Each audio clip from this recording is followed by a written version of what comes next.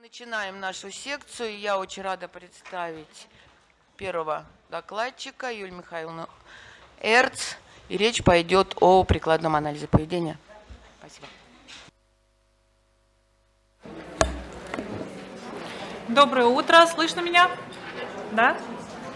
Э, так. Ага,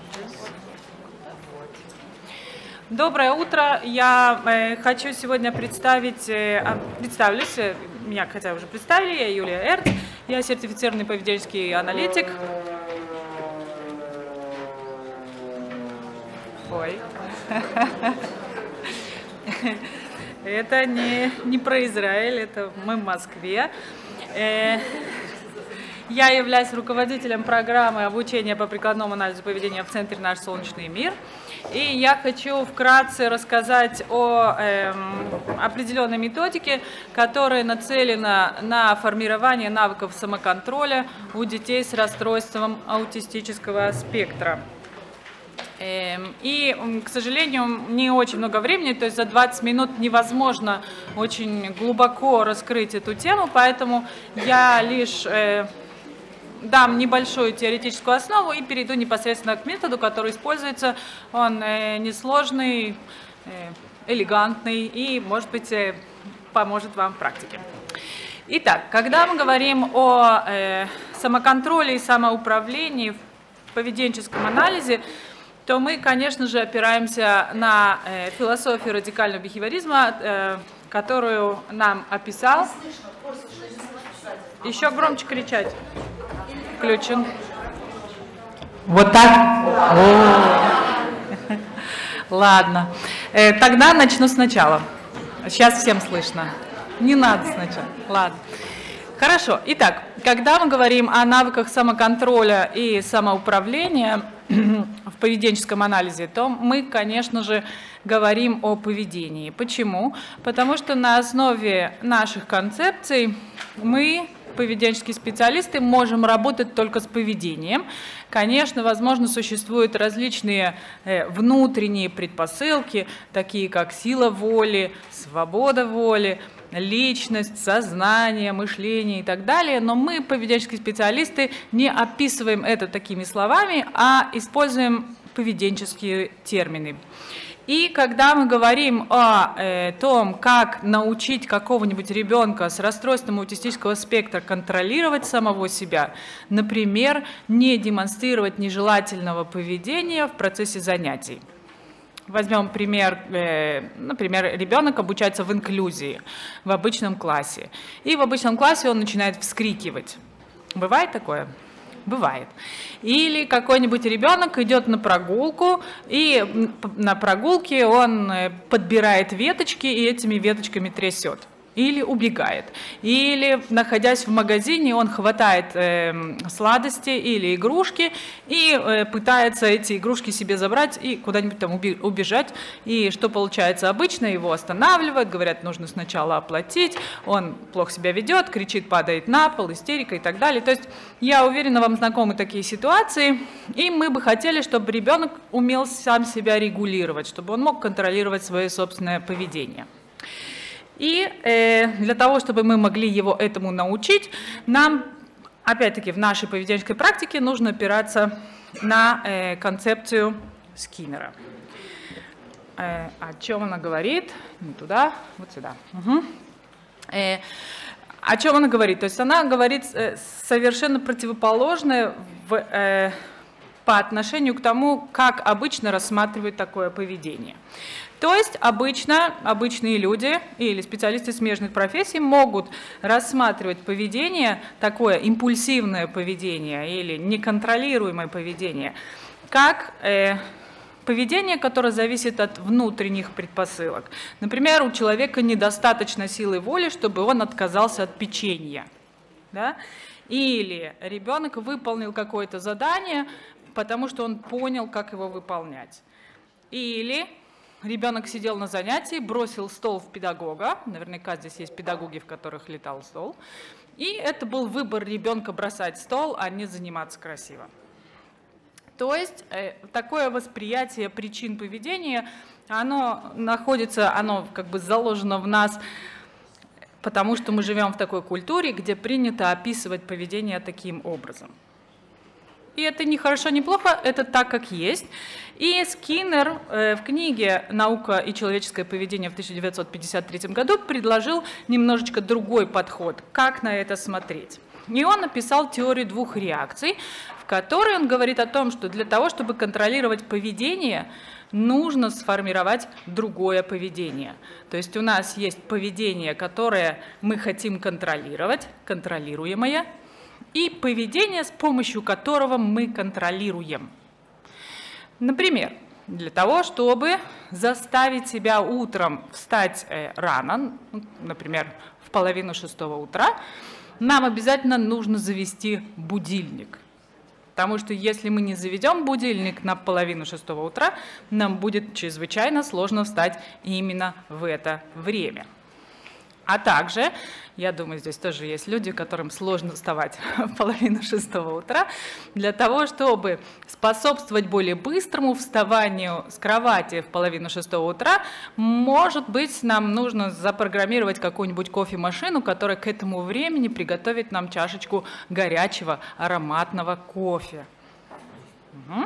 Но эти действия, запрограммировать машину, засыпать в нее ароматный кофе, поставить будильник – это тоже поведение.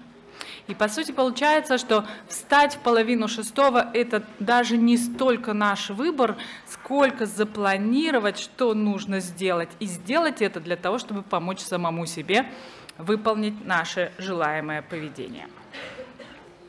Следовательно, все эти формы поведения, которые мы называем самоконтролирующим поведением, они в нашем человеческом репертуаре появляются. Нас кто-то когда-то учил, что нужно ждать спокойно в магазине, когда мы хотим чего-то купить. Или кто-то нас когда-то учил, что нужно спокойно идти по улице, держать руки в карманах и не трогать всякие предметики. Ведь мы же были когда-то младенчиками, мы же были годовалыми. И мы же что? Мы поднимали все, что там лежит. И кто-то рядом с нами ходил, это была мама или бабушка или папа, какой-то родственник, и нас учил, что так делать нельзя, нужно делать по-другому, и мы научились делать по-другому. Следовательно, когда мы говорим о навыках самоконтроля и самоуправления, мы говорим о том, что мы обучаем ребенка что-то делать.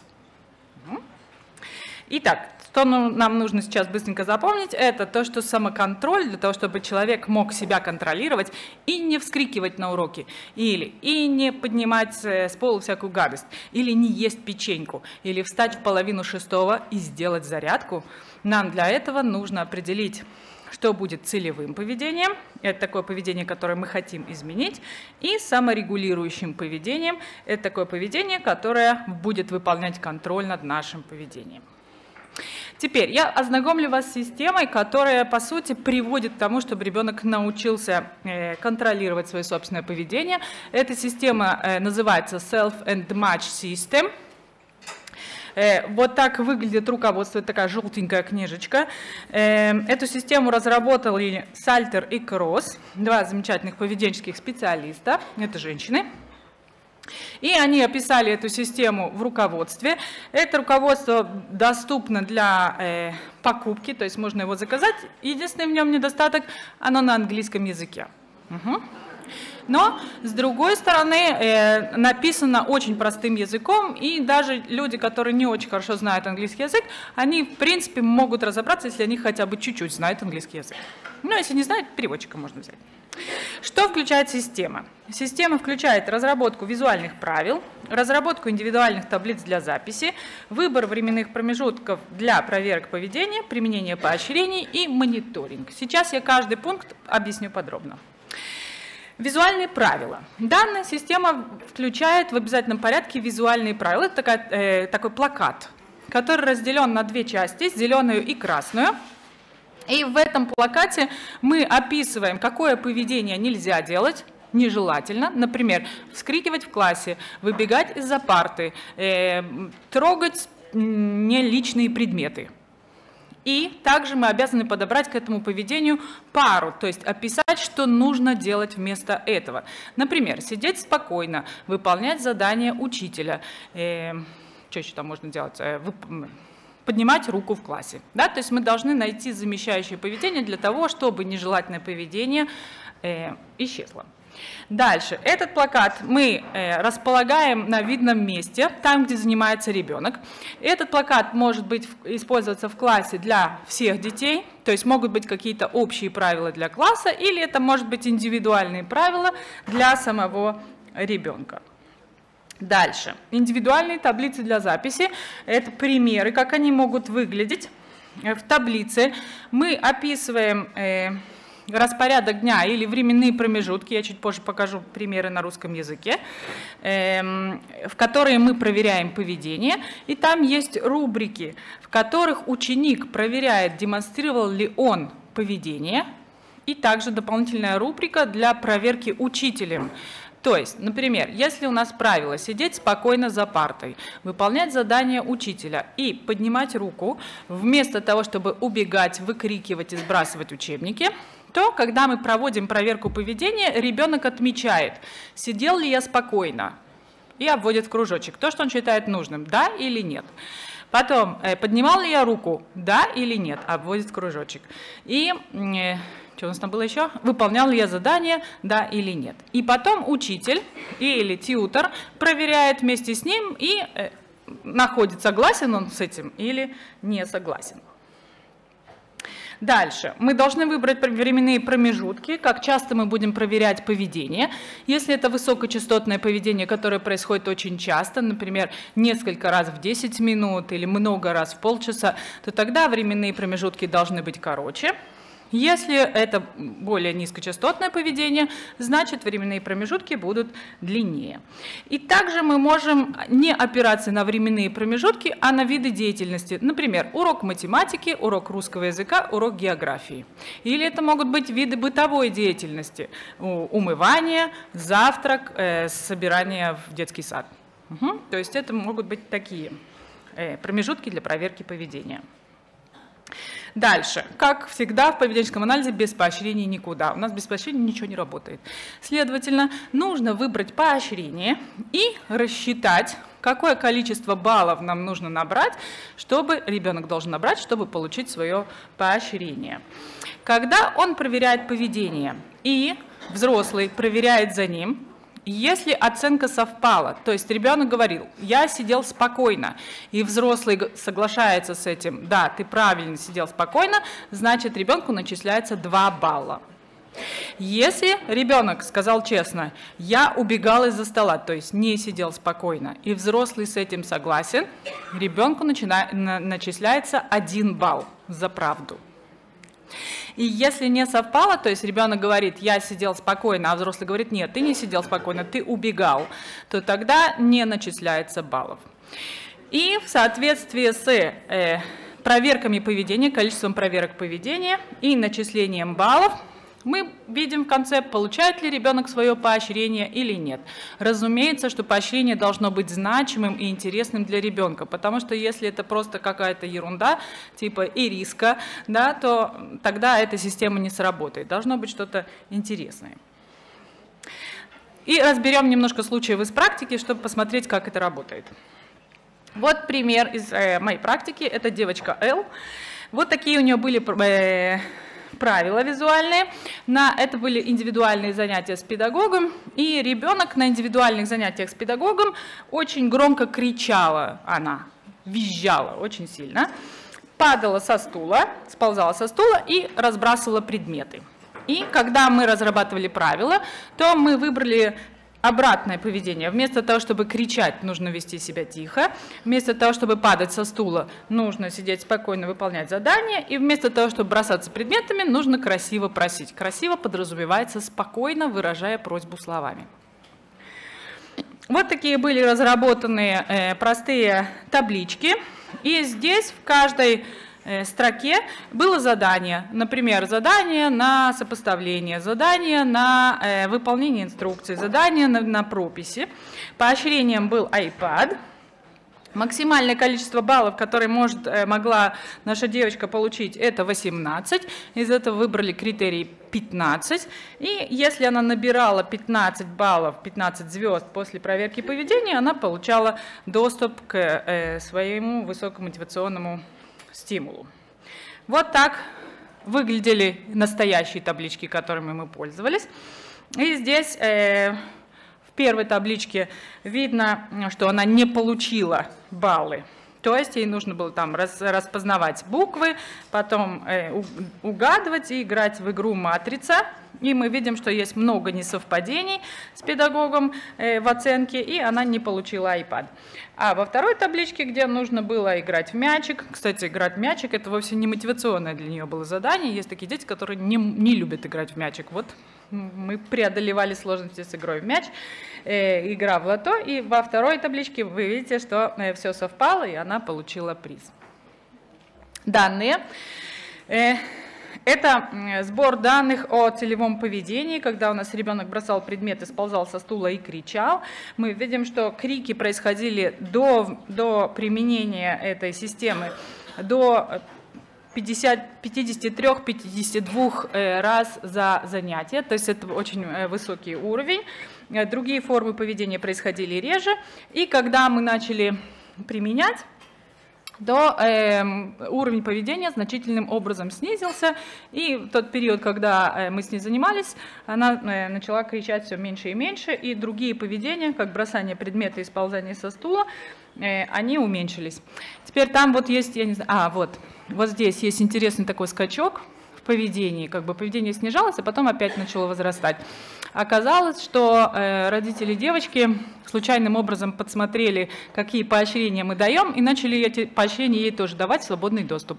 И тогда оказалось, что э, не так эффективно работает система. Мы показали родителям график, сказали, смотрите, вот если вы э, предоставляете ребенку возможность поиграть в такие же игры, как мы предоставляем в рамках этой системы, то система начинает хуже работать, родители с нами согласились э, и убрали из свободного доступа, и мы видим, что поведение сразу начало снижаться. Эй, у меня есть еще немножко времени? Нормально? Еще три минуты. Батюшки. Быстро про мальчика Н. Э, итак, это другой э, случай с практики. Здесь мальчик постарше Лизи, девочки Л у нас 4,5, а здесь у нас ребенок ему 7,5. И у ребенка очень э, высокоинтенсивное, высокочастотное поведение трясти руками.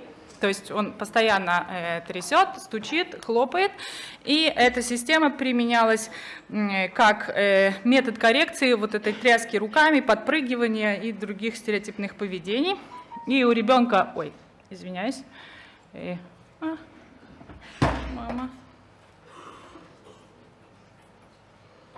Так. Вот. И у ребенка, значит, э, целевым поведением было как э, трясти руками, подпрыгивать, когда разговаривал с кем-то, и убегать из класса. А замещающим поведением было держать руки спокойно, стоять или сидеть красиво и выполнять задания. Вот такая табличка была. У него тоже использовались смайлы. И в этой табличке э, не проверка поведения происходила не после каждого задания, а э, на основе пятиминутных промежутков времени. Вот наши данные. Здесь мы видим, э, что до начала применения программы был очень высокий высокий уровень поведения трясти руками, то есть до 360 раз за занятие. И э, после применения программы мы видим, что поведение начало снижаться, но потом в какой-то момент начало повышаться, и в этот момент как бы, мы заметили, что то поощрение, которое мы выбрали, а поощрением было бегать с педагогом в догонялке, оно начало терять свою значимость, и мы начали искать другое.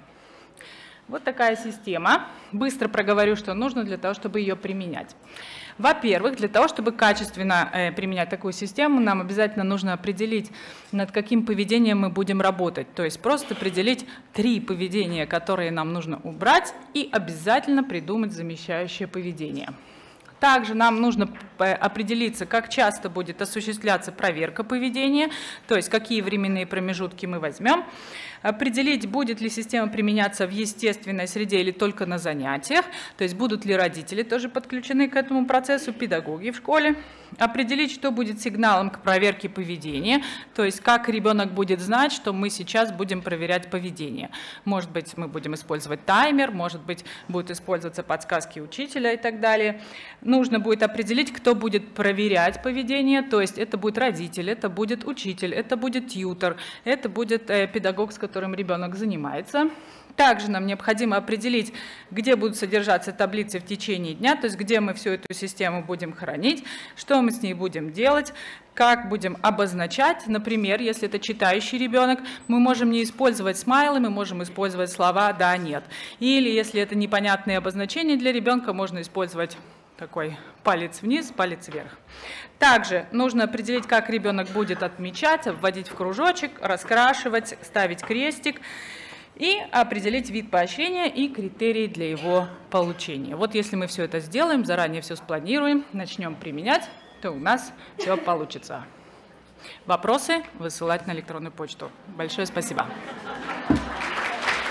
Спасибо большое.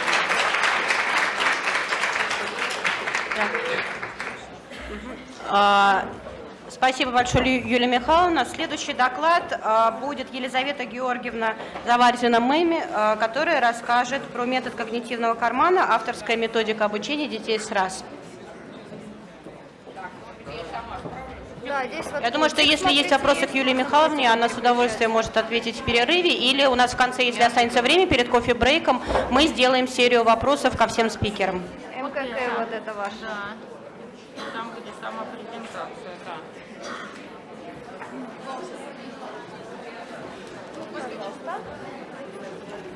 Так, это мне не нужно.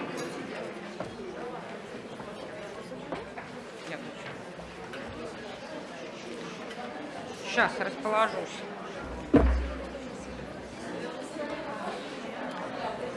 А.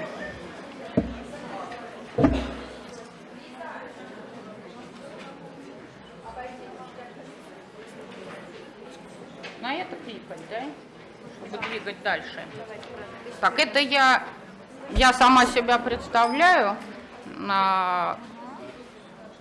Я автор вот этой книги и переводчик теперь еще другой книги, о которой я буду рассказывать на другой секции потом. Значит, в этой книге, может быть, ее кто-то читал, она уже кончилась, больше ее нет, и сейчас будем переиздавать. Я излагала наш собственный опыт, но туда вошло не все. И сейчас, вот когда несколько месяцев назад я рассказывала Артуру Валерьевичу, не слышно, а, об этом а, просто рассказал об этом методе, он попросил, чтобы я написала статью и рассказала публично. Вот что я сейчас и делаю. А, значит, вот этот метод, о котором сейчас пойдет речь, мы, моему сыну сейчас уже будет скоро 30 лет. И начали мы его придумали, и разрабатывали, и улучшали в течение всего этого времени. И сейчас, вот мне кажется, что достигли совершенства в этом. Значит, в принципе, этот метод можно использовать с любыми детьми и взрослыми тоже, но в первую очередь, конечно, он предназначен для детей с расстройствами аутичного, аутического спектра.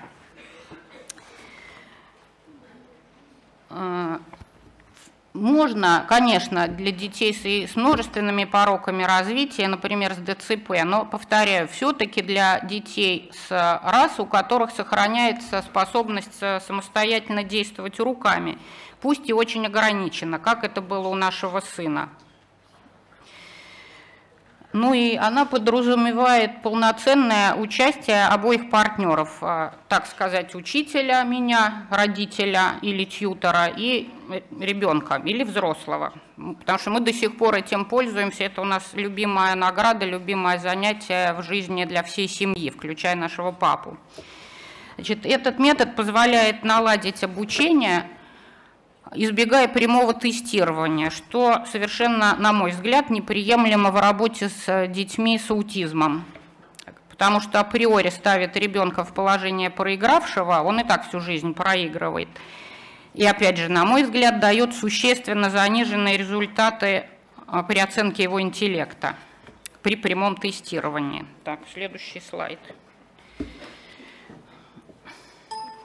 А куда? Соседнюю кнопочку. Вот. А, этот метод мы его назвали метод когнитивного кармана, построен на тех же принципах и идеях, что метод э, любимого нами Глена Домана, у которого мы 7 лет занимались, и который, конечно, очень сильно повлиял на наш взгляд на детей с аутизмом. Сейчас э, на родине известна карточки Домана Маниченко, наверное, их многие знают. Но в отличие от э, и того, и другого, ну, классического Домана и Домана Маниченко, наш метод отличается тем, что он предполагает активное участие ребенка. Ему не просто показывают и, ну, как бы запомнят, будьте уверены, что он запомнит, а поскольку это интерактивные занятия, у вас есть возможность не, не, не прямо проверять, э, что ребенок запомнил, а что еще предстоит изучить. И второе, очень важное, на чем он основан, так называемое, а, это выражение профессора американского Дугласа Биклина, презумпция компетентности, presuming competence. Ну вот на русский язык удобнее перевести как презумпция компетентности, а также на уверенности в том, что все дети, включая детей с нарушениями развития, очень любят и хотят учиться вот о чем нам постоянно говорил, говорил Глен Доман. И наш собственный опыт это полностью подтвердил. Так. Все знают, что у многих детей с аутизмом имеются разнообразные нарушения сенсорного восприятия. Иногда это что-то одно, иногда это их сочетание. Ну и сейчас в первую очередь мы будем говорить про слух. А, иногда эти нарушения слуха приводят к таким тяжелым последствиям, что ребенка признают умственно отсталым, поскольку поведение вот такое. Ну и, и вот слух – это один из наиболее часто страдающих каналов. В результате ребенок, у него э, э, проверка слуха у специалиста показывает, что со слухом все в порядке, тем не менее он почему-то совершенно не реагирует на нашу устную речь. Ну и в результате ставится диагноз э, умственная отсталость. Раз не понимает наши инструкции, ну, часто так бывает. Значит, для коррекции этих а, нарушений всем известно, что принято использовать зрительную опору или визуальная поддержка, как больше нравится. Значит, понятно, что все очень просто. Для того, чтобы найти способ как-то объяснять ребенку, что означают те или иные звуки, слова или фразы, естественно, первое, что приходит в голову, показывать ему эти предметы, ну, как обычно мы делаем, или предметы, или картинки с их соображ... Э, изображением. О действенности такого подхода говорят многие люди с аутизмом. Например, книга Temple Grandin так и называется «Thinking in Pictures то есть у человека с аутизмом очень часто само мышление идет при помощи картинок.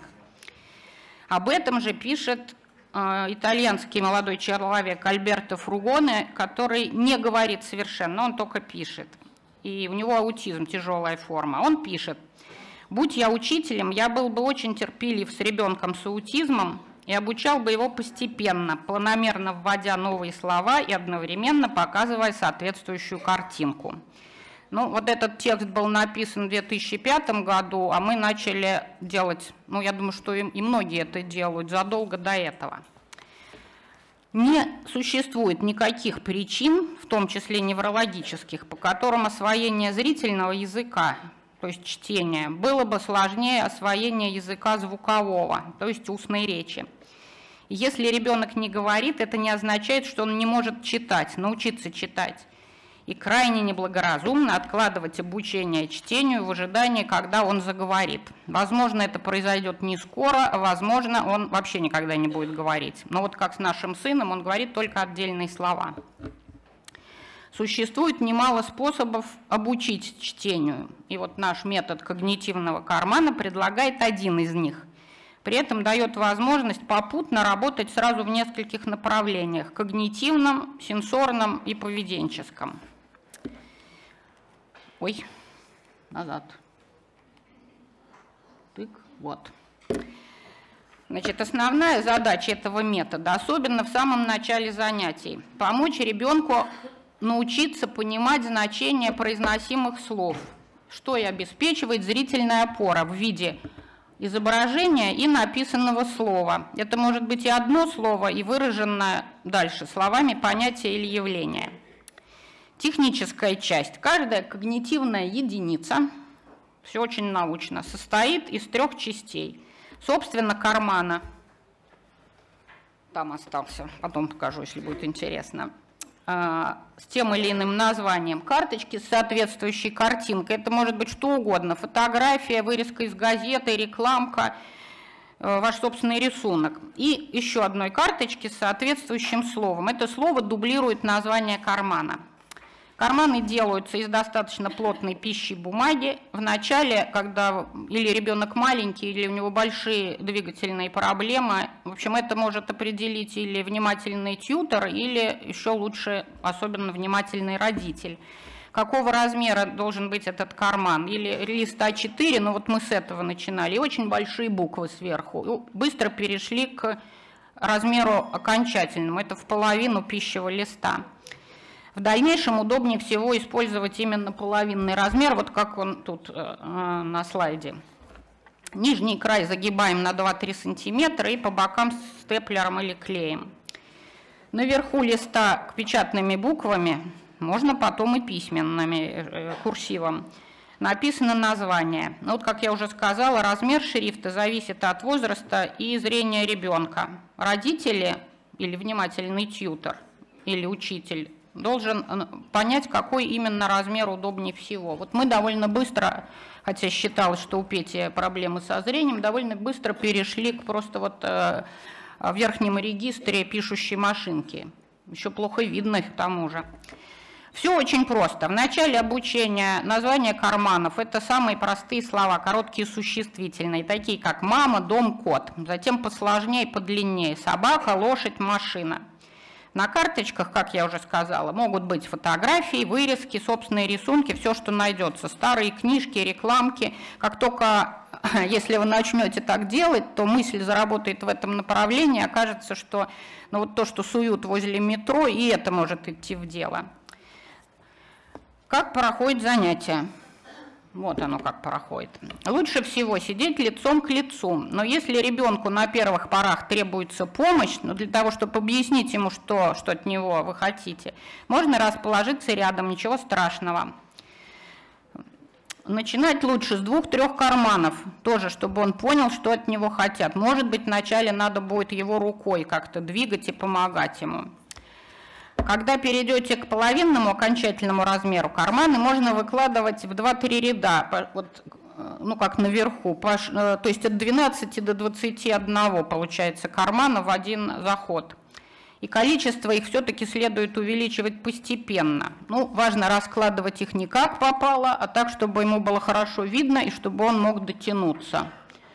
Вот там видно видно Петю. Вот в середине это моя дочь с моей внучкой, которой два года только что исполнилось, вот они уже начали заниматься. А там вот двое детишек, это а, я рассказывала в замечательном центре в Черногории об а, этом методе, и вот они уже начали применять со своими детишками.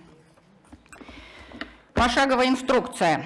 Показываем полностью укомплектованный карман. Затем вынимаем из него, понятно, я не слишком быстро это говорю.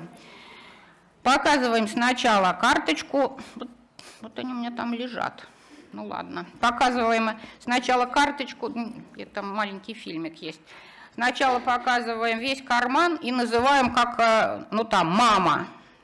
Потом вынимаем из него, это вот будет видно, вынимаем изображение и говорим еще раз «мама» и кладем маму лицом вниз для того, чтобы не отвлекался. И следующая карточка с этим же словом, еще раз говорим «мама» и тоже убираем с глаз долой. Но в практике удобно на коленях держать какую-то коробку, чтобы туда это убирать. А, кладем пустые карманы, вот перед ним один пустой карман, потом следующий показываем, опять перед ним пустой карман, и так со всеми. Когда все карманы пустые окажутся на столе, можно переходить ко второй части занятия. И это вот, вот здесь начинается активное участие ребенка. Показываем карточку с изображением и просим найти соответствующий карман. Если моторика позволяет, и вложить еще заодно вот в, в эту Всем почему-то очень нравится, вот мне тоже, вкладывать э, карточки в карманы. Это очень приятно. Вот не на, э, э, как это, скретч, лип, на, на липучку, вот я, например, этот звук просто не выношу. Ну вот, да, в принципе, то же самое, картинка и на каком-то листе с, с... Как это? Ну вот мне звук не нравится, и Пете тоже очень не нравился. Так не надо навсегда приклеивать, нужно вынул, ставил, вынул, ставил. Сейчас дальше, а то не успеем. Значит, последовательно со всеми карманами. Когда ребенок разложил все карточки, значит, то есть во время этого, когда он включается, для того, чтобы положить карточку в правильный карман, он вынужден прочитывать, э, можно их еще и перемешать, если у вас сомнения, что он запомнил место, куда положили в соответствующий карман. Мешать ничего не мешает, вот вы их местами поменять. Когда разложены все карточки, переходим к словам. И та же самая процедура. Показываем карточку, произносим. Не нужно ничего проверять. И вот в этом маленьком фильмике, который сейчас посмотрим, как раз дочь моя Поля делает ошибку. Я специально оставила фильмик с ошибками. Не нужно ждать, что вот это что написано. Показываем сначала. Все очень миролюбиво и успех, успех, успех должен быть все время. Награда. А, вот карточка со словом тем же «мама», вот найди, где это. Но это уже проще, потому что есть опора в виде фотографии. Ясно, что это проще. Пока ребенок не научился читать. Вот а, Петя в какой-то... Елизавета Георгиевна, извините, у вас пять минут еще. Да, я сейчас успею. А, значит, в результате ребенок многократно видит и слышит каждое из слов, предложенных карманов и карточек. Несколько раз, туда-сюда.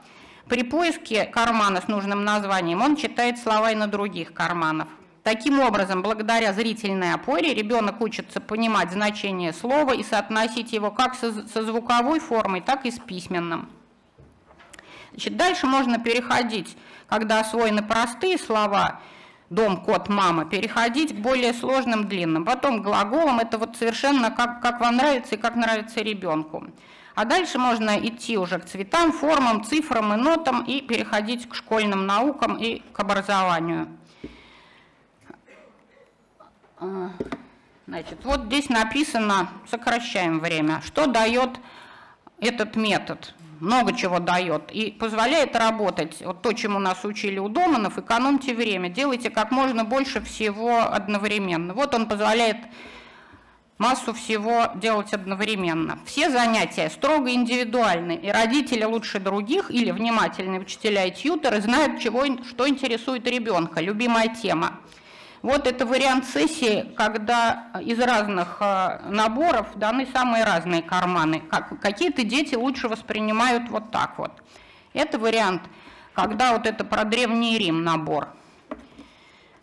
Значит, все это определяется строго индивидуально вот продолжительность а, э, или вот э, интересы ребенка. Если они еще не знакомы, это поможет выявить. Не может быть, чтобы у детеныша не было никаких интересов. И вот этим и хорош этот метод с его самодельной составляющей. Подбираем то, что нужно этому ребенку. Динозавры, метро, украшения женские. А, и детям очень нравятся самоделки. И самоделки, и шутки. Вот этим не стоит пренебрегать.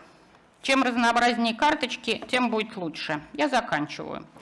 Однако эффективность этого метода э, сильно э, нужно придерживаться нескольких правил для того, чтобы это работало. Оп. Вот здесь правила. Значит, обязательно, обязательно нужно, вот очень важно запомнить, обязательно хвалить и ни в коем случае не ругать его. Все время должен быть подъем. Сессии должны быть очень короткие, 5-10 минут максимум.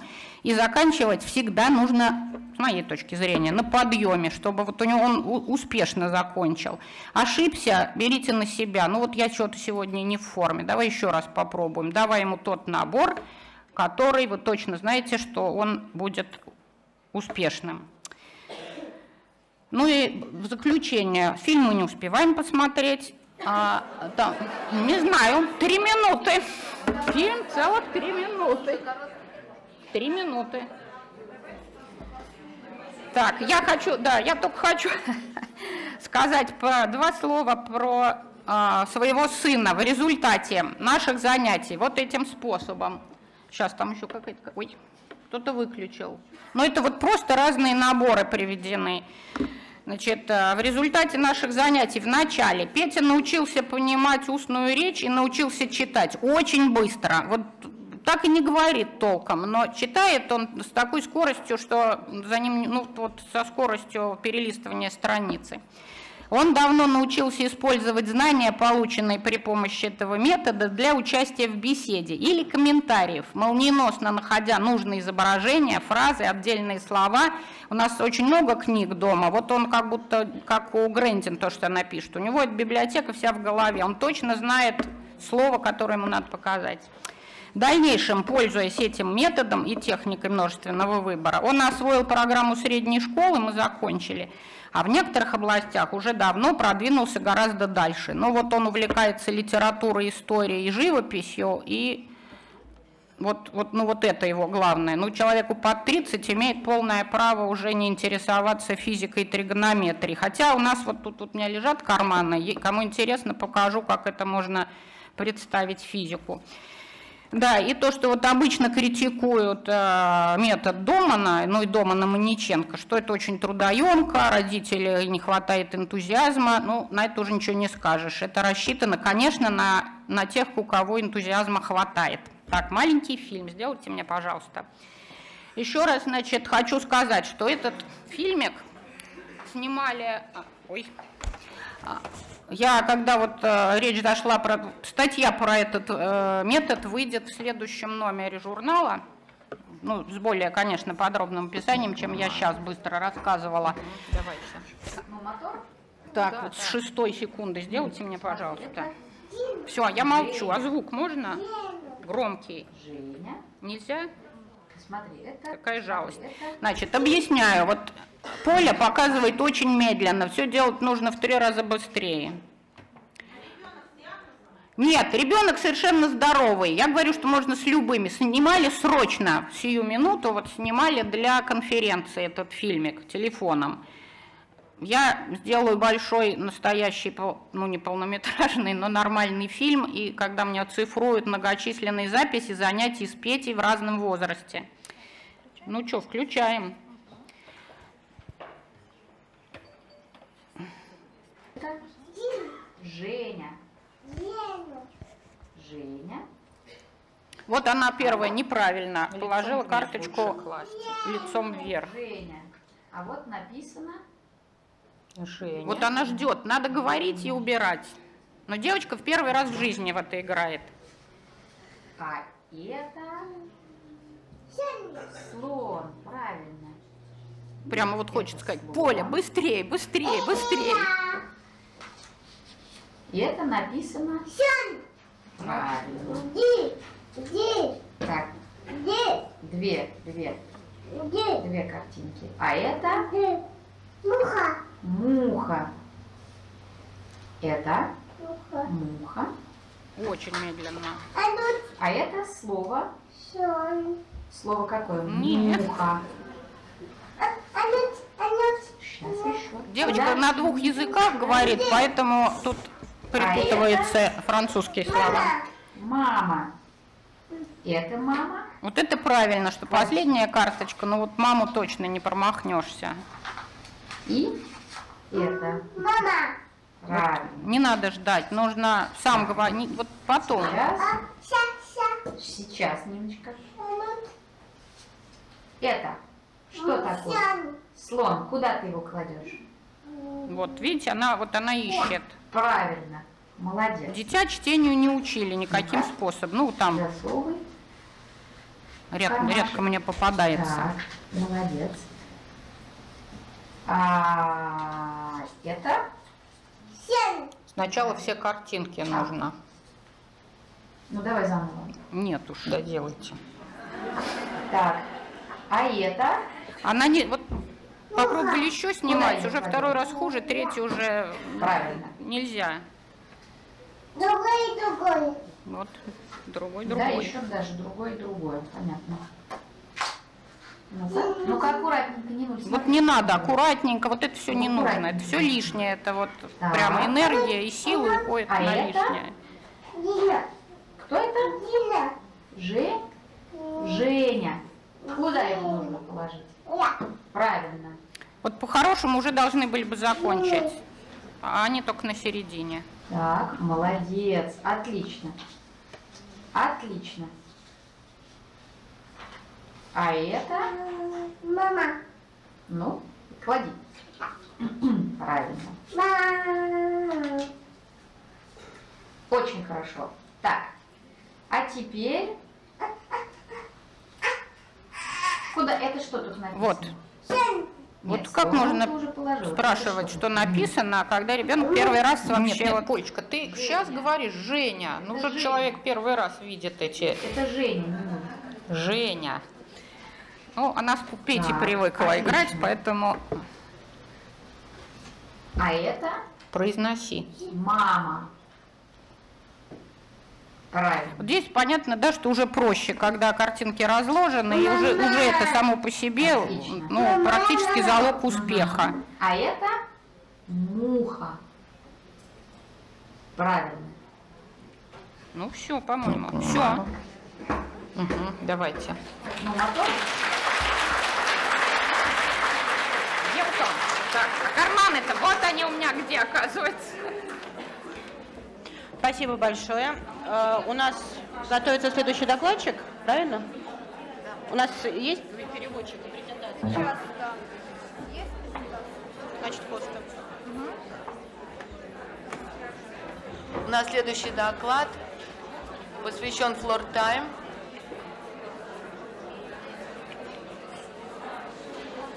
Джерард Коста. Мы его приглашаем. Наконец появился переводчик, директор Центра аутизма. Коллеги, минутку внимания, давайте чуть-чуть потише. У нас готовится следующий докладчик. Спасибо большое.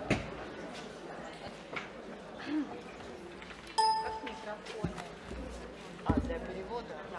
Наверное, этот можно, да?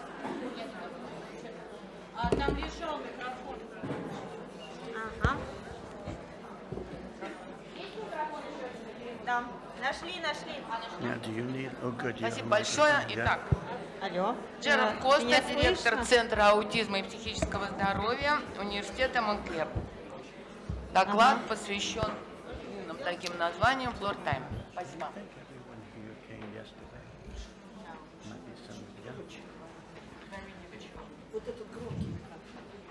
А этот, а этот теперь стал громче. Ага. Да. Okay. Простите, пожалуйста, еще раз я прошу прощения у всех за опоздание и за изменения вот, э, в последний момент. И проверяем микрофон. Всем ли на последнем ряду слышно? Да. Yeah, everyone can hear. Okay, good morning. Доброе утро. Uh, my name is Jerry Costa, and I'm the director of a Center for Autism and Early Childhood Mental Health uh, at a university in New Jersey, Montclair State University. Меня зовут Джерри Коста, и я директор э, большого центра, э, э, посвященного работ- работе с детьми с аутизмом э, в Нью-Джерси, и а также профессор университета Монклер. Э, And I'm also president of the Interdisciplinary Council on Development and Learning, ICDL. Я также являюсь э, директором междисциплинарного консилиума э, ICDL. Это консилиум по развивающему обучению и образованию. And ICDL was founded by Dr. Stanley Greenspan and Dr. Serena Weider. И эта организация ICDL была основана доктором Стэнли Гринспаном и его коллегой Селеной Уиндер.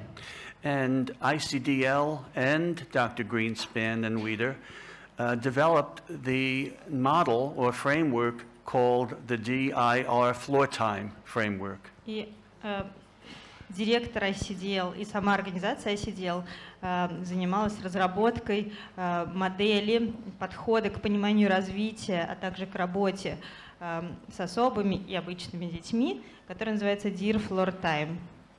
So И yesterday, на I- русский, в общем, в итоге решили не переводить. Sorry, No. I'm just you go. Good. да, решили не, ну, не, не переводить эту аббревиатуру, и сейчас будет много про то, что это значит. So yesterday, I spoke a little bit about the DIR floor time framework. Вчера, если кто-то был, то слышал, эм, мы говорили про то, что такое подход Dear Floor Time, And I asked the question yesterday, and I'm going to ask it again today. Can you raise your hand if you are familiar with the DIR floor time framework? Как и вчера, так и сегодня я снова хочу спросить, э, кто из вас знаком с подходом Dear Floor Time или хотя бы слышал про эту модель, поднимите руки. Ah, О, brava, вы- brava, bravo. Браво. So today, I would like to speak to you about the DIR floor time framework. И сегодня я бы хотел поговорить про э, модель Dear Floor Time, But think about it in terms of how it fits in with what we are learning about the unfolding development of the brain. но э, хотел бы это поговорить э, в контексте того, что мы сегодня знаем про то, как эм, развертывается, разворачивается развитие мозга и And, человека. and please know that uh, because of the translation, it will take longer, so I'm going to skip some slides that you don't have to worry about for the presentation. К сожалению, из-за перевода придется что-то пропускать, э, и какие-то слайды будут пропущены, но не переживайте, э, постараемся все перевести и сказать главное. So, I want you to think about a baby, six weeks old, waking up in the morning. Предлагаю вам подумать, представить м, малыша, младенца шестимесячного, который просыпается утром. So the baby starts making some sounds in his crib, and from the other room, the father hears him and says, Oh, are you up again? И вот младенец просыпается, начинает так ворочаться и, и немножко эм, скрипеть, шуметь в своей кроватке. И э, из соседней комнаты раздается голос папы. Ну что, ты опять проснулся? And if we could measure the baby's respiration and the heart rate, we would see that the baby's heart rate and respiration gets faster because they recognize the voice. Но при этом, если бы мы измеряли э, частоту сердечных сокращений и частоту дыханий э, у ребенка, мы бы заметили, что э, он стал дышать чаще и сердце забилось сильнее, потому что он узнает голос папы. So the father goes in to the room Итак, папа заходит в комнату, and leans over the crib наклоняется над колыбелью and says, Oh, be quiet. и говорит, ну-ка замолчи.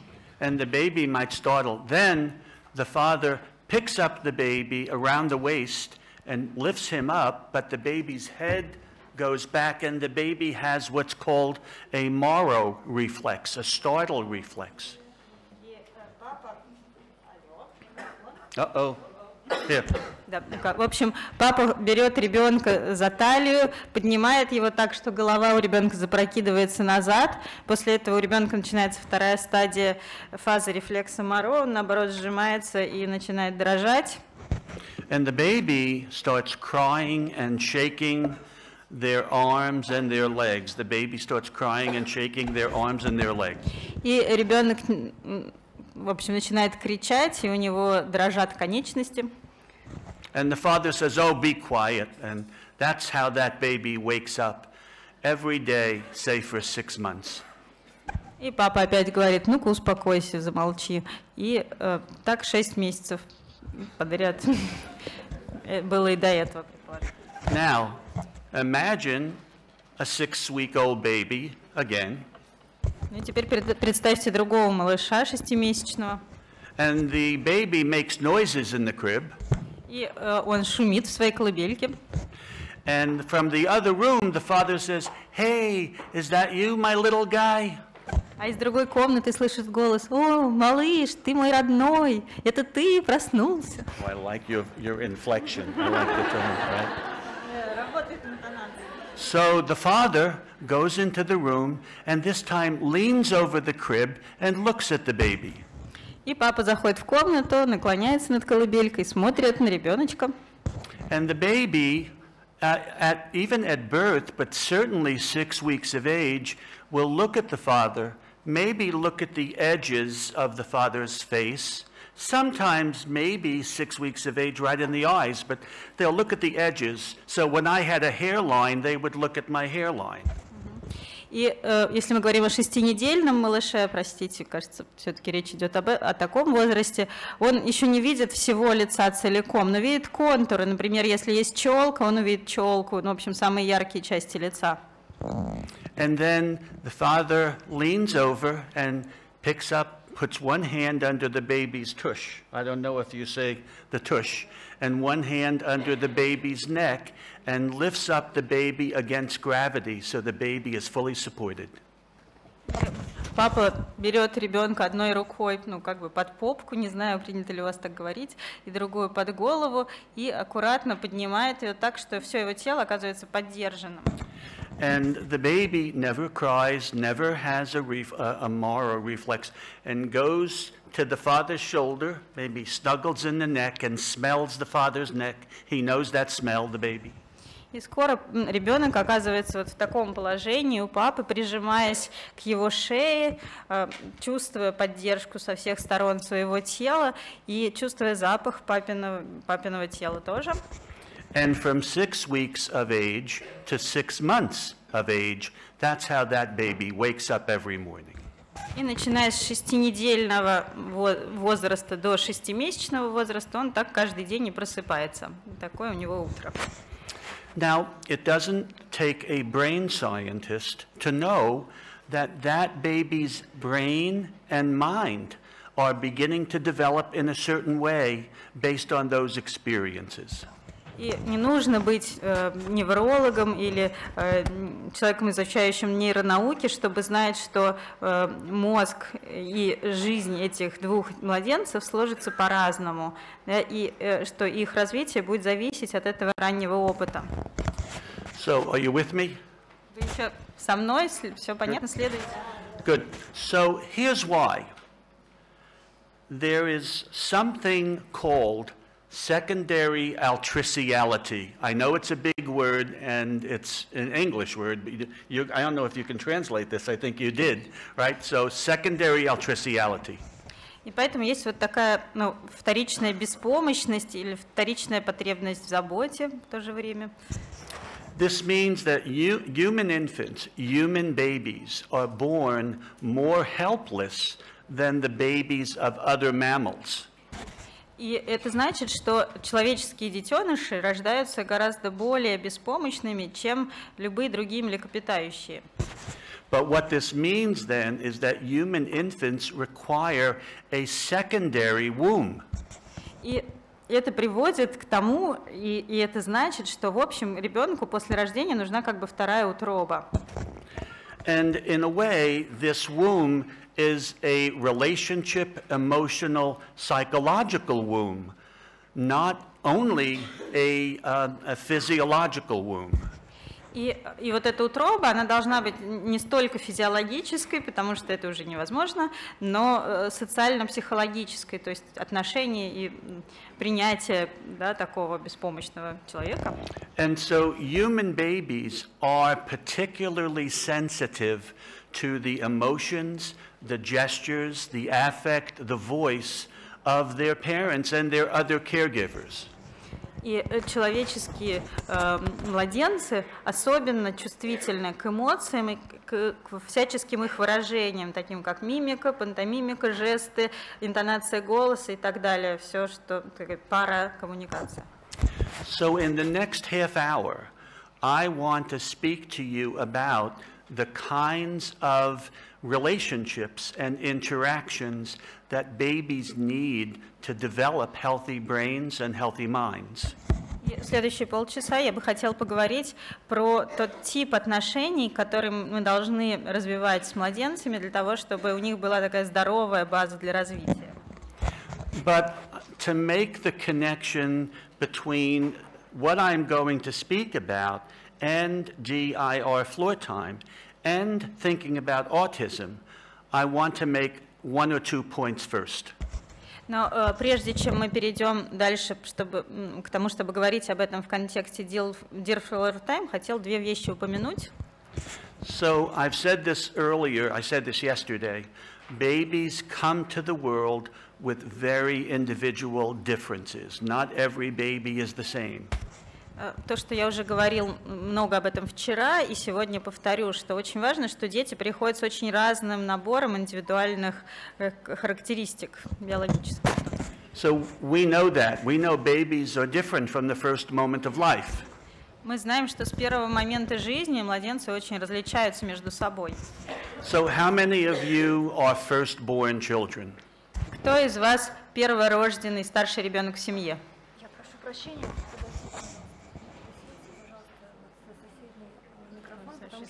Oh, good, good, okay. So raise your hand, raise your hand. Oh, thanks. Поднимите руки. Oh, Да, еще very раз. good. Очень good. прошу. All right. So on behalf of your parents, I apologize. Я прошу вас прощения от имени ваших родителей, Because we all make mistakes on our first babies, right? Потому что мы все э, учимся на своих первых детях и делаем ошибки. But if, if you have more than one child, you know babies are very different from each other. Но если у вас самих есть больше, чем один ребенок, вы знаете, что младенцы очень отличаются друг от друга. So while I know we can speak more about the individual differences and the ways that we are learning that the brains of babies and children and adults with autism have differences that make it more difficult for them. I hope you got that. Okay. Очень важно, что вот э, мы изучаем да, то, как мы обучаемся, да, э, что нам помогает обучаться, и э, видим, что у одних детей больше трудности при школьном, например, обучении, а у других меньше. The real purpose for the, uh, for the presentation today is to show you how relationships can uh, alter, change the brain, and even for, for children on the autism spectrum, relationships and emotions can help change their brains to become more regulated, engaging, reciprocal human beings. И цель нашей сегодняшней презентации в том, чтобы показать, э, насколько вот эти ранние отношения и вообще отношения м, меняют мозг и развитие мозга. И э, не только у маленьких детей, но и у более старших, э, и не только у обычных детей, но и у детей с аутистическим спектром. So relationships matter. И, итак, важно, э, что значения имеют смысл большой, And- отношения. And my daughter, who's an occupational therapist, uh, bought me this bumper sticker for my car. И о, моя дочь, э, которая по профессии эрготерапевт, купила мне для машины такой бампер. And it says, in the beginning, there was the relationship. И о, тут написано, в начале были отношения. So in DIR, the R is relationship. И э, э, в аббревиатуре DIR э, последняя буква R, английская, э, соответствует русскому слову отношения. So now I want to talk to you about the brain very quickly. И сейчас я вам очень коротко постараюсь рассказать о мозге. And to let you know that the brain, by five months gestation, by five months in the womb, Ye- already has over 100 billion neurons, nerve cells. Э, Важно сказать, By что five months gestation, yeah. Мгм. К пяти месяцам э, внутриутробного развития э, у, у плода младенца есть уже э, примерно 2 миллиарда э, нейронов. That's about the number of stars um, astronomers believe are in the Milky Way galaxy. И примерно столько же астрономы насчитывают в Млечном пути звезд. Only 20% of those nerve cells are interconnected at birth. И только э, 20% как-то взаимосвязаны э, между собой из этих нейронов. Да? При рождении да, где-то 20% нейронов уже как-то соединены и связаны друг с другом. 80% of the connections get formed based on experiences and relationships. И 80% остальных возможных связей формируются в течение жизни э, и э, под влиянием опыта и обучения. So again, I'm going to skip some slides because the translation is taking longer, but Yes. the point I would like you to know right now is the brain forms connections in the first two years of life more quickly than it loses connections. И э, очень важно сказать, что в первые два года жизни э, мозг формирует гораздо больше э, связей, чем потом теряет. And in fact, what we know is that, I just have to be sure I get the right slide. Is this the one that children in securely attached relationships? Good. So children who have relationships that are secure have brain systems that are more efficiently organized. И, э, дети, которые растут в отношении надежной привязанности, э, э, имеют такой более организованный мозг.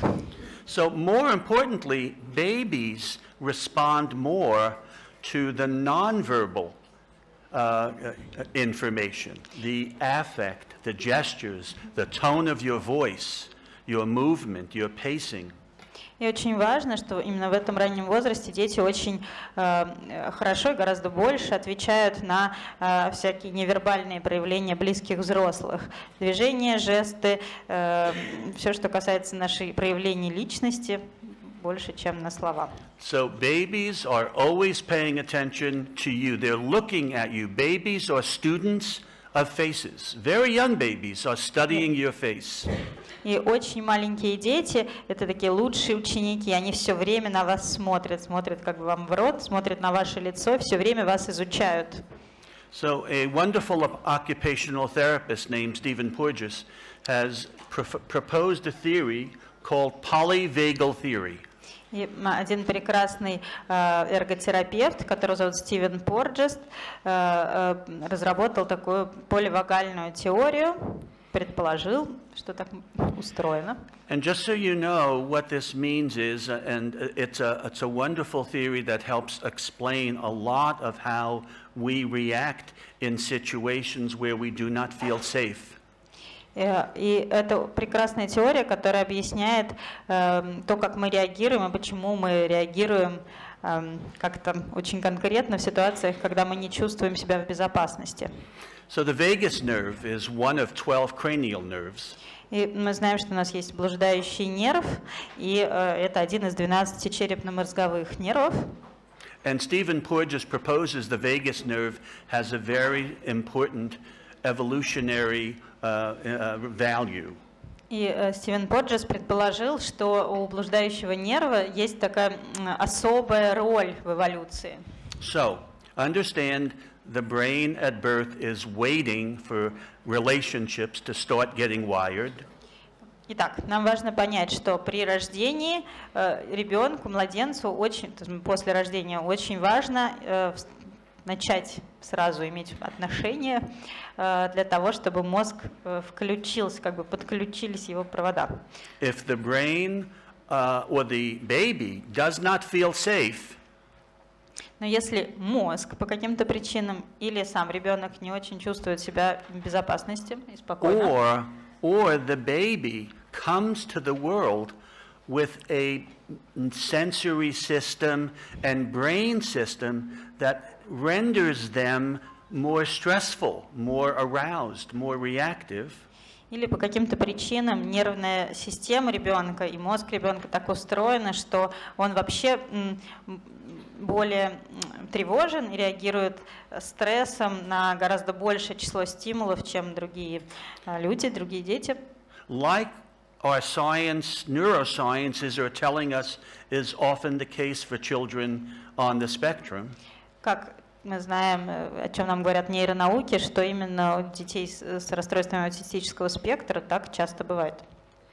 Uh, then, then babies require certain kinds of relationships to help regulate them, help them calm, to promote engagement, and then that begins the process of back and forth communication.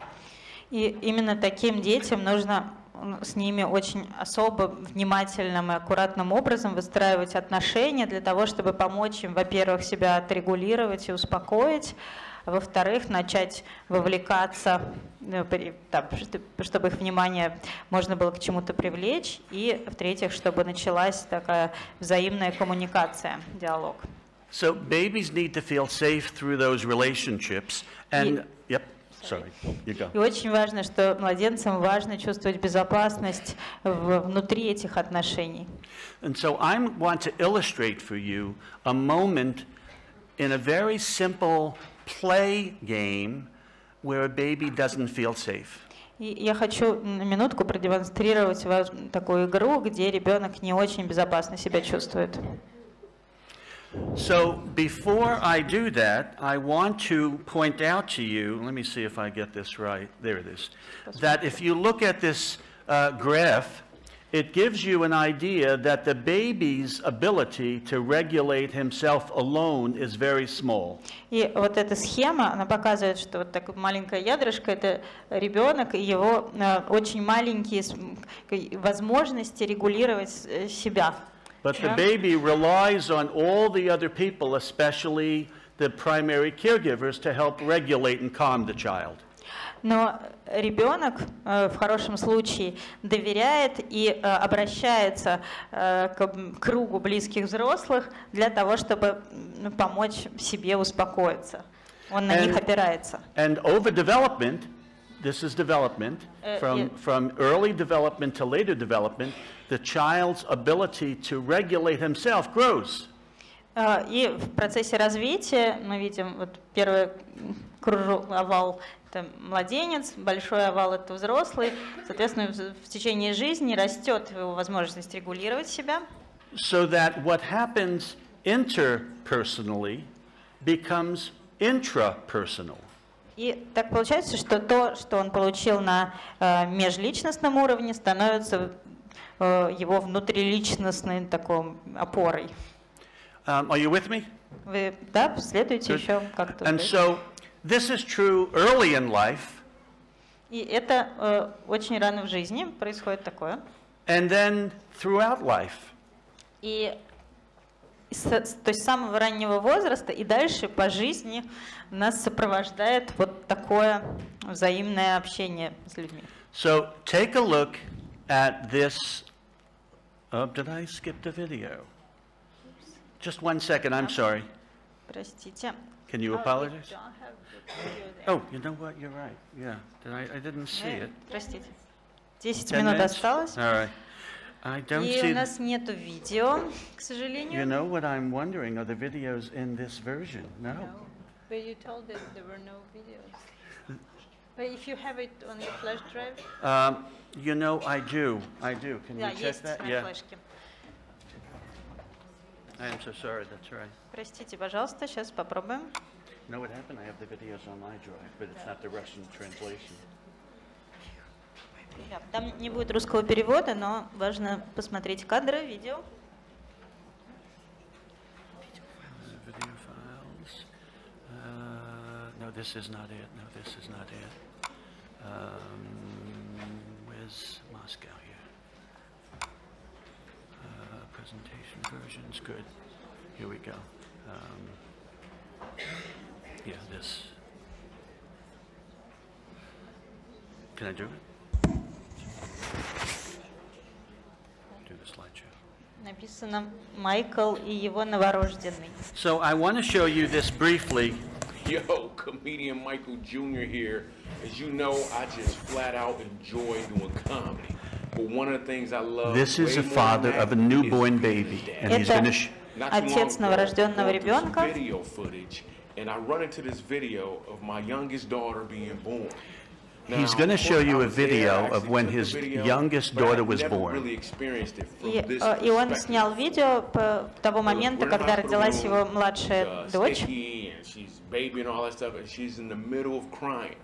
And then I So he speak up, I says start that talking when to her. she was And born, watch she was how kind of she sticky responds and when she hears crying. my voice. И, э, он сказал, что когда она родилась, она была такая немножко липкая и плакала.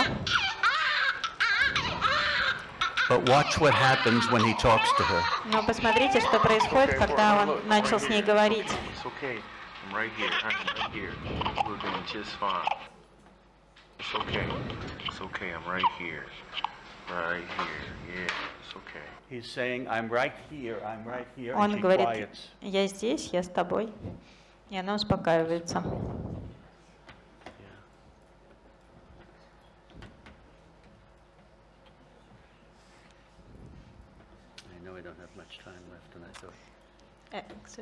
Yo, comedian Michael Jr. here. As you know, I just flat out enjoy doing comedy. But one of the things I love way more than that is being a dad. Not too long ago, I'm going through some video footage, and I run into this I'm video. sorry, folks, so of my he's youngest saying how, daughter being how born. much he loves being Now, a of course, dad. I was there, I И actually он took the говорит о video, том, как ему but I've важно never быть really отцом. experienced it from this perspective before. Бы- Быть папой, быть рядом. uh, И несмотря на то, что это такой странный ребенок, липкий, весь выглядит не очень презентабельно. Но ему это очень важно.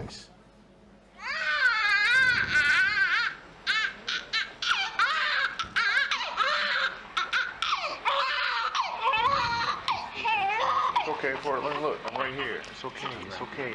I'm right here. I'm Он говорит, here. я здесь, We're я, doing я just здесь fine. рядом, It's я с okay. тобой, It's okay. I'm right я here. рядом, Right here. я Yeah, здесь, it's я okay. с тобой. It's okay, baby. It's okay. Ага. That was pretty awesome. Это было So check потрясающе. it. A few minutes later, uh, the nurse starts working on her, puts her pamper on her, and uh, И в это время нянь, ну, такие, нянечки, персонал там бегали вокруг, делали какую-то работу и протеряли, да, протирали ее, но я вдруг понял, что самое потрясающее вот этот факт, в этот момент контакта.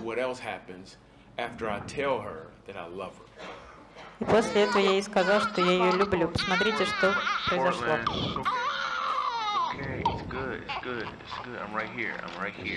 Я здесь, я с тобой, я, я рядом, Love you. я тебя люблю, Love you. я тебя люблю. Love you. Yeah, I'm right here. I'm right here. It's okay. It's Я с okay. тобой, я здесь. That's just phenomenal. I'm like, whoa. Это, Here's the это, thing. это We'll какое-то always вау have times where сплошное. we're not as comfortable, probably even to the point of tears, where life is just heavy. И я надеюсь, что это ей поможет, когда жизнь пойдет как voice. плохо, будет Because трудна. he is trying to talk to you. And I can tell you, what he wants you to know is that he loves you. И это очень важно, чтобы человек с самого рождения знал, что есть кто-то, кто его любит. All you have to do is open your eyes. И, и, все, и все, что тебе нужно, это открыть глаза и посмотреть на это. You know, um, it's a beautiful, it's a beautiful little clip, right? Это Michael, очень прекрасный маленький And- клип. And it tells us, I know, two more minutes, and it tells us of a biological, neurobiological truth that we are able to change each other's level of regulation and engagement by the nature of our relationships. Э, И это такой маленький фрагмент, который нам показывает такую биологическую, простую биологическую правду, что мы можем менять наше э, состояние, в том числе биологическое, просто э, э, через отношения мы можем говорить важные слова друг другу. It should be. So I- I'm going to show you a Jack in the Box. Do, do you, is Jack in the Box universal? Wait, stop it for a Oh. second. Э, Знаете, что такое Джек? You know what a Jack in the Box is? Yes? No. No? So, well, take a look. Look at this. Посмотрите сейчас э, такое кино. This is, this is something we call Jack in the Box. Мы это называем Джек And- в коробке. Может, кто-то подскажет? Черный ящик, э, чертик из табакерки. Oh, good, good. And, and we say it's fun, but take a look at what happens to the baby. И мы говорим, что это такая веселая игра, веселая игрушка. Посмотрите, что при этом происходит с ребенком. Ну, в данном случае.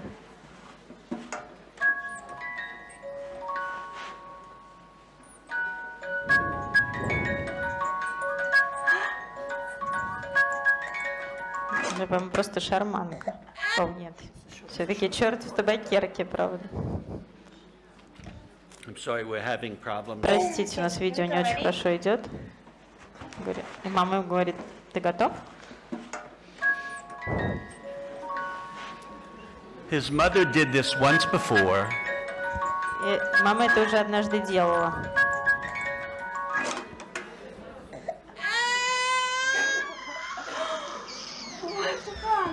guy? Ну, это он бедный. I wish, I wish you could see it uh, more properly, but here's what I want to show you. Я надеюсь, что вы самое главное увидели. When he first И sees it, если бы when he получилось... first sees it, his eyes are open, right? He, he hears the music. И, И вначале важно посмотреть вот этот момент, когда у него раскрываются, расширяются глаза на звук музыки. Then what does he do? He looks at his mother. И потом смотрите в следующем кадре, что он делает. Он смотрит на маму. And he says to himself, What's going on? И он говорит себе, ой, что это интересненько, что происходит? So he sees the jack pop up, А потом увидит, как этот черт вылезает, he looks at it, смотрит And he starts него crying. и начинает плакать.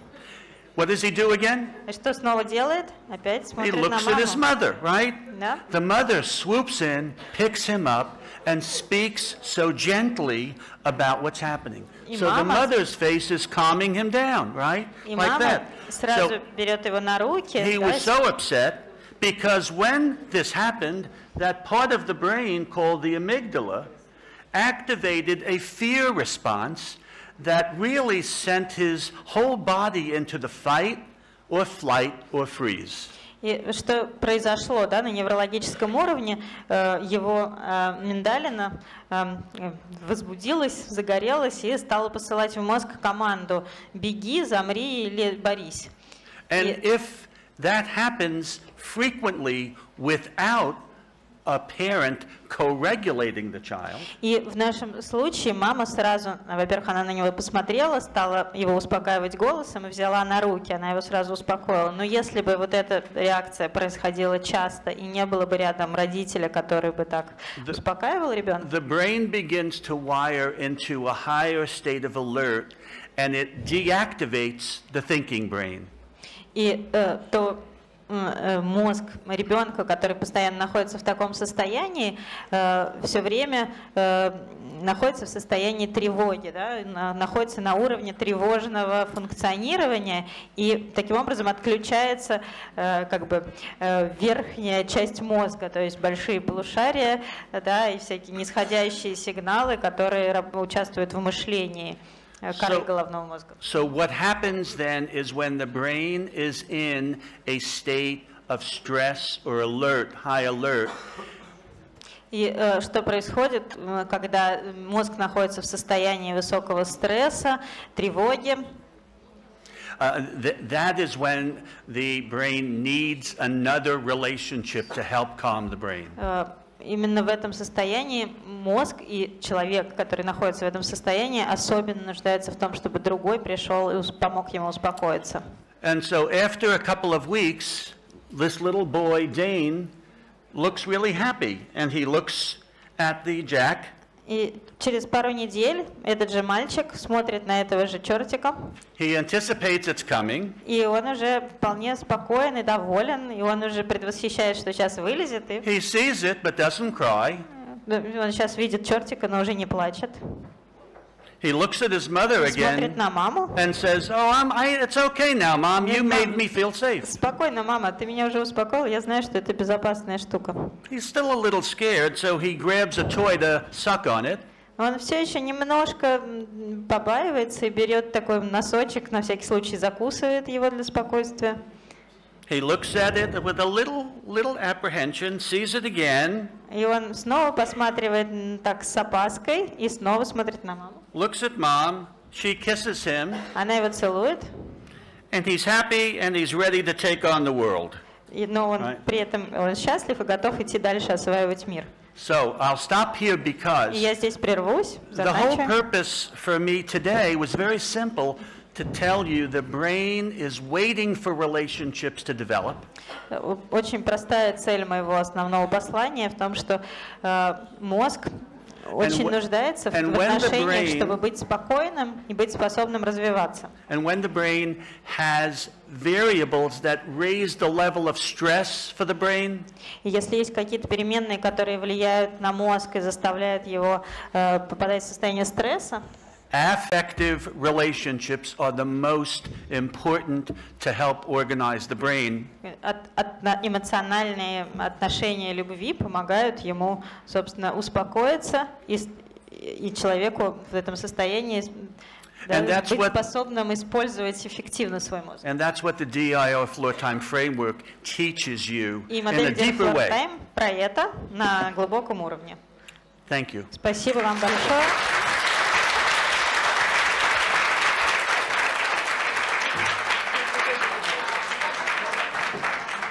М, Работа. Я хотела бы напомнить, что завтра здесь будет проходить секция, посвященная как раз подходу ДИР и методу Float Time. А Перед выступлением следующего докладчика у нас есть небольшое сообщение от организаторов.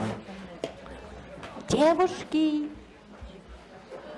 А, Сообщение организаторов будет? Вы хотели что-то сказать? Да, да, да, да. Уважаемые слушатели, я хотела бы вам э, сообщить, что на третьем этаже э, ведется запись на последний день нашей конференции. Вы можете э, спуститься и э, вписать свое имя в список в то, в, э, на ту площадку, на которую вы хотите. А на четвертом этаже у нас в перерывах э, идут э, постерные доклады. Можете тоже, если интересуетесь, на четвертый этаж, пожалуйста, проходите, слушайте.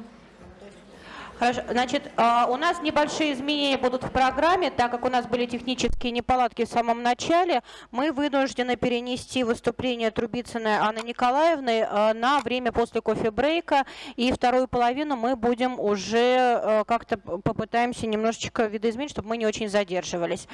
Сейчас будет доклад Розмари Уайт о методах работы эрготерапевта с детьми с аутизмом. А, Розмари Уайт является эрготерапевтом, экспертом в области э, подхода ДИР и метода Time. А, имеет опыт работы более 40 лет. Она работала в свое время как с Айрис, так и с Гринспеном, который является автором данного подхода. А, и на данный момент является профессором университета Филдинг.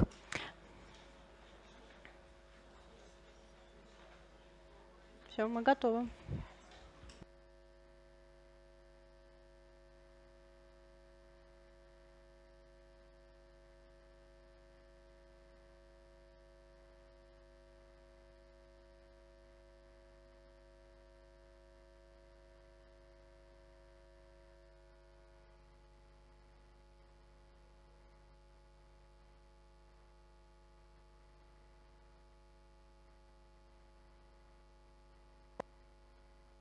Right, we should have something to drink.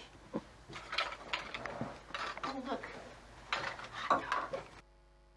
Видео работает.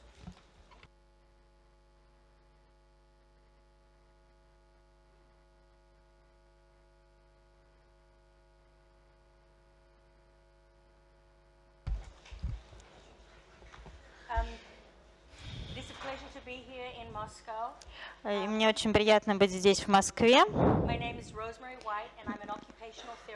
Меня зовут Розмари Уайт, и я эрготерапевт.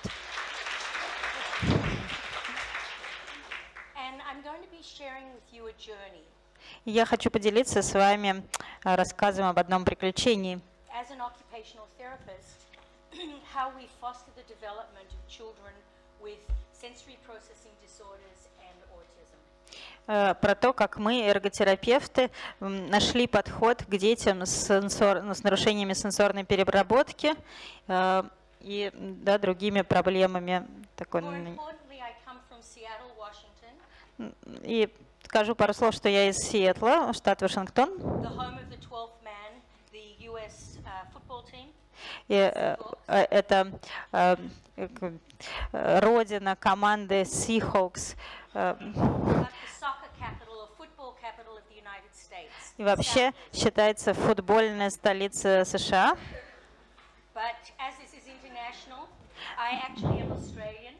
Но, но вообще-то я австралийка по рождению, и я залезла на большой высокий мост. И тут вас приветствую отсюда. So it's wonderful to be here in Moscow. Очень приятно быть здесь, в Москве. Okay. To let you know a little bit about, um, oh, didn't have my who I am. That's okay. Um, just to let you know, I trained as an occupational therapist. И важно сказать, что э, по образованию я эрготерапевт. Many years ago. Э, м- много лет назад я училась этому.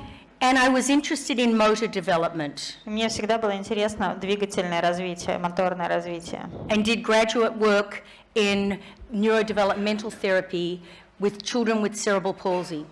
И э, такой мой пост, э, по- по- дополнительное образование. Первое было э, в сфере нейроразвивающей терапии или нейроразвивающего обучения при работе с детьми с ДЦП. But as I then started to work with children with um, motor challenges, we started to think more and more about the impact of sensory processing challenges on motor control. И когда я работала с детьми с двигательными нарушениями, мы вместе задавались вопросом, как сен- как сенсорные э, вопросы, связанные с сенсорной обработкой, влияют на моторный контроль. In my journey, I had the good fortune to work with the Bobaths who developed neurodevelopmental therapy, and I worked with Jean Ayres who developed sensory integration therapy. И в моем таком путешествии, профессиональном путешествии по жизни мне, м, вот, я имела удачу встретиться как с самими боботами, так и с Джин Айрес, э, разработчицей теории и подхода сенсорной интеграции.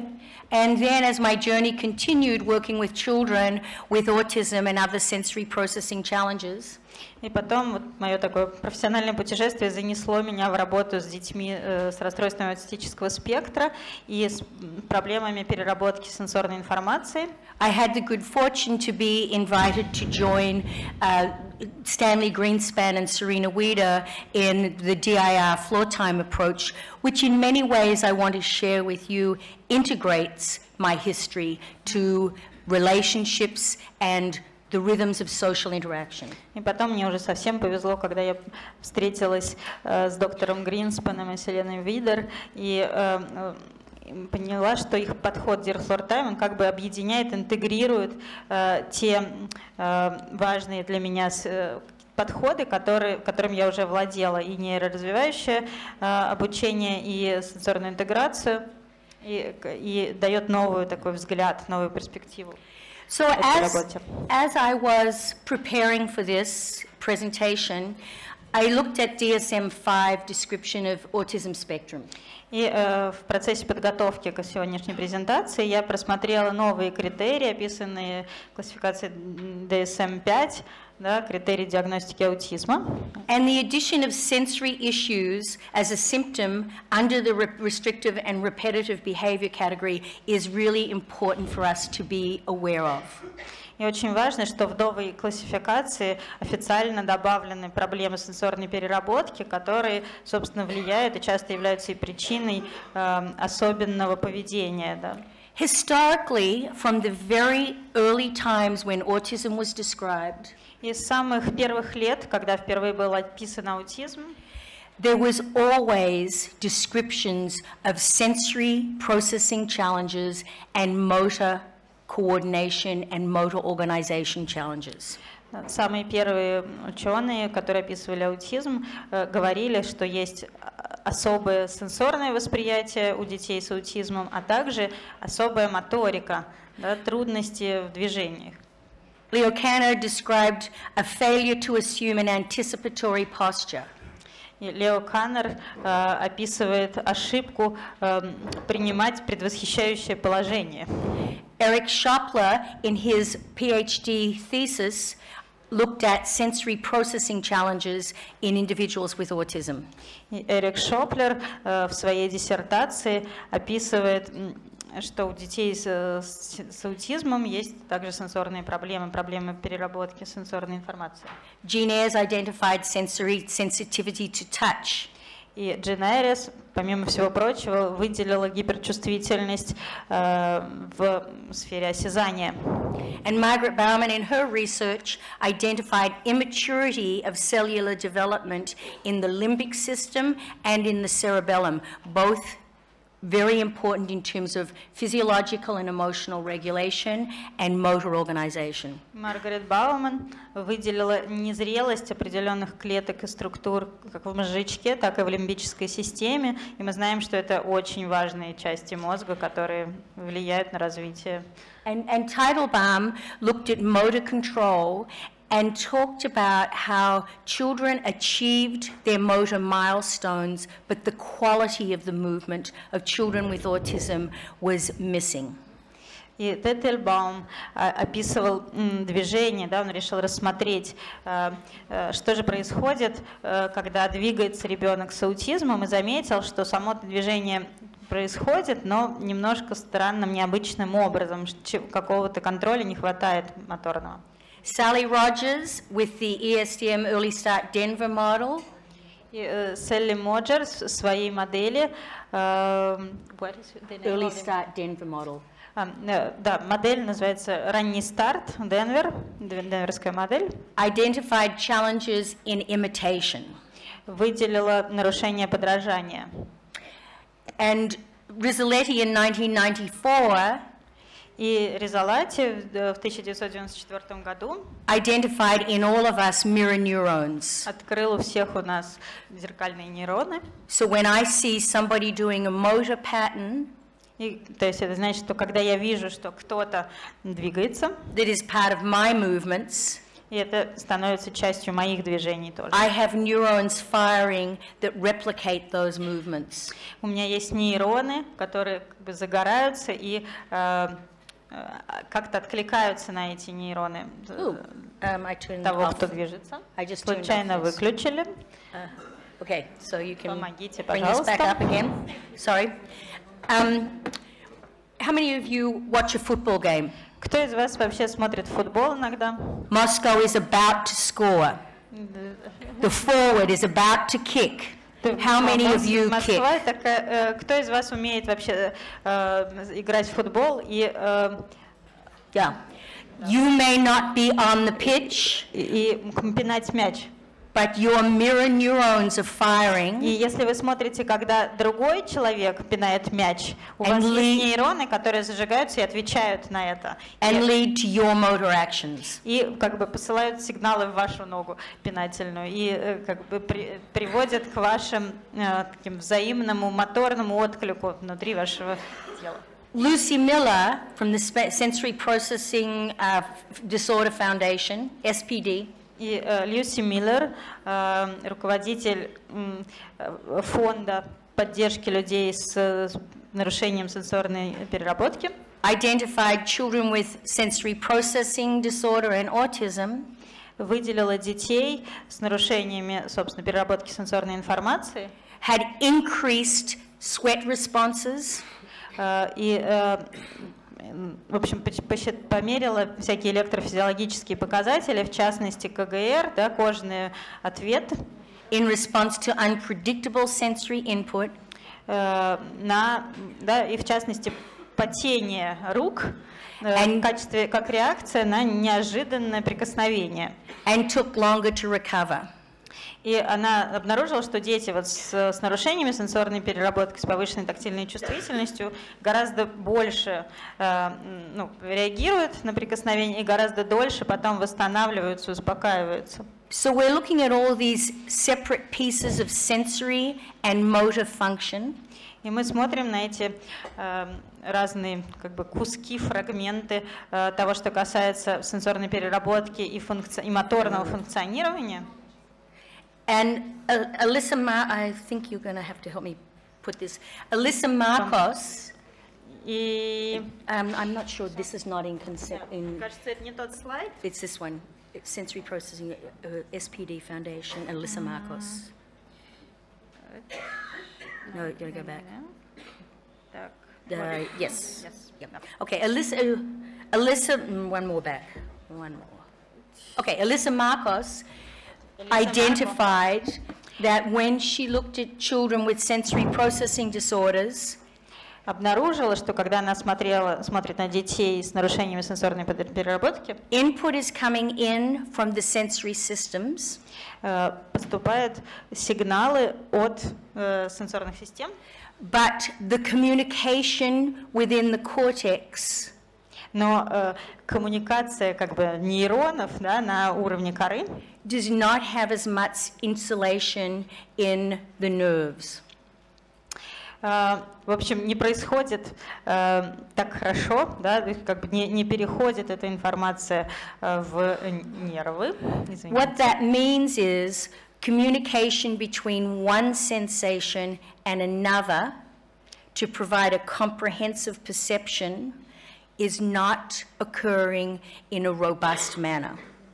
А, В общем, есть такой синдром человек-робот, да, и вот у этих э, людей, кото- которые отличаются своей моторикой, э, вот, у них отличается и сенсорная переработка. В общем, по большому счету, э, коммуникация между информацией от разных систем сенсорных, сенсорных I'm не gonna происходит. Okay, I'm to say a word frog. Я скажу вам слово «лягушка». How many people saw green? Кто из вас увидел зеленый в этот момент? How many thought ribbit? Э, Кто э, ноги представил? How many people saw a lily pond? Э, Кто...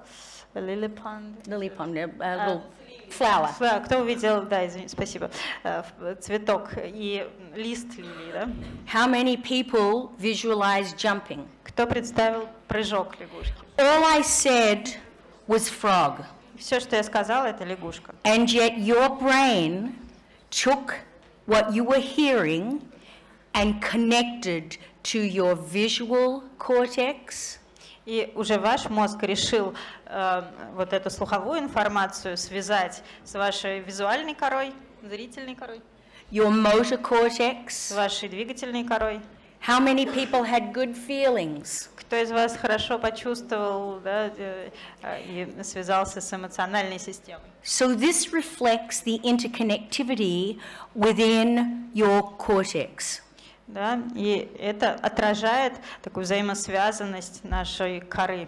Alyssa Marcos identified that this connectivity occurs И э, Элиса Марко выяснила, во-первых, что эта взаимосвязанность происходит, but it doesn't occur fast. э, но не, не очень быстро. Okay. Э, Um, У детей oops. да, с нарушениями сенсорной переработки Okay, next one. Okay, okay. So when we take this in, individuals with autism, self-advocates, И э, люди, э, э, которые занимаются самоадвокацией, люди с аутизмом, many talk about not being able to trust, feel, or control their bodies as they would intentionally prefer.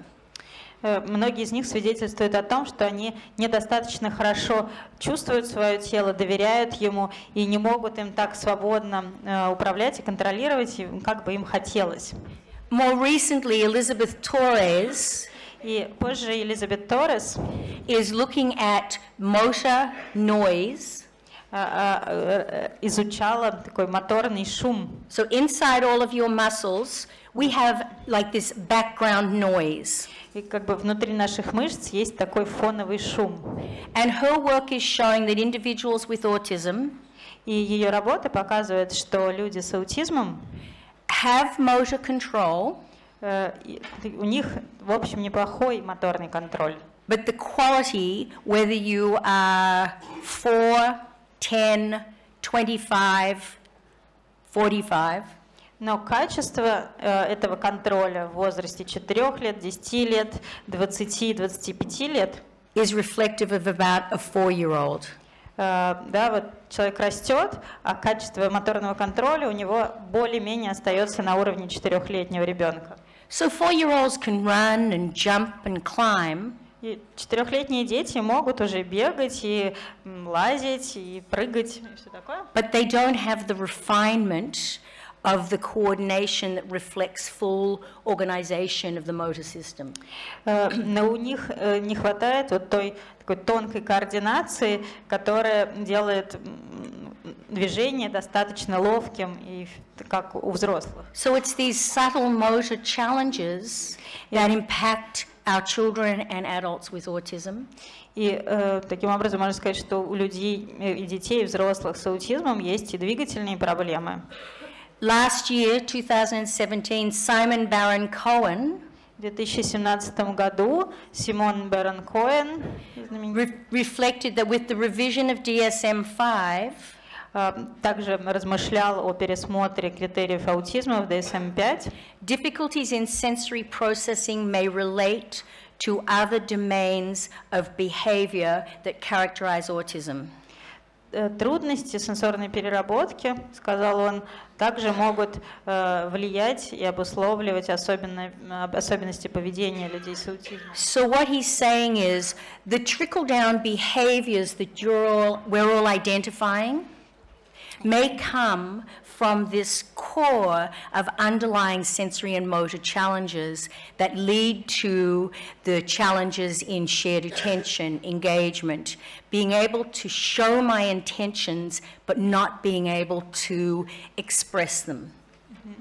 И э, м, Бэрон Коэн предположил, что, возможно, именно вот эти сенсорные, эмоциональные проблемы, э, связанные с сенсорной переработкой, обусловливают и нарушение общения, и странности социального поведения, да, э, мешая людям в достаточной мере уметь выражать свои намерения. So, one of the things that research provides us, many of us clinicians, with, И одна из вещей, которая для нас э, важна, is um, confirmation that many of the things we're doing clinically later on in the research setting is being identified and confirmed. Да, нам важно, что то, что мы уже давно начали делать в клинической практике, э, подтверждается сейчас научными исследованиями. По сути, доказывается, что мы были правы, когда выбирали такие подходы и методы, которые мы выбирали. In my handout, I have descriptions of the, the models of treatment as an occupational therapist that I bring into my work. Э, И э, в моем при- м, раздаточных материалах э, есть э, как раз те методы, которые я использую в своей работе э, эрготерапевта. Just to highlight, Просто neuro- хочу под- подчеркнуть и выделить некоторые. neurodevelopmental therapy really involves getting in synchrony with the child's body to give more organized feedback. Да? э, И вот нейроразвивающая терапия, она же известна как бобот-подход, э, помогает э, человеку научиться организовывать свою систему, чтобы она давала лучшую обратную связь при движении. TAMO looks at our movement and where we organize our body in relation to the base of support. Oh, whoops, no, it's И here. метод ТАМО, э, та- вот, или ТАМО, это аббревиатура, э, в общем, это тоже э, метод м, поддержки человека и обучению более эффективному движению э, за счет а, м, умения использовать э, гравитацию и разные опоры. Let me give you an example. Например, Okay, as I lean onto my left side, когда я опираюсь, переношу вес на левую сторону, I have more weight on my left foot. у меня больше веса на левой ноге, на левой стопе. And I know I'm in contact with the earth through that foot. Я знаю, что я нахожусь в контакте с землей через эту ногу. And we adjust our body in relation to that weight bearing.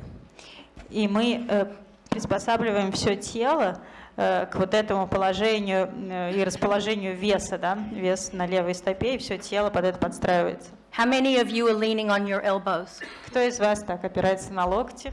And you feel how, now shift from one elbow to the other. попробуйте перенести вес на другой локоть. And feel how your weight shifts over your bottom. Почувствуйте, что происходит с весом в районе ваших ягодиц. Your body is talking to you all the time. Ваше тело говорит с вами все время. And those subtle messages И эти такие маленькие послания are allowing you to sit up э, позволяют вам rather than slouch. все-таки сидеть, а не сползать, истекать. These are the things I'm looking at as I look at the quality of movement. И это те вещи, те качества, которые я ищу, когда пытаюсь понять э, качество движения, характеристики движения. I'm thinking about the integration, the communication between information from my body, my vision, my hearing, my emotions. Я думаю про интеграцию информации от моего тела, моего слуха, того, что я вижу, и моих эмоций. And how I, how I put it together to do things when I have an idea. Как я э, совмещаю все, всю эту сенсорную информацию, чтобы э, воплотить свои идеи, чтобы делать то, что я хочу. Okay. So these are the sensations that we're all putting together. We can't think of one sensory systems alone. They are all talking to one another. Это про связь и общение между собой сенсорных систем. Okay. Мы вс- Да, они все время между собой э, общаются. Okay. And five minutes. Okay. So I want you to just get this feeling that our bodies are talking to it ourselves all the time so we can put our energy into what we're thinking about, what we're going to do, and how we're going to respond to the world around us. Да, и очень важно, что наша энергия все время э, идет на то, чтобы, с одной стороны, обрабатывать вот эти сенсорные переговоры, сенсорную информацию, а с другой стороны, чтобы э, перестроить наше тело для того, чтобы быть способными сделать то, что мы хотим. So- Действовать и двигаться. Within sensory integration, we looked at how a child was organizing those sensory systems. И в рамках теории сенсорной интеграции, подхода сенсорно-интегративного мы рассматриваем, как э, ребенок и человек организуют свои сенсорные сигналы от сенсорных систем.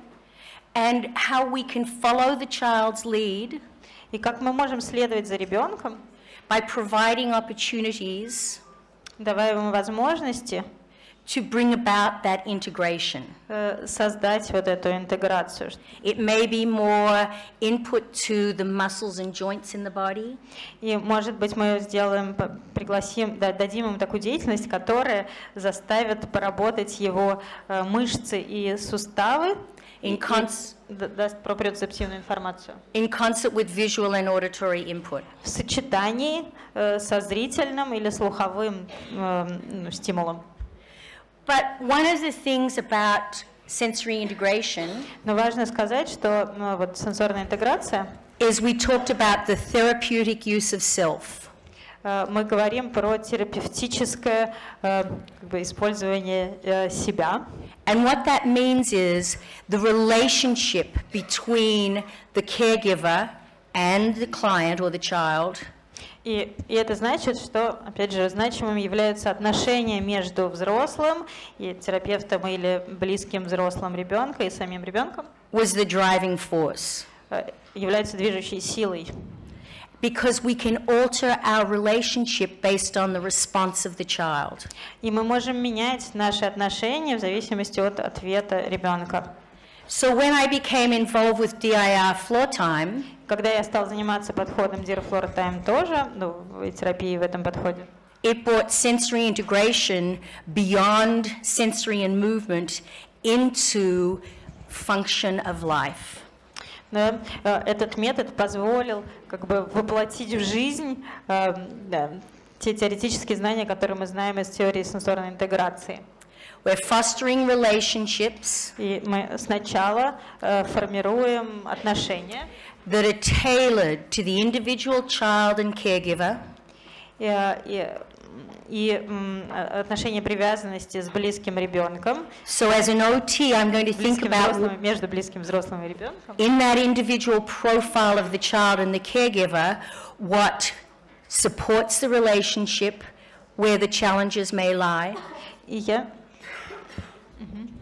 Sorry, I'll finish off. Я сейчас закончу.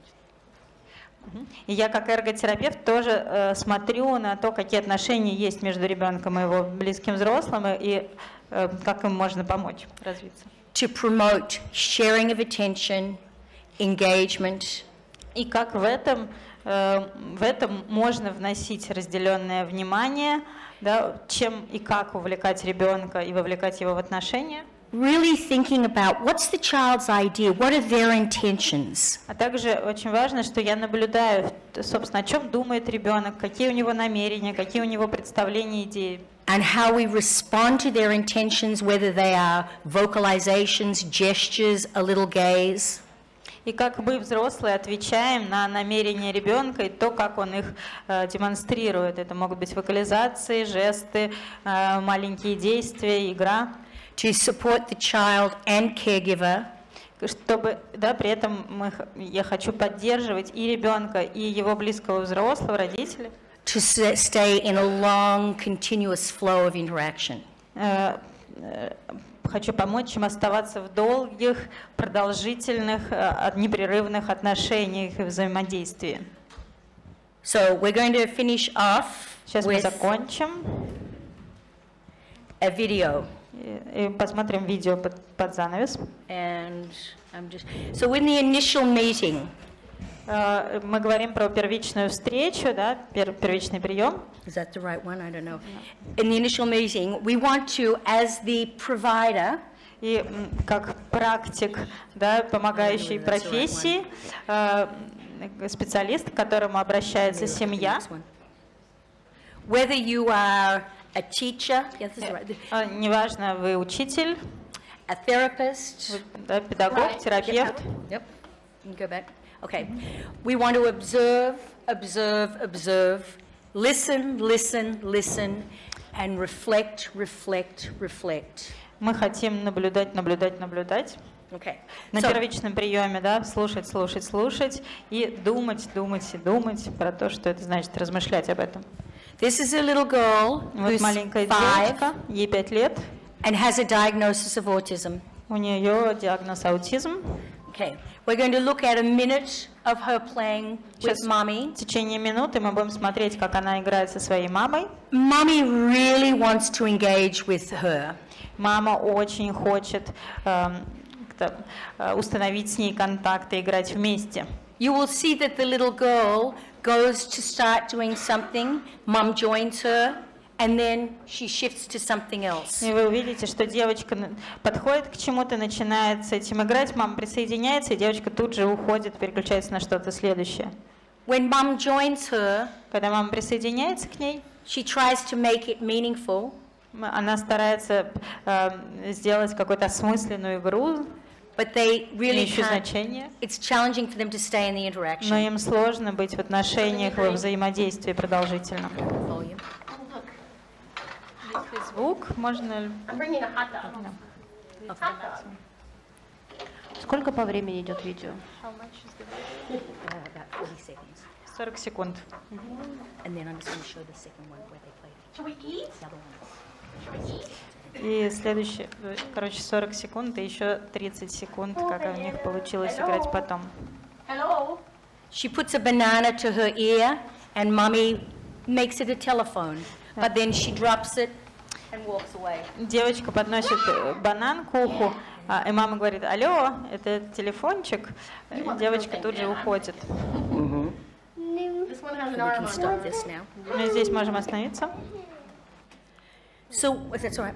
One of the things that I want to think about is we want to think about what the child's experience is, Но Мы, о чем мы хотим думать и размышлять? Во-первых, каков опыт ребенка, what is the caregiver's experience, каков опыт э, заботящегося о нем взрослого, мамы в данном случае, and what about you in the room, the provider.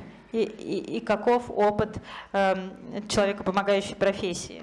We have to reflect and be present in the moment and think about what it is that is the desire of the child, the desire of the caregiver, and how we're going to help bring them together.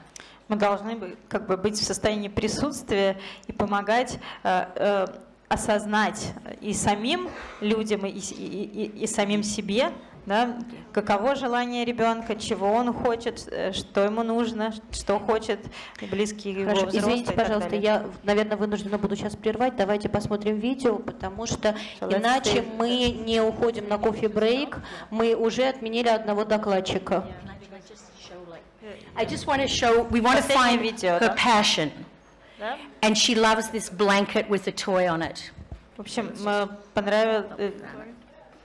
Сейчас мы смотрим последнее видео. Посмотрите, как- в какой момент происходит э, как девочке нравится одеяло. I want you to see how mom joins her. Хочу, хочу, чтобы вы посмотрели, как мама присоединяется к девочке. Yeah, yeah, I'm gonna step on.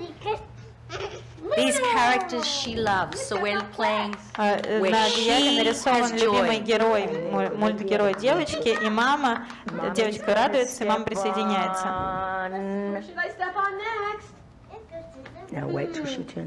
I say, wait till she comes back. Э, Я комментирую, говорю, подождите, сейчас она вернется. Now watch what she look. Oh, she just looked at the red one. Where I'm asking mom, look where she's looking. И я прошу маму, посмотрите туда, куда смотрит девочка. She's telling a lot with her eyes, and I think, and and one of the things that I So she's still a little in and out. Она все еще немножко ходит и занимается полевым поведением. Here you go. Oh yeah. And then mommy's gonna You want to be a magnet, bringing her. I say to mommy, you want to be a magnet, bringing her back, that I want to play on your beloved blankie with you. И э, для меня было важно сказать маме, э, возвращай ее и покажи ей, э, что я тоже хочу играть на, на э, твоем любимом одеяле. Давай вместе это делать. Вот теперь здесь и мама есть. Мы здесь можем остановить видео. Я заканчиваю. to highlight is just in that last little bit, что в этом последних кадрах, this little, this little girl knew mom that mommy was interested in what she was interested in. Yeah. And in the end, she is taking mom's hand and being able to show what her ideas are and how mommy can join her. And that's part of this forming relationships, which we do with all children. И самое важное, что произошло, что девочка, может быть, впервые узнала, что маме тоже интересно, что ей интересно, и что мама готова быть в поле ее интереса. И в конце девочка взяла маму и подвела за руку и попросила пойти с ней и показать ей что-то новое. Спасибо. So when you go home, observe, И когда вы приходите домой, будете наблюдать за детьми, наблюдайте. Значит, мы с вами встречаемся здесь уже через 10 минут, но я думаю, что через 15. Большая просьба к спикерам, которые после Okay, кофе-брейка, воспользоваться паузой и перекинуть все свои презентации. Просили сделать объявление, что, у, у, э, что будет понедельник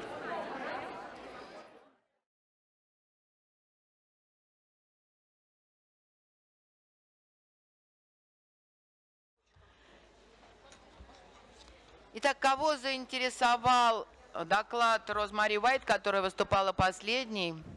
Не успели мы сделать объявление. Ц- 3 декабря в Центре семейной системной психотерапии с 11 аж до 18 часов будет ее семинар, где она более подробно расскажет о методе, который использует, поделится, расскажет о случаях, каких-то будет подробный разбор. Если вас это интересует, я, можете подойти сюда, я дам контактный телефон, чтобы записаться на этот семинар. А сейчас мы продолжаем. Да, мы продолжаем, и сейчас у нас доклад Трубицыной Анны Николаевны, а, интеллектуально одаренный подросток СРА, сравнительный анализ мотивационных стимулов при формировании учебного поведения. А, Если возможно, уложиться в 15 минут. Я хочу 20, как в программе. Хорошо. Значит, э, добрый день. И я постараюсь побыстрее, конечно, потому что тут все равно очень много. Э, Коллеги, мы готовы работать? Давайте тогда создадим рабочую атмосферу. Тишина. Лектору очень, спикеру сложно вступать первым. Мне очень тяжело. Э, Значит, дорогие товарищи, вот эта работа, которую я сейчас э, хочу вам представить, сделана э, в Новосибирске, в Новосибирском государственном университете И э, первый слайд у меня парадный. Это э, слайд о нашем центре. Вы можете сами его быстренько прочитать, я ничего говорить не буду. Э, Значит, мы занимаемся междисциплинарно, мы исследуем аутизм, мы занимаемся с детишками, мы делаем об- образовательные программы для родителей и для педагогов. В общем, мы много чего делаем и сделали уже довольно... Мы работаем 4 года с этим. И э, вот то, то, что- то, о чем я расскажу сейчас, этой работе три года. Это старая уже такая довольно-таки работа, и начали мы ее делать тогда, когда мы еще довольно мало что умели. А сейчас у нас есть уже и в том числе ресурсный класс, вот он в последней строчке тут обозначен. И сейчас вот моя коллега в соседней аудитории в 505 как раз рассказывает там работу, исследование, сделанное уже в ресурсном классе нами. Э, э, Это э, тема возникла у нас ну, случайно, она жизнью была предложена, просто появился ребенок, которого нам пришлось, э, ну, в общем, мы не отказались с ним поработать, и в итоге это э, вылилось вот в это исследование. Э, Я в конце покажу, так сказать, еще две статьи, которые мы сделали уже на, так сказать, по ходу вот, вот этой работы, и нам пришлось встать еще и, в общем-то, ну, войти в тему интеллектуальной одаренности, и как она сочетается с нашей темой. Э, Значит, больше ничего не видно. Ну, странно. Так. Ага, вот так. Значит, вот здесь написано, что э, одаренность, э, природа одаренности вообще сейчас активно изучается, насколько я понимаю. Я сама не являюсь специалистом в этой теме. Однако э, психологи, те, те которые специалисты, э, вот э, я так э, сколько смогла понять, то придерживаются вот этой парадигмы о том, что э, оказывается одаренный человек это не тот, кто лу- лучше всех по всем показателям, а это тоже своего рода э, ну, особен, особенность. Э, И по- э, получается, что это очень похоже на самом деле с нашим контингентом, э, с людьми с РАС, потому что это тоже очень и очень э, гетерогенная выборка и очень э, специфический индивидуальный облик имеют эти люди. Значит, вот и в литературе существует термин сейчас дважды особенные дети. То есть это как раз детишки, у которых э, вот эти э, повышенные, особенные, повышенные способности в, в какой-то сфере сочетаются с ограниченными э, возможностями в, в других сферах. И в результате создается вот такой вот э, какой-то профиль э, индивидуальный, э, ну, с которым тоже надо что-то делать. Значит, э, специалисты, опять же, по вот этой самой одаренности, вот здесь тоже я не буду долго э, об этом рассуждать, э, выделяют три группы таких детей, дважды особенных, с каждой у которых есть свои проблемы в их обучении. Потому что в- одном случае одаренность таких ребят признается специалистами, а в двух других она вообще не признается, потому что ее ну, не видно не- не- невооруженным глазом. И таким образом э, возникает вообще вопрос, как, как с этим работать, и он активно изучается. Нам, как я уже сказала, достался совершенно случайно вот этот вот ребенок, и поскольку его отовсюду выгнали, вот здесь вот написана его история, то есть его перевели на индивидуальное обучение, э, потому что он э, категорически не справлялся с освоением программы и при этом еще демонстрировал нежелательное поведение активно. Э, Соответственно, э, его, ну, в общем, отправили домой в начальной школе, и, э, ну, семья в поисках какого-то решения вот обратилась к нам, и в результате мы, в общем, дали слабину, потому что мы вообще-то не, не были специалистами, но взялись, и вот мы за три года стали специалистами, об этом я и рассказываю. Значит, вот там э, э, внизу написано красным шрифтом, что ребенка э, ну, признали, что он может обучаться только в индивидуальном режиме. Вот это здесь написано. А, Вот это вот, я тоже не буду на этом останавливаться, это заключение по МПК. Тут тоже говорится о том, что мальчику предписано заниматься по общей программе, но в индивидуальном режиме. И даны рекомендации родителям. Я их сюда поместила только в том смысле, что интересно, что они ну, практически все они поведенческие. Все эти рекомендации, это было давно, это еще ему там в каком-то в 13-14 году это было сделано. Эти люди совершенно не, не помышляли о поведенческом анализе, но они написали практически вот 7 пунктов. э, В большинстве своем это поведенческие рекомендации, очень хорошие для родителей по организации жизнедеятельности ребенка.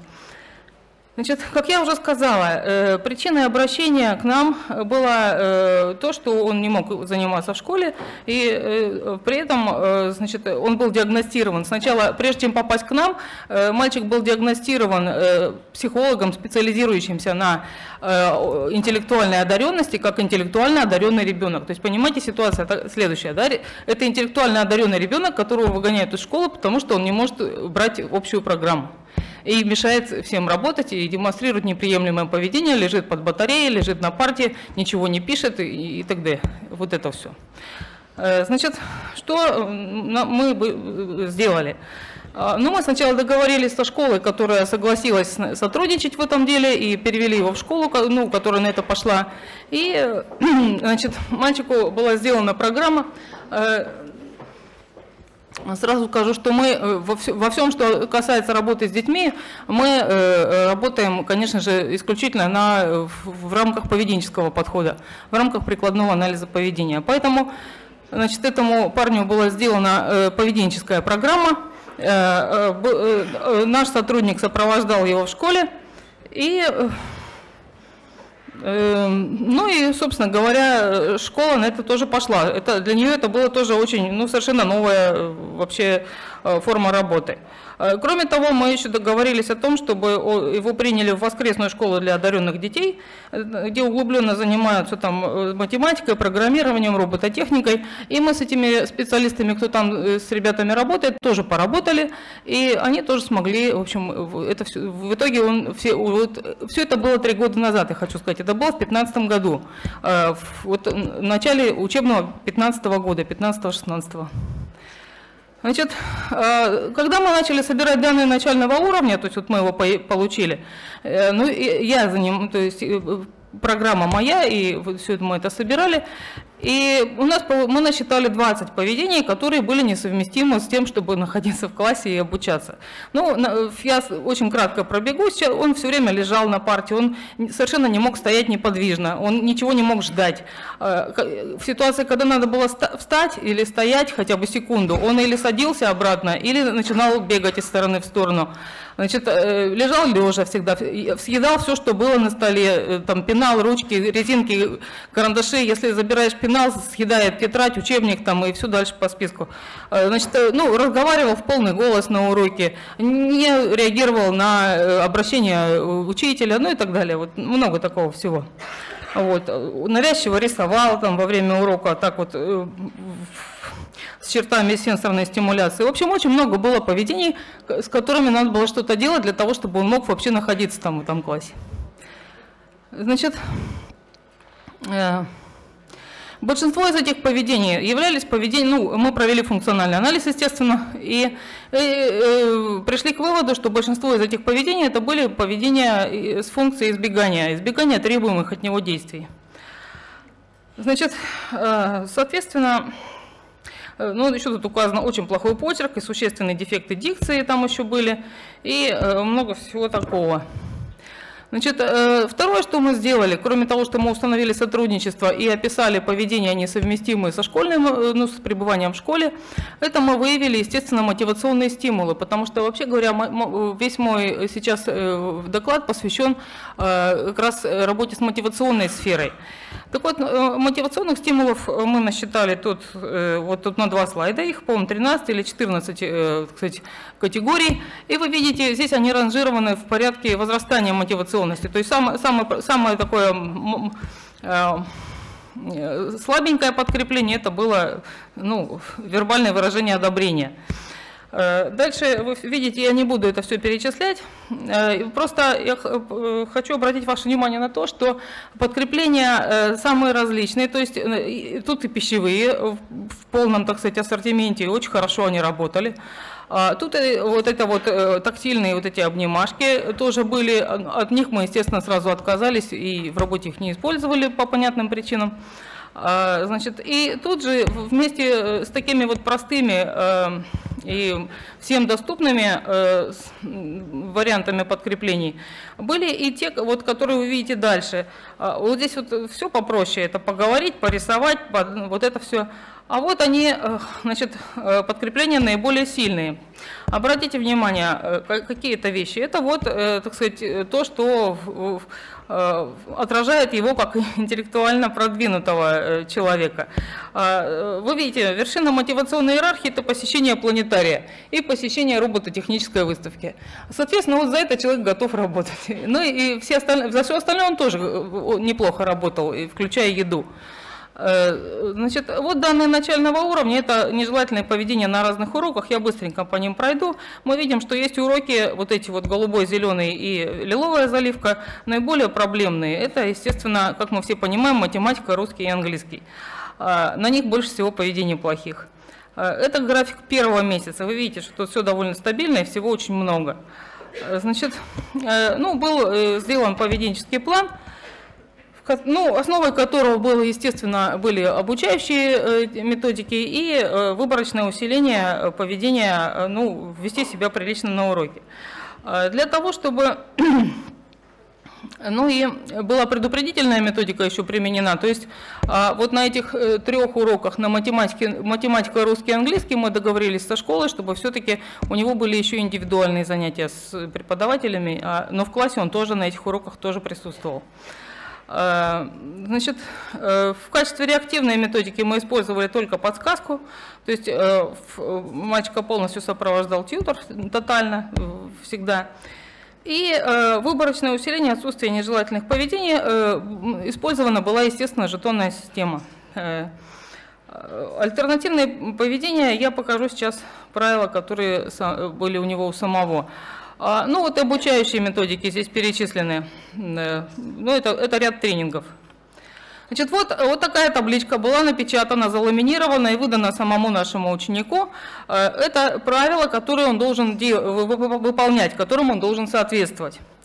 Значит, и это вы видите, что это, и, так сказать, интервальный э, здесь и сбор данных, и одновременно подкрепление по интервальному методу, то есть это DRO. Э, Значит, э, что вы- мы видим вот в этой верхней э, строке таблички. Урок разделен на, дес- на э, интервалы. Первый интервал 10 минут, дальше идут интервалы по 5 минут. Значит, э, когда э, в- в течение интервала все было хорошо с, с- данным, с конкретным поведением, например, э, тебя, спро- э, когда его спросил учитель, и он ответил, э, значит, э, и в течение интервала все так и было, и не было эпизодов, что учитель спросил, а мальчик не ответил, значит, он в за этот интервал он получает плюс, всё- у него все в порядке. Если был один эпизод э, неверный, э, то первый раз прощается. Он получает подсказку от тьютера, э, исправляется и все равно получает плюс. Если же было более одного эпизода, вот, э, кстати, неправильного поведения, то тогда в ячейке этого интервала за это поведение он получает минус. А, Предупреждая вас ваш вопрос, конечно же, скажу, что если его, например, не спрашивали да, в, ходе этого интервала, естественно, ребенок получает плюс. Это мы понимаем, да. И э, дальше, э, после того, как а вот в течение урока э, сначала эту табличку заполнял тьютор, потом они это делали вместе, мы значит, учили ребенка самоконтролю, они, запол... ну, то есть они, они заполняли каждый свое, потом сравнивали на перемене результаты, они значит, вместе считали процент. И если э, значит, э, укладывался наш ученик в 80%, если он был успешен в в 80% э, этих вот э, тр- требований, этих э, во- во- во- э, 80% ячеек было заполнено плюсиками, то он получал жетон. Жетоны были двух уровней. Значит, маленькие жетоны он мог незамедлительно обменивать на маленькие же и подкрепления, то есть ну, сходить в столовую, там, поиграть в телефон и всякое порисовать, поговорить с тьютором на, на интересные темы, ну такие вот такого рода подкрепления. А э, маленькие жетоны можно было также не тратить, а копить и обменивать на большие жетоны. И вот за большие жетоны можно было в воскресенье пойти в планетарий, э, в му- в музей там и т.д. Вот это все. Или посмотреть большой фильм, например. Э, Пять минут. Дальше. э, Так, это я все пропущу. Вот эта динамика, э, посмотрите, с сентября по март вот первого года, это то, что мы начали. Вот э, сентябрь имеется в виду 15 года и март 16 -го. Посмотрите, как снизились, э, ну, вообще у нас проблемы. Довольно-таки, как обычно бывает, в начале очень сильно, от сентября к ноябрю очень-очень хорошая динамика, дальше все выходит на, на плата, и затем даже с некоторым всплеском в феврале, потому что это после каникул был февраль, а, ну а дальше опять все пошло получше. Это у нас э, годовая динамика, я не буду на этом, ну вы видите тоже, что оно идет на снижение. Но на самом деле, конечно, там рано было радоваться и думать, что сейчас все будет хорошо, так не бывает. Естественно, на каком-то уровне, вот, вот здесь, если вы посмотрите э, в конец года, то все равно это не ноль, это далеко не ноль. И э, как бы оставить его одного, как, естественно, цель, какая конечная наша цель, это убрать тьютера, и ребенок один сам функционирует. Ну, забегая вперед, я вам скажу, что эта цель достигнута, но буквально три недели назад. Вот с ноября он работает один. Вот сейчас он три недели прозанимался без тьютера. Но это, мы понимаем, что на дворе 18 год, да, мы начали в 15 -м. Вот, и, значит, дальше э, вот это вот тоже графики э, работы вот с, вот с этими поведениями. Видите, тут эти самые виды поведений и цветные линии, что с ними происходило в ходе нашей работы. Значит, вот это более жесткие поведения, те были попроще. А вот это уже результаты пошли, да. Э, значит, вот это рисунки его э, до, до нашего вмешательства. Вот эти рисунки, это такое, такое было прям сенсорное поведение, он много рисовал и все это изрисовывал. Это все были или э, военные базы, или космические военные базы, или корабли тоже с базами. Вот. И он потом рассказывал, что все это значит, и э, за это, тоже, за это мы тоже стали работать, потому что до нашего вмешательства это было поведение, э, ради, ну, как бы, которым он замещал работу на уроке. То есть он или лежал, или вот это вот рисовал. У нас он работал за это, то есть э, за то, что он все делал хорошо, ему разрешали порисовать вот это и, и соглашались выслушать, что это значит, поговорить с ним об этом. Э, значит, я хочу вам показать, просто, поскольку вы специалист, динамику этих рисунков. Вот это вот его первые старые рисунки, э, которые были до нас, подчеркиваю. Посмотрите, они все монохромные, посмотрите, какие они подробные. Значит, вот. вот эта вот зеленая картинка, это уже результат нашей работы. Э, и и, и еще хотела вам показать почерк. Вот это вот э, почерк в начале 2015 года, в сентябре 2015 года. Посмотрите, на самом деле, э, э, ну, читать трудно. Э, я бы на месте учителя не, не, не решилась бы проверить, что тут написано, вообще понять. И вот это его почерк на самом деле через три месяца, взгляните. Э, то есть это то, что мы сделали за, вот за два, даже да, за три месяца, сентябрь, октябрь и ноябрь. Вот, вот такой, да, вот так он стал писать у нас. Ну и вот это, так сказать, вершина нашей мотивационной иерархии, это вот улитка Хатина. А, это то, то, то чем, мы, чем мы подкрепляемся в своем поведении, работать с его поведением. Ну, а, а, а дальше, на самом деле, я хочу сейчас рассказать, это все было, вообще-то говоря, преамбула, э, к тому, что, что же дальше с мотивационной иерархией, с мотивационной сферой, и как дальше-то быть с поведениями более такими, более устойчивыми. На всякий случай, две минуты. Сколько? Две. О, очень круто. Значит, вот задача второго этапа вмешательства. Во-первых, убрать тьютера, а во-вторых, трансфер мотивации с внешних стимулов на внутренние. И это, как вы сами понимаете, это очень даже нетривиальные задачи. Но мы их, э, так сказать, сделали. Так вот, вот здесь динамика тьюторского сопровождения, она расписана подробно, но смысл в том, что от тотального сопровождения мы перешли к частичному, и, и, и как я уже вам сейчас только что сказала, месяц назад мы, мы сопровождение убрали совсем. Это делалось, естественно, поэтапно, постепенно. Значит, ну а здесь вот э, как раз мы сравнили эффективность двух э, подкреплений. Э, вот здесь они написаны, применяемые подкрепления. Значит, один, одно из них было старое, это когда они пересказывали друг другу, ну так, в режиме, знаете, сериала, пересказывали или фильм, или книжку. И тьютор пересказывал мальчику, или мальчик тьютору. И вот за это работали тоже. А потом мы, мы изобрели, мы очень много изобретали там разного, и в том числе подкреплений. Мы изобрели такое подкрепление. Мы научили его писать книгу. Он стал писать свои книги, и э, работал он за то, что он читает книгу, то есть они выбирают время с тьютором на перемене, где-то усаживаются спокойно, и он читает свою книгу. И, и, и вот эти вот два подкрепления, мы сравнили их эффективность. В обычном, э, так сказать, режиме, сейчас я покажу дизайн, мы уложимся в две минуты. Вот. Значит, э, Естественно, он получал, да, а поведение было, вы видите, какое я написала, что он не умел структурированно отвечать на вопрос. Он очень долго, э, вступление у него занимало времени, была очень высокая латентность, когда, имеется в виду, он хотел всегда отвечать, когда вот на, в ситуации урока он все время поднимал руку, рвался отвечать, но когда его спрашивали, то учителя эти бедные, они терпели нас, прекрасные люди, э, все, все эти годы, потому что он все время на себя брал, э, вот как, как здесь у нас примерно. Он сначала долго не мог начать, потом начинал, э, путался в этих вот, э, значит, вводных конструкциях, потом вообще окончательно терял связь уже своей речевой продукции с заданным вопросом, и так и не ответив на вопрос, он истрачивал не, ну, столько, сколько, сколько позволяли нервы учителя, на самом деле. Он мог и 5, и, и 8 минут говорить, и ничего не сказать в итоге. Вот. И вот с этим вот поведением мы работали. Мы делали тренинг навыка структурированного ответа и делали выборочное усиление вот поведения отвечать нормально. Вот этого поведения, которое мы, которому мы его учили. И применяли вот эти два подкрепления. Либо пересказ сюжета, либо он читает свою книжку. Вот эти книжки, я их сфотографировала. Значит, э, поскольку времени нет, останавливаться не буду, но, но э, одно хочу сказать. Это, это все космическая фантастика, там все летят в кораблях и, в общем, разговаривают и сражаются и все такое. Но э, приятно отметить то, что там отдельно, вот если вы посмотрите, там есть вот...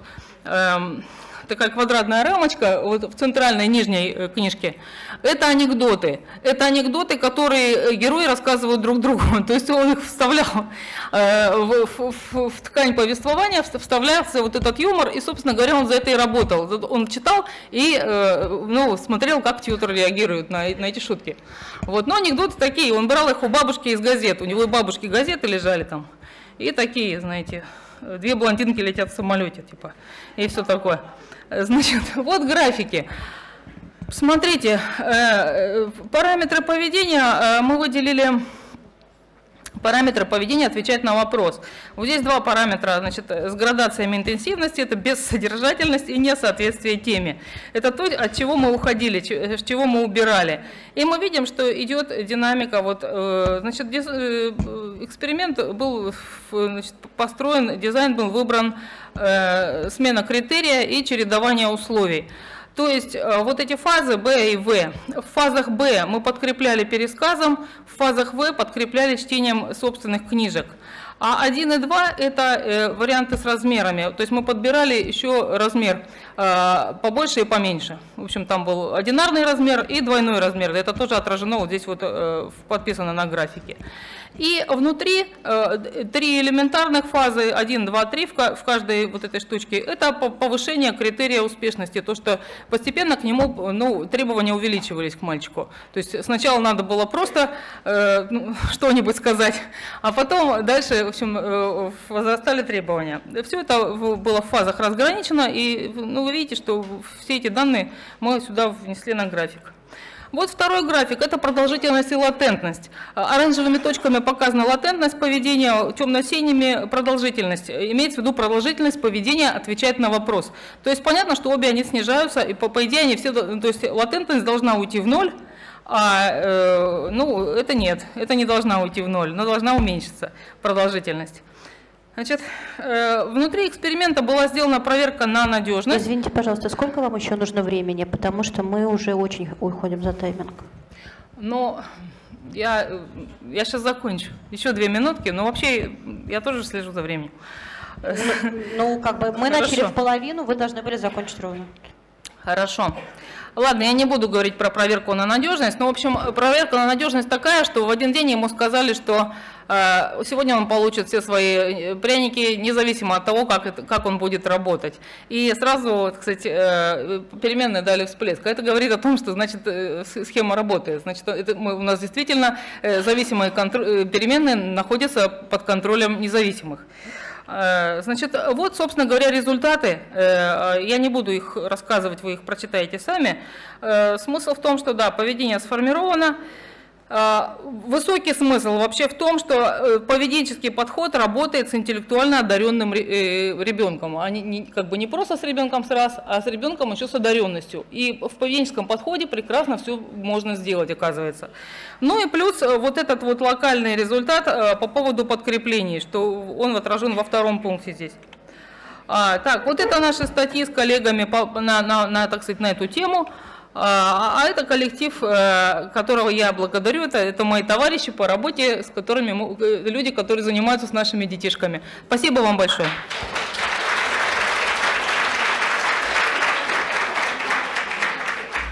Спасибо большое, очень интересно. Извините, что так получилось. Пришлось вас дергать. Скажите, пожалуйста, а, Ева Эдуардовна, э, а, вы здесь, потому что вашу презентацию... А, перекинули, хорошо. Хорошо. Значит, Артемова Ева Эдуардовна, изучение коммуникативных средств у дошкольников с раз. У вас 20 минут. У меня даже меньше Кто? А? Артемова, а, да, да, да. Да, да, да. Благодарю. Уважаемые коллеги, добрый день. Очень интересные доклады сегодня, и Позвольте тоже мне внести свою небольшую лепту. Я займу у вас гораздо меньше, чем 20 минут, потому что хочу вам поведать о проекте, который носит пока пилотный характер исследования. Еще основные э, все изучения будут впереди. И хочу начать с того, что сегодня мы очень много уже слышали с вами информации о том, что у детей – с расстройствами аутистического спектра есть а, очень своеобразные и а, неоднородные, очень вариативные по своим проявлениям нарушения восприятия, причем это касается восприятия разных форм и видов. И с этим постоянно сталкиваемся мы, как дефектологи, кто работает с детьми с расстройствами аутистического спектра, мы постоянно с этим сталкиваемся в своей работе. А, и а, вот а, сам вопрос, как нам обойти да, вот эти проблемы для того, чтобы сформировать у ребенка коммуникационные навыки, он занимает очень большое место в нашей коррекционной работе. У нас здесь в МГППУ на факультете клинической и специальной психологии существует магистерская программа, которая готовит а, педагогов, психологов для работы с лицами с расстройствами аутистического спектра. И вот а, несколько магистрантов были вовлечены в это исследование.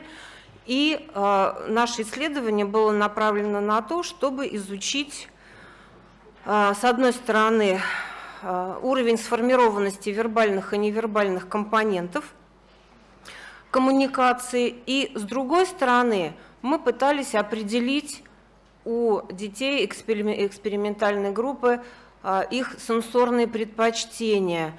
А, хочется сказать, конечно, ведущий сенсорный канал или ведущая сенсорная модальность, но поскольку речь идет о дошкольниках, то пока мы не можем говорить уже да, о каких-то сформированных, так сказать, именно ведущих сенсорных каналах, поэтому мы ведем речь только пока о сенсорных предпочтениях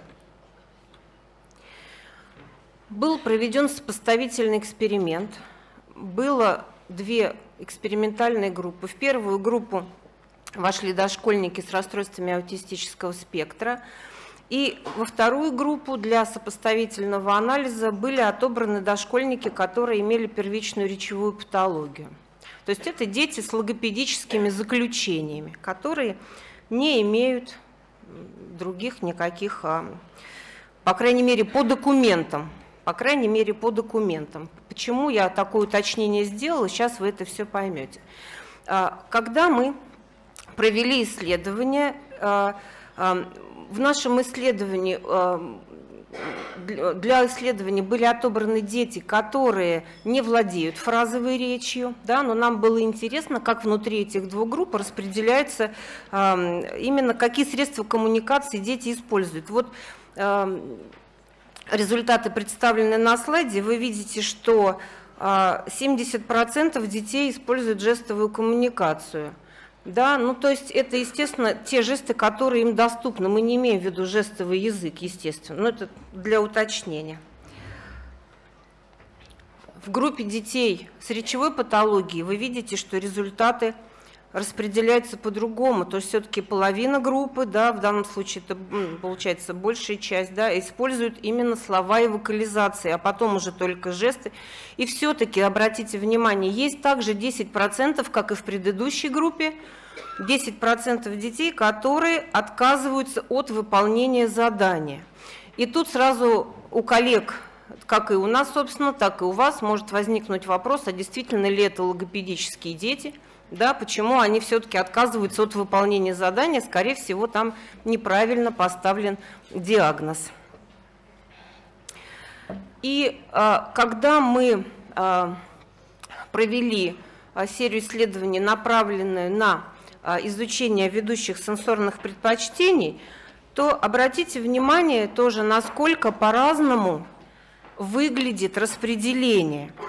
Если мы возьмем с вами группу 1, туда, куда вошли дети с расстройствами аутистического спектра, вы видите, что для них ведущий вариант – это кинестетический. Да? Не было выявлено в этой группе детей, у которых были бы аудиальные или визуальные предпочтения – а мы с вами их учим, как всегда, практически. Мы им предлагаем визуальный материал или мы им даем инструкции на слух. Вот это очень интересные такие результаты, которые, так сказать, заставляют нас искать какие-то новые подходы в организации коррекционной работы с детьми с расстройствами аутистического спектра. Потому что если мы с вами сравним да, со второй группой, где, куда вошли дети с речевой патологией, вы увидите, что у 40% пока не определяется, у 40% группы не определяется какой-то ведущий тип, то есть дети используют все, да, ну, если не в равной, то примерно в равной степени используют э, сенсорные каналы для того, чтобы а, так сказать, взаимодействовать с э, экспериментатором да, и изучать окружающий мир. В этой группе были выделены дети, у которых отмечался и аудиальный тип, и визуальный тип. Да? Поэтому, конечно, а, если мы говорим о развитии коммуникативных навыков детей с расстройствами аутистического спектра, то те традиционные методики логопедические, которые логопеды дефектологи да, пытаются перенести с речевых детей на группу детей с расстройствами аутистического спектра, они дают сбой в этом случае, они не работают не потому, что логопед плохо работает, как-то не так работает, да, а именно потому, что а, как раз слуховой и визуальные сенсорные каналы, они не очень хорошо работают в данном случае. Спасибо. И э, у меня еще прям одна минута буквально из сэкономленного времени. Я приглашаю желающих учиться на нашу магистерскую программу. Приходите. Спасибо большое. А, у нас следующий доклад. Круогла Елена Константиновна. Использование фразового конструктора в логопедической работе. Пока Елена Константиновна готовится, меня просили вам напомнить о том, что на четвертом этаже а, идут стендовые доклады, с которыми вы можете ознакомиться, и на третьем этаже а, идет запись на завтрашние площадки. А, если вы еще не успели записаться, я предлагаю вам обязательно это сделать в обед, иначе вы можете не попасть туда, куда вы хотите.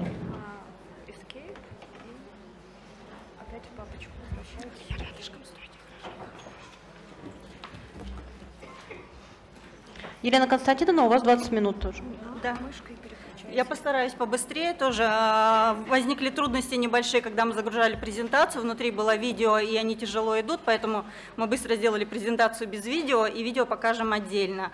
А, я представляю Крымский республиканский ППМС-центр, отдел психолого-педагогической коррекции. И сегодня я вам немного расскажу о том, как мы работаем с фразовой речью с детьми с расстройствами аутистического спектра, а, с видеопримерами, ну, на одном ребенке в данном случае покажем.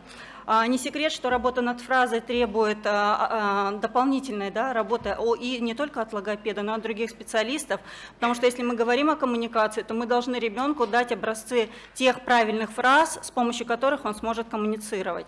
Но прежде чем перейти к фразе, у ребенок должен четко соотносить слова с определенными изображениями, то есть понимать, о чем будет идти речь а, а, и должен понимать э, хотя бы первые глаголы, дифференцировать их. Пособие Работа ведется в вопросно-ответной форме, составление предложений по непосредственным действиям или изображенным ситуациям, используем приемы отраженной и сопряженной речи, и самое главное – это установление контакта с ребенком.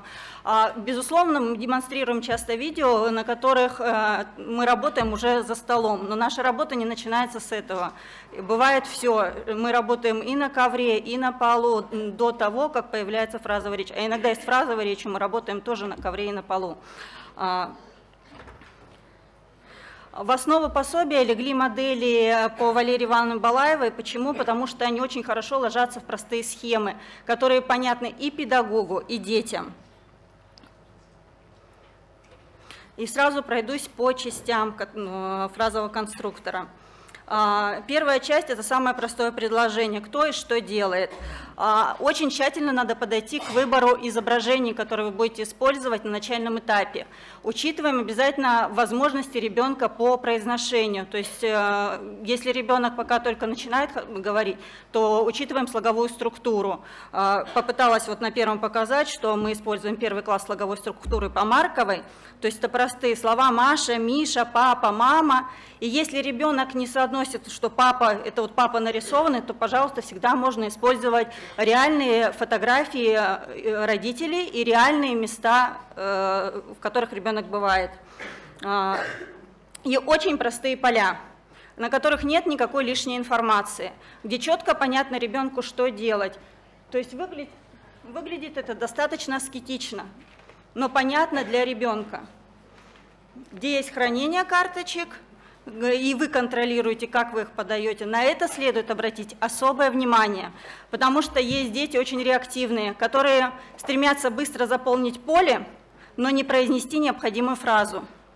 И контроль всегда должен оставаться у вас. Если необходимо, значит вы подаете по одной карточке ребенку либо перед ребенком лежит определенное поле заполненное, и он можно, может выбрать, но из заданных карточек.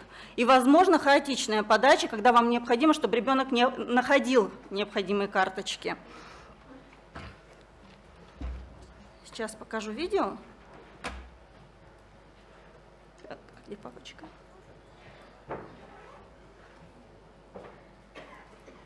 Ест. Кто ест? Мишка ест. Ест. Сова ест. Кто это? Жук ест. Волк ест. Лиса ест. Кошка ест. Кто это?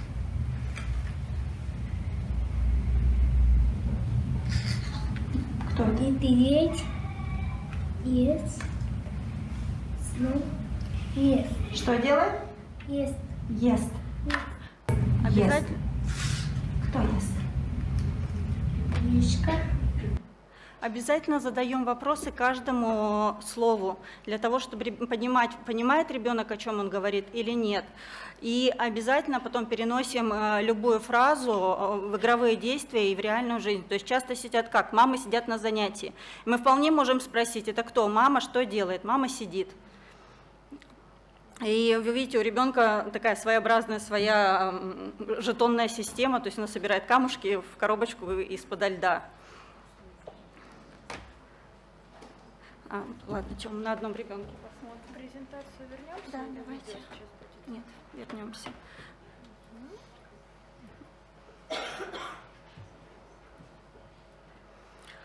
Вторая часть э, с прямым дополнением.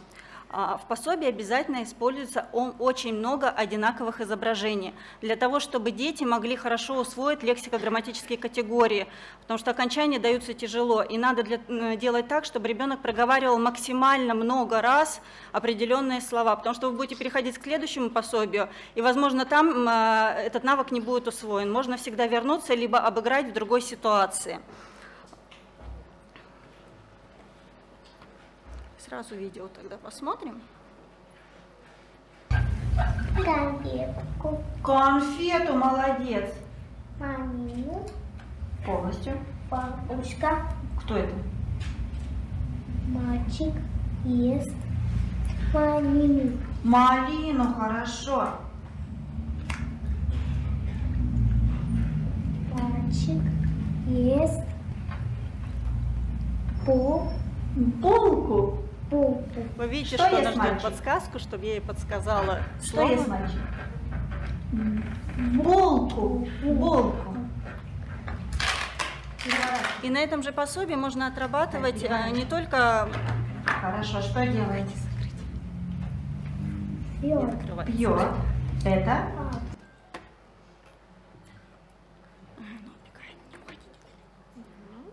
Нет, мы видео еще раз посмотрим.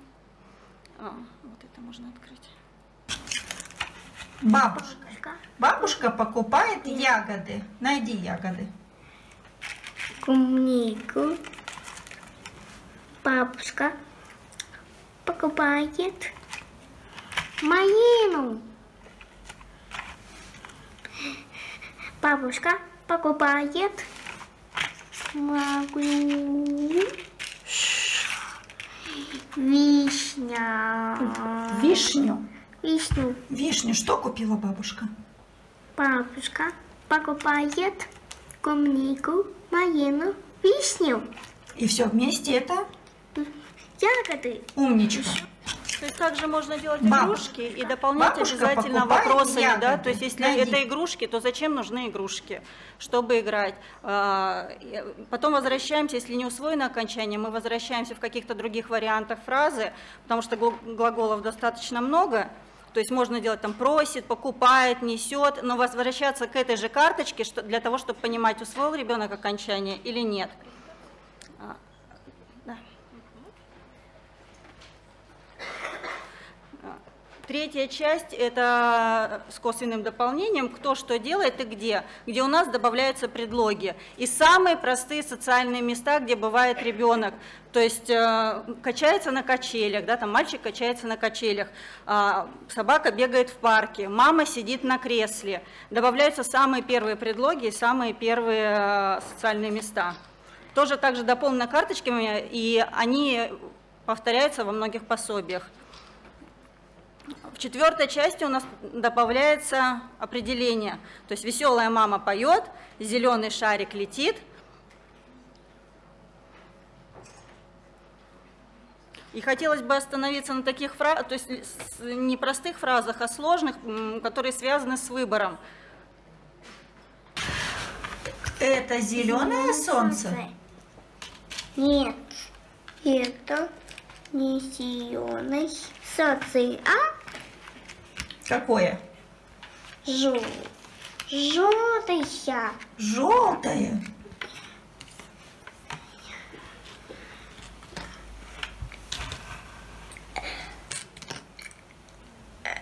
Желтое что? Солнце. Солнце, супер. Зачем мы работаем над такой Это фразой? зеленое солнце? А, Часто, э, даже научив ребенка отвечать «да» или «нет», но предоставив выбор, ребенок не может аргументировать. Он, может быть, не хочет красное яблоко, а хочет зеленое яблоко, но аргументировать свой ответ он не может. И благодаря, таким пособиям мы не только отрабатываем грамматические категории, но и учим а, правильно формулировать фразу для того, чтобы сделать выбор. Еще одно видео посмотрим, потому что оно очень важное в плане использования местоимений. Я ищу три. Красный. Яблоко. Умничка. Я ищу. То есть отработав даже здесь фразу «что ты видишь», обязательно потом переходим на предметы. То есть мы меняем в, ну, в определенной да, коробке э, разные виды предметов в разном количестве. И после того, как мы поработали с альбомом, мы обязательно переходим на предметы, а потом на карточки. Тогда ребенку проще ну, понимать, о чем вообще говорится, что от него хотят, потому что он уже имеет модель той фразы, которую он может использовать. А, Пособие, по крайней мере, первые три части приложения имеют методические рекомендации, две рецензии. И, пользуясь случаем, я хочу сказать большое спасибо Ольге Ивановне Азовой. Она сейчас выступает в другой секции, но она была тем генератором движения этого пособия. Она мне во многом помогла, помогла с рекомендациями. И все это сделала абсолютно безвозмездно, бескорыстно. Ну, то есть удивительный человек. Я, пользуясь случаем, говорю ей большое спасибо.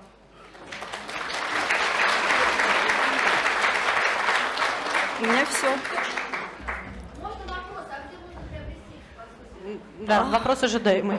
Да, он ожидаемый. Вы знаете, у нас была такая возможность в организации благодаря гранту. Мы часть пособий сделали, раздали родителям бесплатно. Возможно, сейчас мы придумаем, в каком виде это сделать. Но многие э, об- общественные организации родительскими, э, потому что я со многими общаюсь, получили эти пособия бесплатно. У меня есть отзыв из Сочи, и из Санкт-Петербурга, из Иванова на это пособие. Потому что с родителями было работать намного проще. То есть они, как никто другой, заинтересован, и с ними не надо ну, долго было обсуждать, они быстро опробировали, в том числе и на подростках.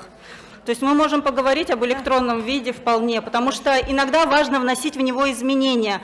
А, Они сейчас заламинированы, но не всегда так можно. Либо мы используем пленку матовую. Бывает, что нет, ну, нет необходимости ламинировать. А еще важно, что есть возможность увеличивать и уменьшать изображение, потому что дети могут по-разному воспринимать эти изображения. А, извините. Сейчас. После... Да, а, кадр, с которой можно связаться. На сайте очень много в разделе специалистов, ну, в свободном доступе пособие выкладываю. Коллеги, если есть вопросы, поднимайте, пожалуйста, руку. А, Я думаю, что вопросы все-таки мы будем в конце. Да, потому что мы Но все стоим. через микрофон, пожалуйста, чтобы было Вот, слышно а, записи. обычно после конференции все презентации выкладываются на сайте Федерального ресурсного центра, и вы сможете там с ними знакомиться. Также потом будут выложены видео со всех секций после обработки. Да, то есть вы сможете еще раз посмотреть и, то- и здесь, и там, где вы не смогли присутствовать. Спасибо большое. Спасибо за внимание. Следующий докладчик Гончаренко Мария Сергеевна, учитель-дефектолог городского психолого-педагогического центра Департамента образования города Москвы а, с докладом о методах формирования самостоятельной деятельности у детей с аутизмом. Мария Сергеевна расскажет нам аж про четыре разных метода.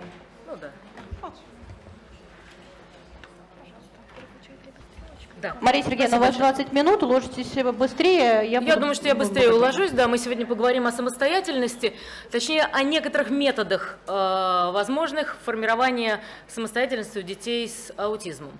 Э, поскольку э, умение выполнять самостоятельно задания в рамках профессиональной деятельности, в рамках академической деятельности, пожалуйста. в рамках э, навыков самообслуживания, в рамках навыков досуга. Это, в общем-то, возможность, которая должна быть у человека с любым э, нарушением, с любым диагнозом.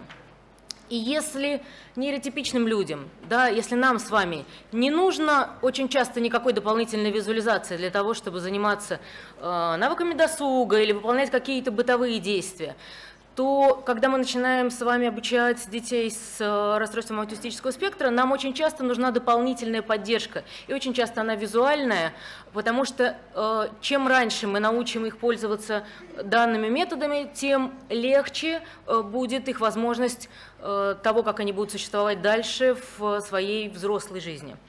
Мы сегодня сделаем акцент на навыках проведения досуга. А, В чем сложности у э, детей, которых мы изучаем? Очень большая сложность в том, чтобы выделить определенное время в течение дня. Концепция времени тяжело формируется, и, собственно говоря, тяжело определиться с этим временем для досуга в том числе. Очень э, тяжело без наглядной опоры вспомнить, чем я могу заняться в то короткий, короткий промежуток времени, который у меня есть для самостоятельной деятельности тяжело удерживать на протяжении какого-то времени определенную задачу, особенно если она многокомпонентная. Тяжело удерживать операции внутри этой задачи. И это все э, очень часто приводит к тому, что дети отказываются от выполнения самостоятельной деятельности и не могут да, даже то, что они умеют фактически делать самостоятельно, делать во время досуга. Что дают нам визуальные опоры? Они дают нам понимание последовательности. Да? То есть я опираюсь на визуальные опоры, я понимаю, что зачем я должен делать. Они дают нам понимание окончания события что считается финалом моей работы, что считается окончанием той деятельности, которую я выполняю. Они могут нам структурировать варианты для выбора. У меня есть наглядные опоры для того, чтобы понять, чем я в этот вечер понедельника могу заняться. И они дают независимость. Плюс, чем хороши визуальные опоры? Это обобщенный навык. Как только мы научим ребенка пользоваться какой-либо визуальной опорой, мы можем дать ему эту визуальную опору при формировании профессиональных навыков, при э, выполнении домашних заданий, при выполнении э, бытовых навыков. То есть это обобщенный такой э, навык. Но есть минимальные навыки, которыми ребенок должен овладеть до того, как мы начнем его учить самостоятельности. А, и это, например, наличие каких-либо видов деятельности, самых простых, но которые ребенок может делать самостоятельно, без нашего вмешательства. Пускай это будет одно колечко на пирамидку, одна бусинка на шнурок. Это может быть что-то очень короткое, но это то, что он делает без наших вербальных подсказок, без наших физических подсказок, да, без какой-либо нашей помощи. Это сформированность визуального навыка, хотя бы одного из перечисленных. То есть это сличение двух предметов, например, э, сличение предмета и его части, сличение двух картинок или сличение предмета и картинки. Без этого навыка ребенок все равно будет зависимый от помощи взрослого. И толерантность к физическому контакту. Это то, та особенность, которая очень часто встречается у наших детей. Мы должны иметь возможность до них дотрагиваться для того, чтобы физически оказать помощь. Есть основные принципы. Это правильный подбор тех заданий и, собственно говоря, количество операций внутри, которые ребенок на данном этапе может выполнить самостоятельно это задание, особенно на первых порах, с очень четким окончанием, с очень четким пониманием результата. Это полное отсутствие нашей с вами речи. Это самое сложное для людей, которые привыкли много говорить и опираться на э, вербальные подсказки. Любая вербальная подсказка мешает самостоятельности ребенка, потому что приучает его опираться на другого человека, на э, взрослого. И это очень часто эксклюзивное подкрепление цепочки действий. Самостоятельность – это очень сложно. И самостоятельность, особенно на первых порах, должна подкрепляться чем-то наиболее мотивационным. В самом начале это могут быть очень простые задания. Все эти задания представлены, они все с явным окончанием, с явным пониманием результата – это не значит, что мы не можем их усложнять. Мы можем брать и письменные работы, и аппликации, и все что угодно для продвижения этого навыка. И я вам расскажу про четыре способа. Их может быть очень много. Они в чем-то похожи. Первый способ – это корзинка с деталями. Основное действие, которое ребенок выполняет, он находит деталь и сличает ее с тем предметом, с тем заданием, к которому эта деталь подходит. То есть Каков алгоритм? Ребенок берет корзинку, ставит ее на стол, вынимает оттуда деталь, находит такое задание, приносит это задание, выполняет его, и дальше в зависимости от количества этих этапов, э, окончания его, он берет эту пустую корзинку, отдает взрослому и получает свой приз. Да, основной навык, которым должен обладать ребенок здесь, это умение сличать деталь, да, кусочек пазла, там, удочку от рыбалки с тем предметом, с тем заданием, которое он выполняет. Второй способ – это визуальный список дел. Какой основной навык здесь? Основной навык – сличение картинки с картинкой. Что делает ребенок? Он снимает карточку с расписания, находит такую же картинку на коробке, берет эту коробку, несет на стол это задание и выполняет его – Заканчивается везде одинаково цепочка тем, что ребенок получает свой приз в конце выполнения этой э, последовательности. Третий, э, немножко другой вариант, когда идет сличение цифры с коробкой. Он дает нам чуть больше возможностей. Мы в эти коробки или под эти цифры, в эти конверты можем положить любое задание, которое сейчас доступно ребенку. Основное действие – это сличение цифры точно с такой же, тот же визуальный навык. Картинку с картинкой или знак со знаком. Ребенок снимает цифру, вешает ее на табличку сейчас и находит такую коробку. Выполняет задание, снимает цифру, кладет ее в конверт и берет, соответственно, следующую цифру. Чуть сложнее цепочка, но чуть больше возможностей у взрослого по наполнению этой э, системы. И э, четвертый вариант – это тот э, альбом активностей, который очень часто используется, когда основное – это сопоставление картинки с предметом или картинки с картинкой, в зависимости от возможностей ребенка, когда на страницу книжки прикрепляется определенная картинка, и эту картинку ребенок сличает либо с корзинкой с, таким же, с такой же картинкой, либо находит такое же задание. В любом случае, вся эта цепочка подкрепляется в конце эксклюзивным подкреплением, и длина цепочки зависит от возможностей, собственно говоря, ребенка. Это не значит, что на этом можно остановиться.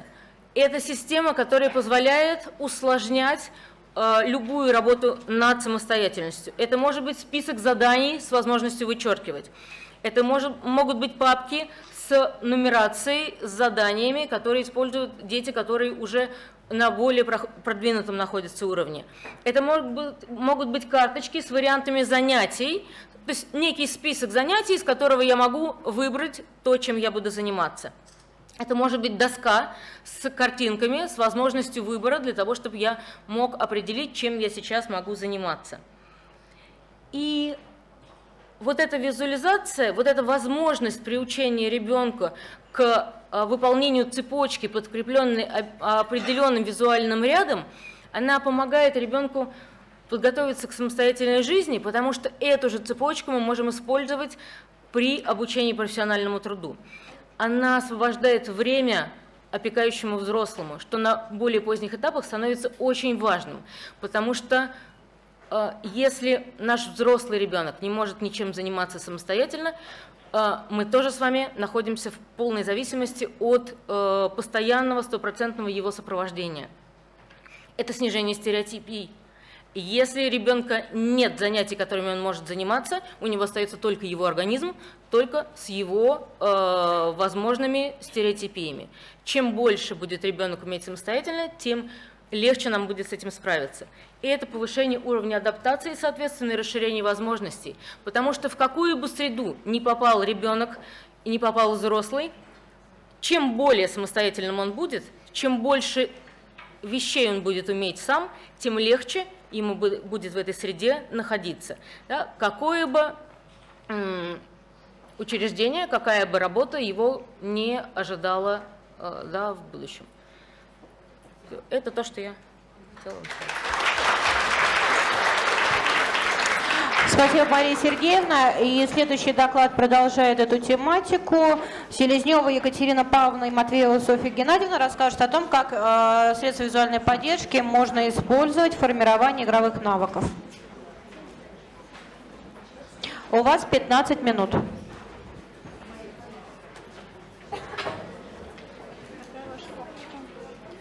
А, ФРЦ просто.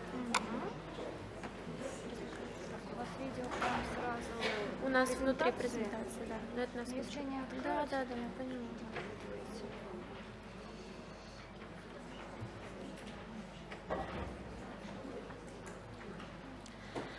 Здравствуйте, уважаемые коллеги! А, Сегодня мы хотели вам подел- поделиться с вами нашим опытом по формированию навыков игры при помощи визуального расписания. А, Визуальное расписание – довольно популярный метод при работе с детьми с расстройством аутистического спектра. Оно помогает снизить частоту нежелательного поведения, дать детям возможность ориентироваться во времени и деятельности и повысить уровень самостоятельности ребенка. А как вам всем известно, в норме у ребенка формируется игра стихийно, как бы сама по себе. Но этого не происходит с детьми сразу. А, Их игра отличается объединенным репертуаром и стереотипными действиями. А, У детей сразу ограниченные интересы в игре, то есть они выбирают какую-то одну игрушку и не замечают остальные. Их игра может быть стереотипна, то есть они все время строят и ломают башенку из кубиков, например. А, Их игра однообразна, у них есть трудности с овладением сюжетно-ролевой игрой, и тому есть несколько причин. Одна из них это то, что им очень сложно удерживать правила игры, и им очень сложно поддерживать коммуникацию с другими участниками, с партнерами по игре, другими детьми. Доказано, что обучение детей с раз особенно эффективно в структурированной среде, и обучение игровым навыкам снижает частоту нежелательного поведения. В большинстве исследований по обучению детей навыкам игры используются комбинированные подходы, и они представлены вот на этом слайде. А в своей работе мы используем ряд методов, уделяя особое внимание визуальному расписанию активностей.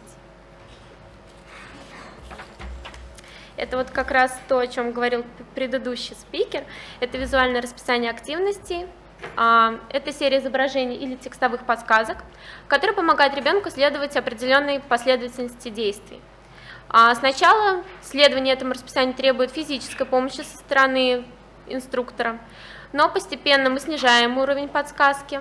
Наша конечная цель – это научить детей выполнять задания самостоятельно, без инструкции и без контроля со стороны взрослого. А, Вы можете посмотреть, что это соотносится с изображением. То есть ребенок открывает альбом активностей, находит картинку, подходит к стенду с а, коробками, на которых указаны различные, различные картинки, ищет такую же, соотносит, выполняет задание, убирает стимульный материал и возвращается к расписанию. Используя визуальное расписание, дети становятся более самостоятельными в выборе активности, могут доводить начатое дело до конца и, что очень важно, контролировать свою работу.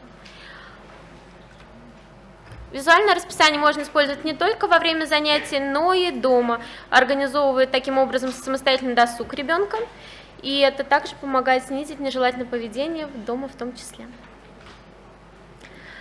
Понимая значимость игровой деятельности для ребенка, мы ввели индивидуальные образовательные программы двоих детей, посещающих нашу группу, совместную игровую деятельность.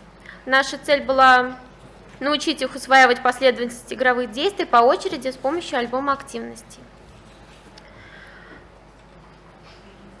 В игре дети должны были овладеть двумя ролями. Первая роль – это роль инициатора – и вторая роль – это роль партнера по игре. Каждая роль включала в себя определенную цепочку действий, вы можете посмотреть, из чего эти цепочки состояли. А, успешным овладением считалось выполнение более 80% на протяжении двух-трех дней. Участниками были два ребенка, а, четырех лет с диагнозом расстройства аутического спектра, которые посещали нашу группу, начиная с октября 2017 года. Первый участник D, 4-11 лет, у него уровень навыков по WebMap соответствует второму уровню, однако игровые социальные навыки практически отсутствуют и на первом уровне. Диагностируются следующие барьеры – нарушение социальных навыков, обсессивно-компульсивное поведение, зависимость от подсказок, трудности в обобщениях, аутостимуляции, обсессивно-компульсивное поведение, нарушение в интервербальном репертуаре. Второй участник F – 4.6. Общий уровень навыков по WebMap соответствует началу третьего уровня. Освоен первый уровень по шкале социальных навыков, по шкале игровых навыков. Он находится на начальном этапе второго уровня. У него диагностируются такие барьеры, как поведенческие трудности, трудности с руководящим контролем и нарушение социальных навыков. Дети посещали нашу группу интенсивной помощи «Ассерт», которая реализуется на базе городского психолого-педагогического центра. Это интенсивная работа, занятия проходят 5 дней в неделю по 3 часа, так что у нас была возможность каждый день отрабатывать навыки игры с ними. Для обучения мы выиграли игру в мяч, поскольку она довольно простая и не требует никакого специфического инвентаря. А, игровая деятельность включала в себя приглашение партнера по игре, простую игру с переходом хода, завершение игры словами благодарности, а также умение соблюдать очередность с помощью визуальной подсказки. И сейчас мы можем посмотреть, с чего мы начинали. Видео.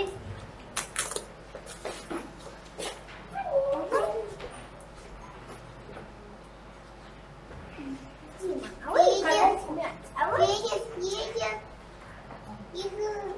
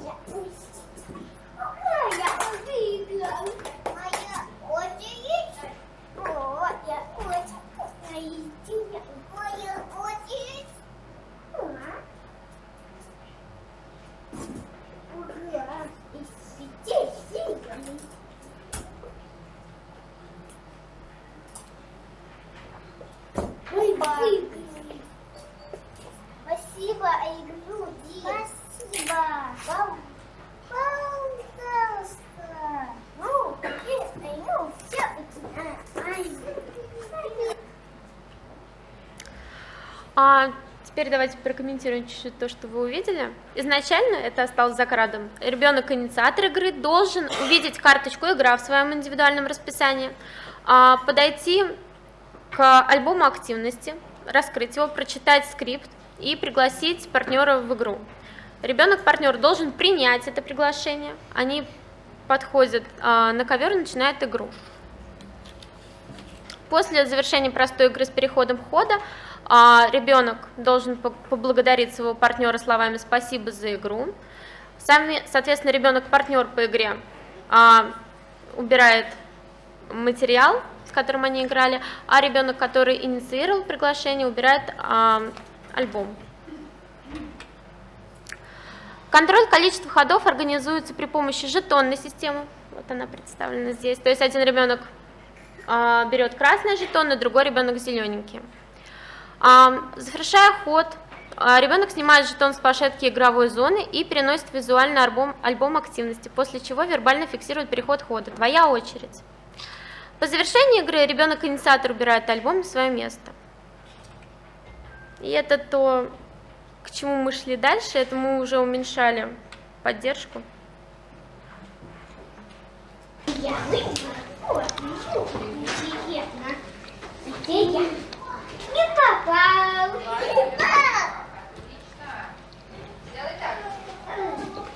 Я попала еще на Олег.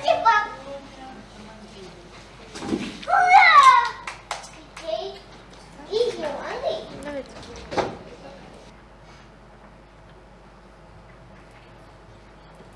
Я выбрала.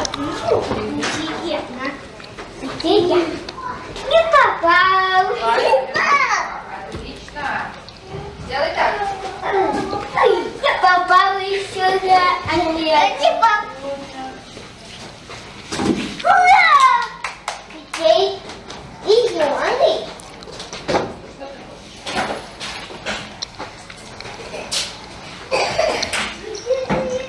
О, вот, классно, делай так. Отлично. Покажи мне. Попал.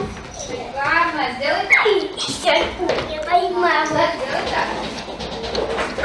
Умничка. Сделай так. Хорошо.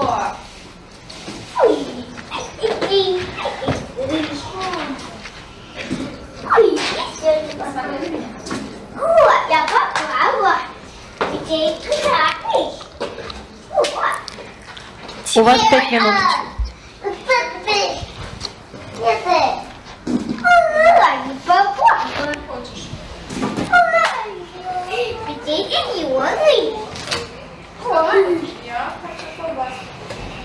Я, я очень я выбрала. Интересно.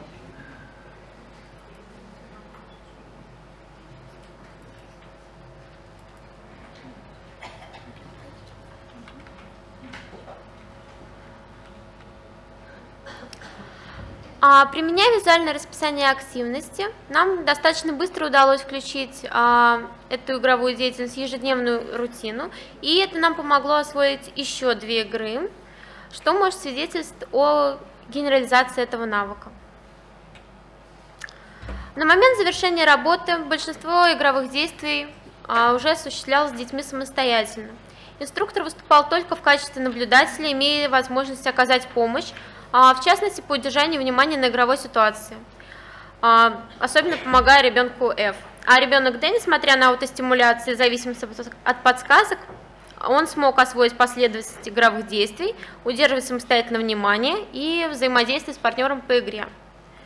У ребенка F также расширился репертуар коммуникативных навыков. Таким образом, визуальное расписание активности может стать отличным инструментом для успешного и легкого освоения игровых навыков. Спасибо большое за ваш доклад. А, Следующий доклад. а, Князева Елена Викторовна и Лисицын Владислав Александрович, специалисты городского психолога педагогического центра Департамента образования города Москвы о двустороннем внимании и его формировании.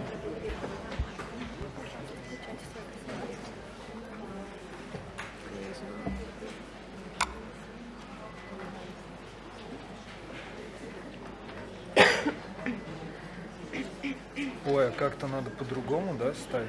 Чтобы мы могли видеть. Чтобы там внизу, знаете, как режим просмотра, когда ставят. То есть у нас слайдик и текст там. Заметки? Угу. Ага. Боюсь, что нет, не получится, наверное. Плохо, ужасно. Давайте. Я немножко сейчас. Давайте. Я думаю, это не критично. Хорошо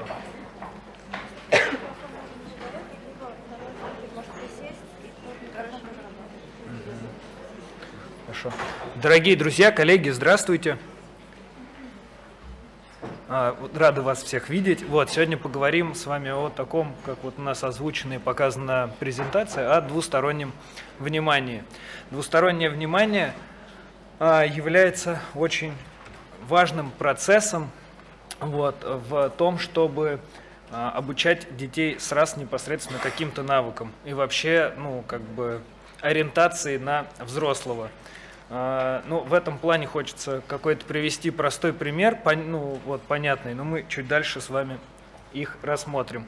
Вот. Говоря про совместное внимание, ну, то есть это, это очень просто, как вы можете прочесть на слайде, умение смотреть туда, куда смотрит кто-то еще. Вот.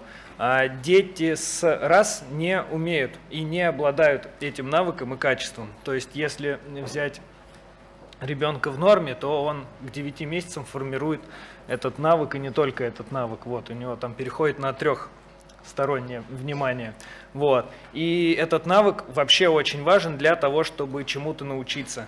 Если я не понимаю или не смотрю туда, куда смотрит кто-то или что-то делает, то вряд ли я смогу запомнить например, как это называется или что мне необходимо сделать.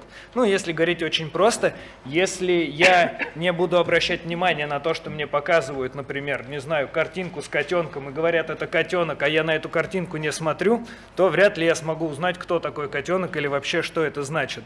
Вот. Поэтому базово очень важно начинать именно с того, чтобы мы с вами научились и научили ребят, собственно, как раз возможности этому навыку научиться. Вот. Есть разные уровни. Мы сегодня с вами захватим вот второй уровень. Вот, собственно, двухстороннее внимание. Вот, про трехстороннее внимание мы говорить не будем, но вы можете ознакомиться с тем, что это такое. Вот.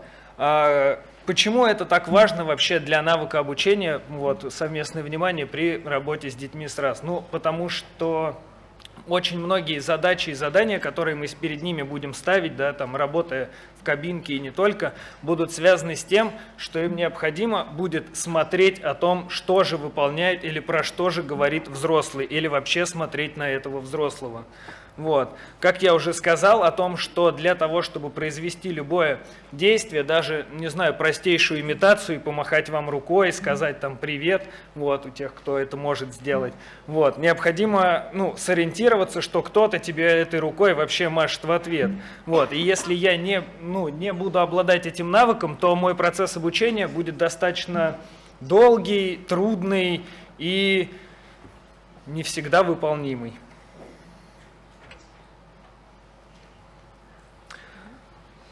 Вот, ну, мы уже немножко про это проговорили, да, собственно, вообще для чего, да, зачем нужен этот навык, ну, на что он влияет и с помощью, что с помощью него развивается.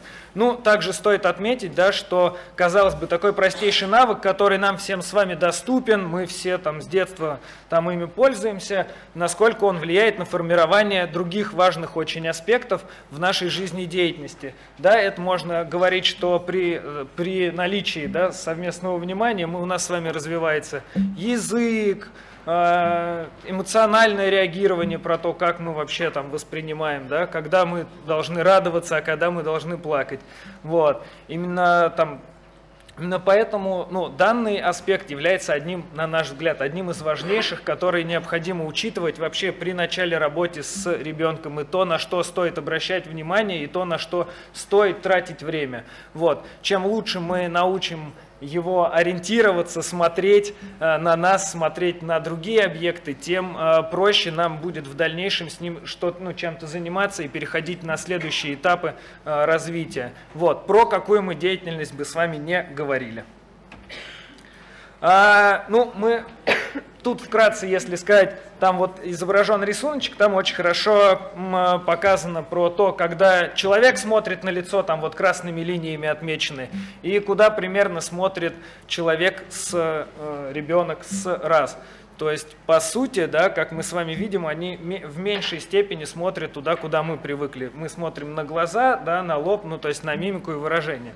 Однако хочется э, подчеркнуть еще также, что там вот, где на женщина изображена, где полосочка сбоку, если он смотрит туда, это не значит, что он не видит всего остального. И вообще в целом неплохо, что он смотрит примерно в область лица. Это тоже ну, достаточно важно учитывать. Что не обязательно это совместное внимание должно быть связано только с тем, что нам смотрят прямо глаза в глаза или непосредственно на лицо. Это может быть область, находящаяся рядом. Но это тоже важно, потому что ребенок все равно увидит и считает, что происходит.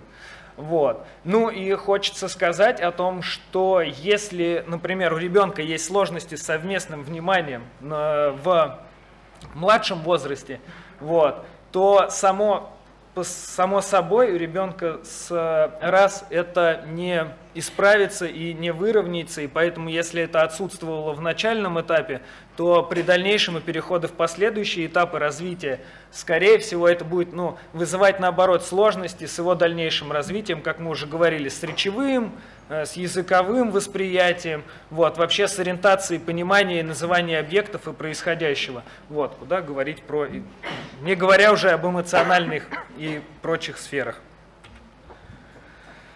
А, считается, если говорить про то, с помощью чего можно этот навык сформировать, считается, что самым валидным вот, э, в этом плане является прикладной анализ поведения, вот, и действует э, следующая формула.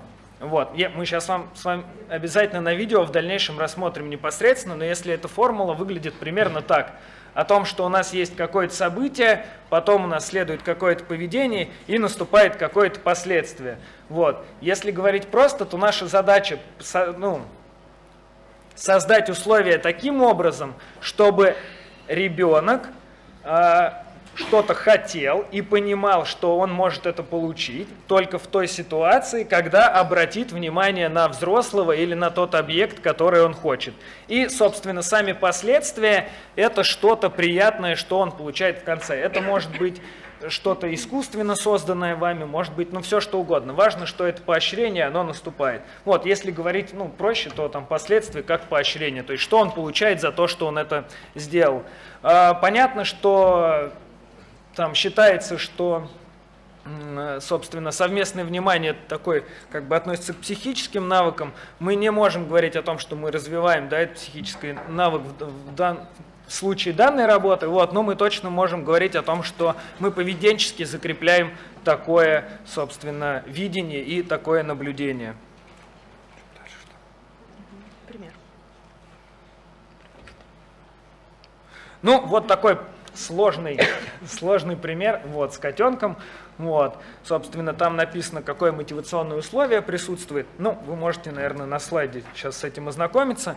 Вот, это такой более расписанный вариант. А, ну, если говорить вкратце, мы сейчас на видео с вами чуть в дальнейшем рассмотрим непосредственно данную схему, вот более понятно, конкретно и подробно. Надеемся, что все будет понятно, ну и мы будем готовы еще проговорить и обсудить. Вот, почему так или так.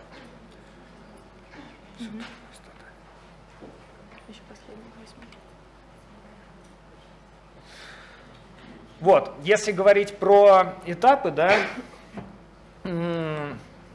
то, собственно, наша цель это научить, да, направлять детей на лицо взрослого. В дальнейшем это не только направлять на смотреть на взрослого или собеседника, это возможность посмотреть на собеседника или взрослого и на тот предмет, который мы хотим. В целом у нас с вами этот навык выведен до автоматизма, и мы на это не обращаем внимания. Вот, у них, собственно, ну, вот наша задача вывести этот навык их на такой же уровень автоматически, чтобы они могли сигнализировать о том, что бы им хотелось, вот, к чему бы, ну, как бы обратить внимание взрослого на то, что они сейчас хотели бы, не знаю, там, получить или во что поиграть, или что им сейчас необходимо. Вот. Ну, действительно, вот там вот так он показывает, прям смотри в глаза. Вот это, ну, такой достаточно важный фактор, но, как мы уже говорили в начале, о том, что мы с вами в голове помним, что Важно, чтобы он смотрел в область, в область лица, не обязательно, что прям непосредственный контакт в глаза в глаза. Ну, этого требовать, наверное, немножко. Владислав, у вас осталось 6 минут. Чудесно, мы успеваем, мы даже оставим Хорошо. кучу времени. Вот. Так, ну давайте двигаться непосредственно тогда на примерах рассмотрим. А, здесь а, собственно, развитие этого внимания происходит через, собственно, возобновление и прекращение какой-то приятной активности для ребенка. У разных детей эта активность может быть разная. Здесь вот э, мы покажем несколько вариантов. Здесь это реализуется за столом. Многие вещи можно находить на ковре, ну, как бы на ковре. То есть в целом для развития и тренировки данного навыка не требуется непосредственно э, каких-то специализированного там пространства и помещения. Это можно реализовывать практически в любой ситуации. Важно понаблюдать за ребенком, важно включаться в какие-то аспекты. Если мы видим деятельность какая-то, которая ему нравится, не знаю, э, там шарики, вот там ставишь шарик, бьешь по нему, он катится. Если ему это, например, нравится, то этот элемент сразу можно использовать для тренировки совместного внимания. Ну, сейчас мы видео посмотрим, и можно будет. Хочешь еще? Да. Ты посмотрела, отлично. Зажигаем. Раз, два, три. Задуваем. Фу, отлично задуть. Ой. Хочешь еще? Можно с пузырем давать еще с пузырем. Ну, как вы видели, да, там происходил достаточно простой процесс. Педагог поджигает свечку, пытается ее задуть, но он ее не задувает до того момента, пока ребенок непосредственно не посмотрит на педагога и не начнет задувать, да, в данном случае свечку вместе с ним. Вот. То, я просто не знаю, насколько хорошо это видно на видео, но там, собственно, непосредственно перед тем, как происходит какое-то действие, да, происходит э, непосредственно зрительный контакт между э, ребенком и педагогом. А, ну и, собственно, э, это нравится, вот, у него спрашивают еще, там, хочет ли он еще, вот, и там, если ему это нравится, да, можно продолжить, собственно, играть. А? А, здесь мы покажем видео, на котором искусственно сужается поле обзора ребенка для того, чтобы ему было легче сориентироваться, куда надо смотреть. Уважаемые коллеги, мы вас попросим не снимать это видео, потому что мы не можем вам показывать, да, мы можем вам показывать, но мы не знаем, куда это может дальше пойти, поэтому просьба не снимать. Угу. Всю остальную презентацию готовы предоставить. Алиса.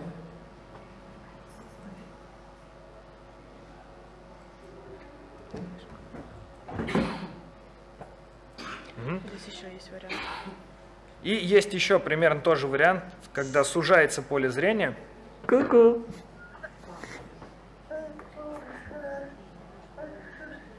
Мы сейчас да, покажем, что это такое. На следующем видео есть как раз это вот такой цилиндр мягкий, да, с помощью которого при- внимание ребенка можно привлекать. И И сфокусировать. Привет. Привет.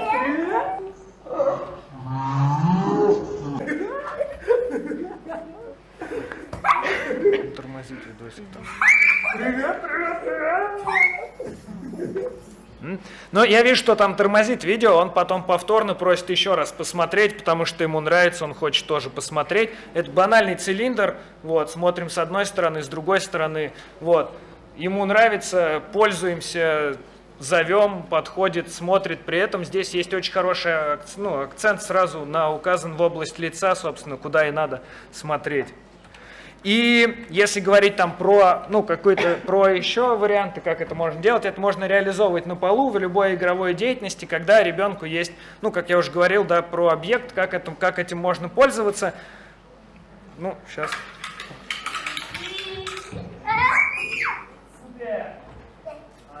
Отлично. Ну, то есть все было очень просто, да, мне кажется, понятно, ну, даже не замедленно о том, что ему по... запустили машинки, он хочет запустить еще, я, ну, просто банально объект подносится в данный момент в ту область, куда ему теоретически надо посмотреть. То есть, например, там, в данном случае к лицу. Но мы дальше, там уже просто у нас была дальнейшая задача развивать все-таки на следующие этапы переходить, поэтому еще возможность посмотреть в бок на тот объект, который я хочу, чтобы взрослый мог понять, например, что я его хочу. А, спасибо большое за внимание. Можно один вопрос задать? На самом деле это очень интересно и мало про это говорят. Но более-менее, в общем, понятно вы рассказали, действительно, как научить смотреть в лицо, в глаза. Но там есть один важный момент, э, когда мы говорим о разделенном внимании. Это на, на самом деле определить направление взора э, собеседника. Да? У вас есть что-нибудь, может быть, какие-то идеи или уже опыт э, работы вот с такой проблемой? Понятно, да, вопрос? То есть Ну да, непосредственно, ну то есть на следующий этап перехода, когда он Ну, смотрит на знаю, объект, это чтобы простимулировать через- нас. Нет, я должна определить, например, куда смотрит собеседник для того, чтобы... Понять, ну, про что он говорит. разделенное внимание без этого невозможно. Да, и вот э, просто интересно, есть ли у вас какие-нибудь... На этот вопрос опыт? я, скорее всего, могу ответить, потому что а, а, в рамках а, нашей лаборатории для центра у нас создана программа по формированию модели психического, где первый этап как раз идет э, по направлению взора, работы с направлением взора. Да, но просто вот э, изначально, перв- первоначально у малышей, это группа малышей, которую вот показывали сейчас коллеги, э, там идет просто сначала вот это двустороннее внимание, когда мы сосредотачиваем их взгляд на интересных объектах и переводим на людей. А, значит, Еще у меня, если позволите, еще один момент. Э, На самом деле разделенное внимание еще заключается в том, что когда я показываю что-то, да, э, я должна посмотреть э, на человека, видит ли он. Вот в этом тоже заключается разделенное внимание, да. Вот тоже это, я не знаю, на самом деле направление взора, ну, я не знаю, какой у вас там этап второй, пятый, десятый, не суть, но это обязательный элемент. Да, конечно, это обязательный элемент, он Просто интересно, необходим. как это... Он еще необходим в дальнейшем. Но вот э, в каждой, все-таки я могу честно сказать, что с каждым конкретным ребенком используется более индивидуальный подход, потому что есть ну, механизмы, которые работают, с кем-то они там работают лучше, с кем-то хуже. Но вот как, например, один из способов, как уже демонстрировалось на видео, да, о том, что мы там переносим объект бок, чтобы ребенок в целом, или когда мы обращаем внимание, там смотрим куда, что он хочет, он пошел за, игур, за игрушкой, например, и мы знаем, что он ее там, ну, потенциально может захотеть, то наша задача ее, например, поставить в недоступном ему месте, чтобы инициировать, во-первых, его обращение, а во-вторых, потом самого, ну, просмотра на там, эту игрушку. И, конечно, этот навык еще важен в дальнейшем, потому что в дальнейшем с помощью того, что когда они ну, могут, во-первых, привлечь внимание, сами куда-то посмотреть. Это, ну, один из этапов, да, для того, чтобы они могли общаться с помощью, там, например, такой технологии, как PEX или коммуникативной доски. Спасибо большое, очень интересно. Спасибо. Мы с вами нагоняем наш тайминг, что очень радует, э, и, возможно, все уйдет во время на обед. А, Следующий доклад э, Ямалеева Марина Гайнуддинова. А, Индивидуализация образовательных траекторий обучающихся с раз через организацию учебно-исследовательской деятельности. А, У вас 15 минут на доклад.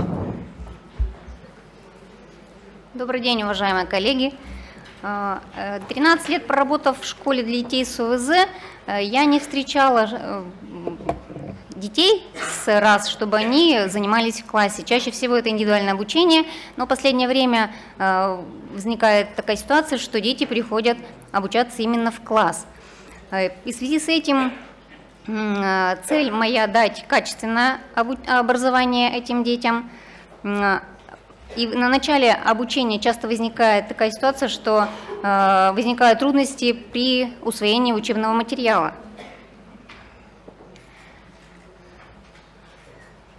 На наш взгляд, э, именно через организацию учебно-исследовательской деятельности можно простроить индивидуализацию образовательных траекторий, обучающихся с раз. А, на слайдах вы видите, э, зачем это делать, а именно как это делать, я и расскажу более э, подробно, но постараюсь все-таки также кратко. У обучающихся с расстройством аутического спектра именно при наличии интеллектуальных возможностей необходимо развивать данный вид деятельности – Рассматривая алгоритмы работы над учебно-исследовательским проектом, следует обратить внимание на особенности организации данного вида деятельности с представленной категорией детей. На этапе запуска проекта происходит э, мотивация учащихся на проектную деятельность. Выбирая тему проекта, формулируя проблемы, цели, ребенок определяет э, прежде всего круг интересов, сферу притязаний. Этим обеспечивается рост творческого потенциала и познавательных мотивов.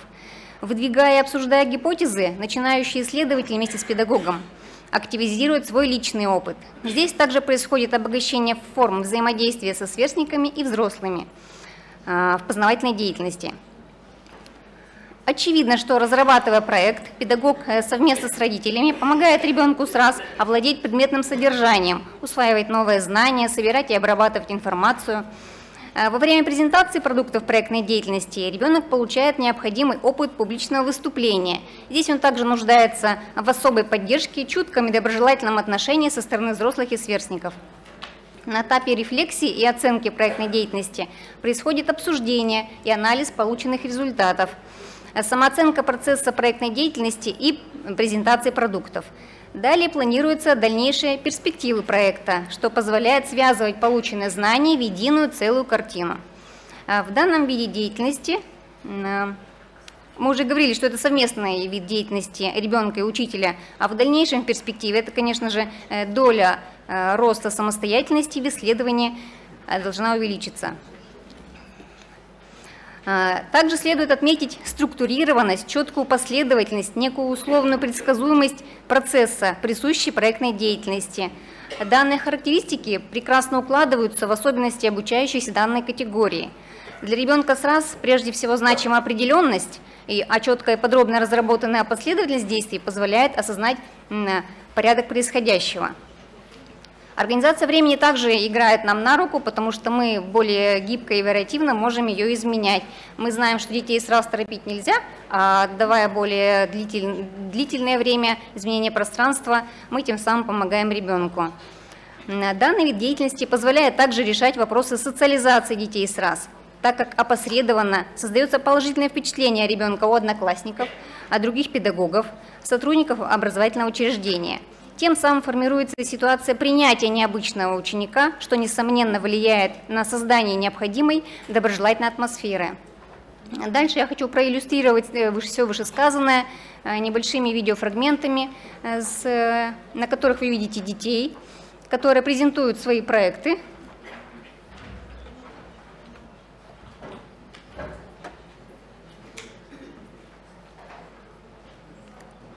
на первом видеофрагменте вы видите ребенка первый, первый класс, а, расстройство аутического спектра.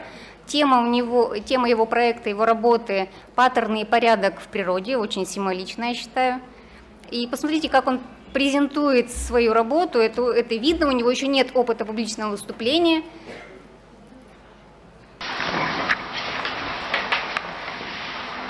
Наша тема «Паттерны и порядок в природе».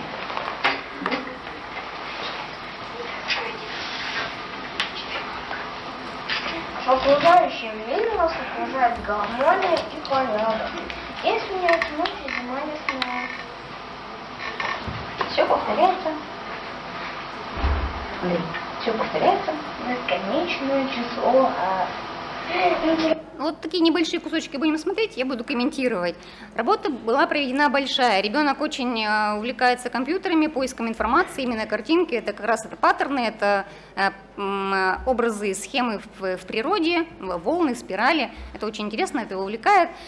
Он хорошо поработал, но представить тяжело, потому что он отвлекается, он не может регулировать силу голоса. Э, следующий фрагмент. Я уже говорила, что для данного вида деятельности необходимо наличие интеллектуальных возможностей, чтобы они смогли эту исследовательскую работу сделать.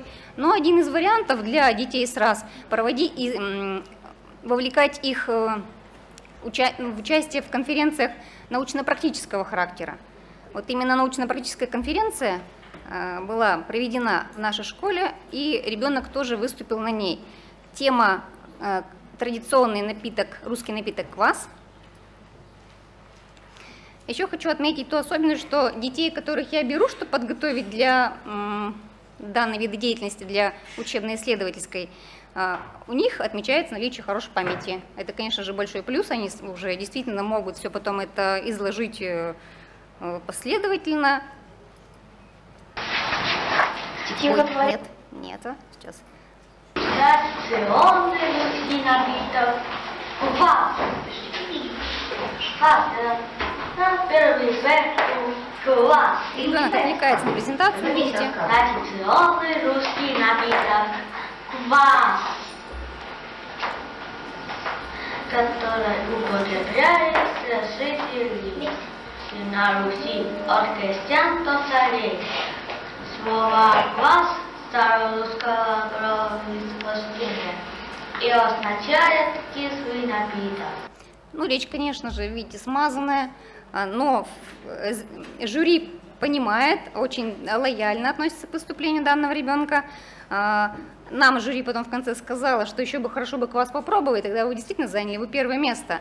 А, Ребенок показал варианты изготовления кваса, это было несколько, даны рецепты, и работа была очень хорошая. И еще третий фраг- видеофрагмент. Девочка – это наша гордость. А, С ней мы работаем уже четвертый год.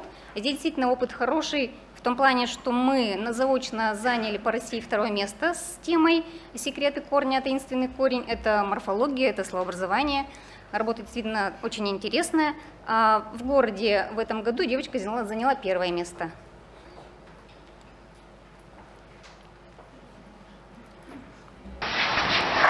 Стихотворение Юлиана Кубима «Словечки колечки». Мальчику ежи пришли три слова «Апельсин, сосна, колечко». Мальчик написал их так. Этим он очень разгневил слова. Гнев. Гнев. Во. А ушах почему?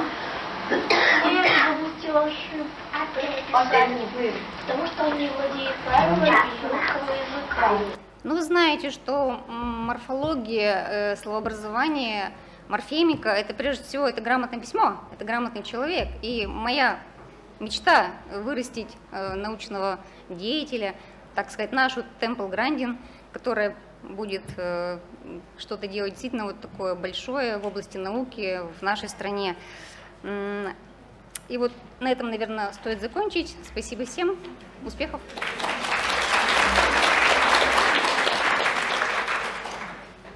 А, Спасибо. А, Мы переходим к интересной теме формирования речи у неговорящих детей с раз посредством использования IT-технологий. А, И с докладом выступает Кириллов Андрей Викторович. Здравствуйте. Так, пожалуйста, мышка. Сейчас меня, давайте-ка я под закуску. Э, где там? Сейчас.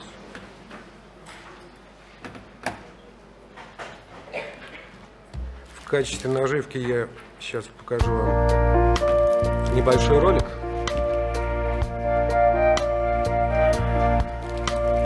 Вилка,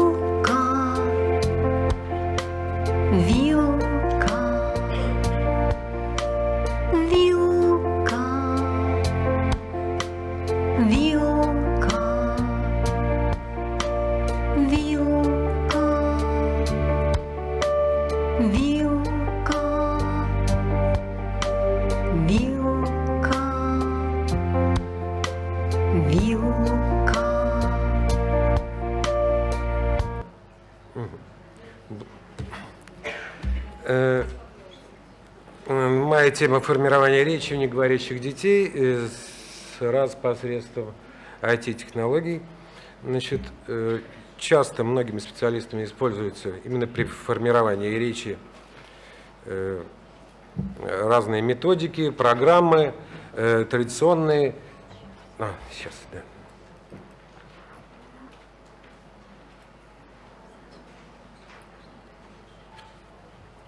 Угу.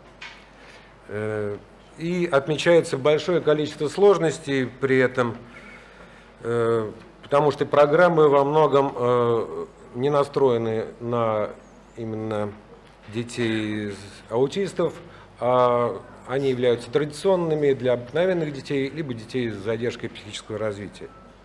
Вот. И в таком случае значит, хорошим подспорьем является использование такими детьми, ой, педагогами, специалистами новых компьютерных технологий, программ, э, новых средств связи и коммуникации. Уже, например, вошло э, в практику использование мобильных э, приложений по альтернативной коммуникации, PEX. Вот. Они достаточно широко предложены в интернете ими э, легко пользоваться, но, э, к сожалению, детям раз многим, э, детям аутистам необходима мотивация, желание коммуникации, и что у них зачастую отсутствует, просто этого нет. Поэтому формирование как бы речи затрудняется. Да. Я Сегодня я представляю вам собственную разработку, э, методику оригинальную, в которой применяются эти технологии э, современные компьютерные. Это методика коррекционной работы по формированию, э, развитию коммуникативных навыков и речи, Диалог Плюс. Эта методика мной создавалась, исходя из обращений многих обращение родителей э, детей с раз была опробирована и использовалась на протяжении ряда лет в ЦПМСС «Феникс» э, на базе 6-й э, психиатрической больницы и Центра коррекции развития речи «Говоряшки». Вот. Изначально, изначально целью ставилось Э, общее развитие коммуникативной сферы, дававшее возможность ребенку преодолеть трудности общения э, в ограниченном социуме, создать предпосылки для возникновения у этих детей э, речи и основывался на традиционных методиках. Ну, например, методика Нуриевой или Кирилловой. Вот. Методика Нуриевой или Кирилловой, то есть традиционные методики по, формира... по развитию речи, а не по формированию ее. Вот. Э, дети, имеющие полевое поведение, имели сложности во внимании, подражание, имитации, с трудом шли на контакт, и не имели заинтересованности в общении с людьми. Так происходило до тех пор, пока не пришла идея использовать в работе куклу. Вы посмотрели в начале ролик, это как раз та кукла, которая является э, в этой программе э, одним из участников активным. Вот. Кукла Розина. Э, дети с э, раз обычно э, как бы затрудняются э, контакте с живыми обыкновенными людьми и спокойно относятся с неживыми предметами. Кукла как раз представляет собой неживой объект с возможностью коммуницировать. Вот. Э, было решено использовать куклу не простую, а обыкновенную. Да. Не обыкновенную, а, а наполненную всякими электрическими электронными штучками, камерой, э, спикерфоном. И кукла стала видящей и говорящей. Ассистент, э, озвучивающий куклу в режиме онлайн, э, в отдалении наблюдает за всем, что происходит на занятии, и своевременно реагирует на поведение э, ребенка. Эта интерактивная кукла является не только сопровождающим ребенка объектом, но и является активным собеседником и также соведущим коррекционного педагога. Она как бы связующий фактор э, фактор заинтересованности в общении, э, активный участник коррекционного развивающего процесса. Так. По результатам работы, где, в которой участвовали примерно 70 детей, вот, наблюдалась положительная динамика. 67% детей безречевых начали разговаривать, э, не просто вокализировать какие-то звуки, отдельно издавать, а именно произвольно начали э, использовать речь. И у 73% детей э, задержкой речевого развития произошло выравнивание до уровня нормы, что, в принципе, является очень хорошим положительным моментом и дает положительную перспективу на широкое использование этой методики э, другими центрами и специалистами. Э, вот. Значит, что дальше? В ближайшее время, конечно, методика будет развиваться. В данном случае она ориентируется на э, использование 2D-роликов – Э, и непосредственно куклы, э, интерактивные куклы.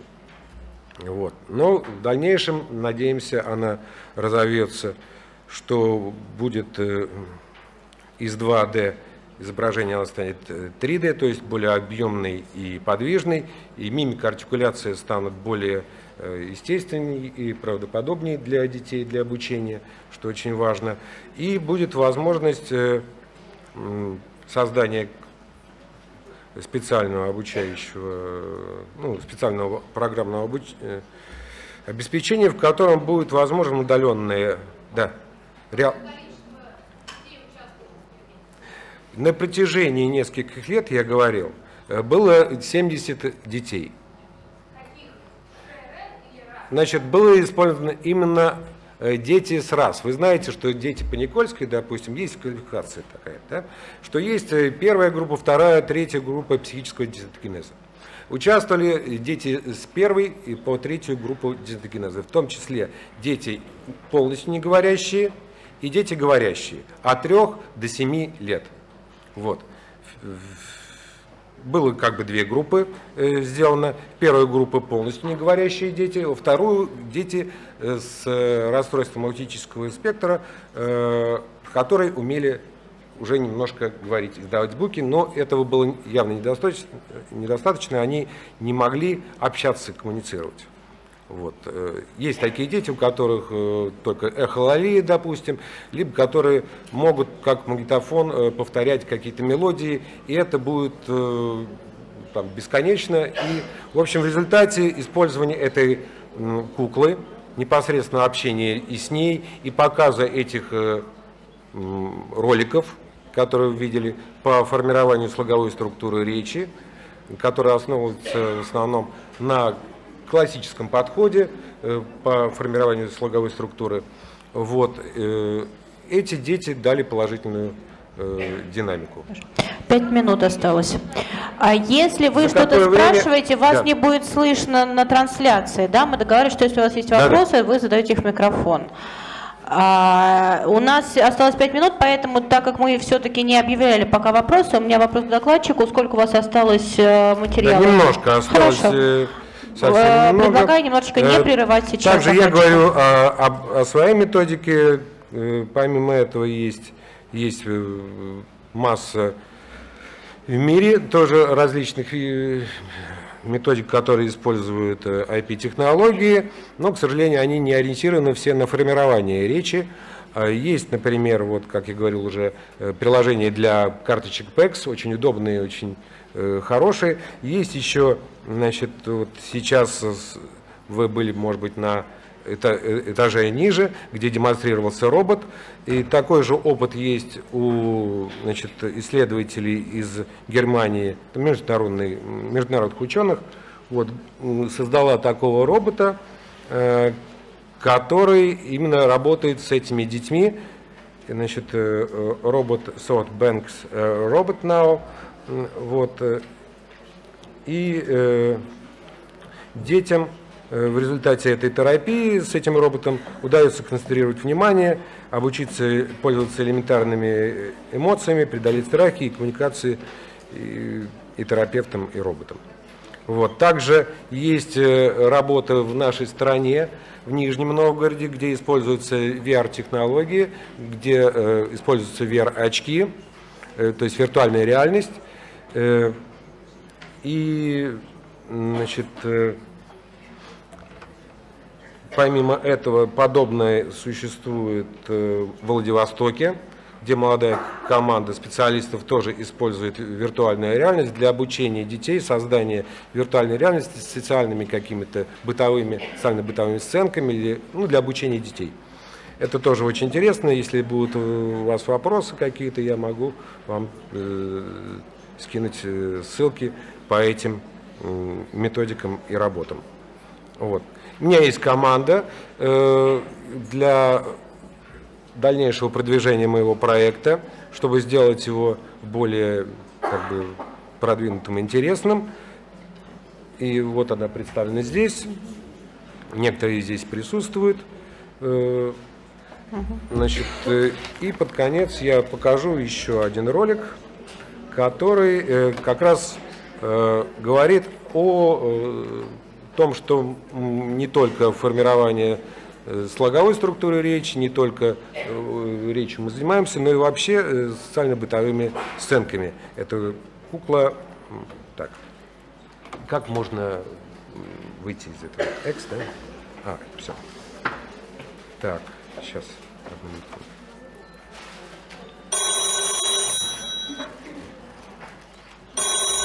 Все это происходит на в центре Феникс. Такой был звонит. Подойди. Не можешь? Ладно, я сама. Алло. Кто говорит? Кто это? А, здравствуй. А это я, Розина. Слушаю внимательно.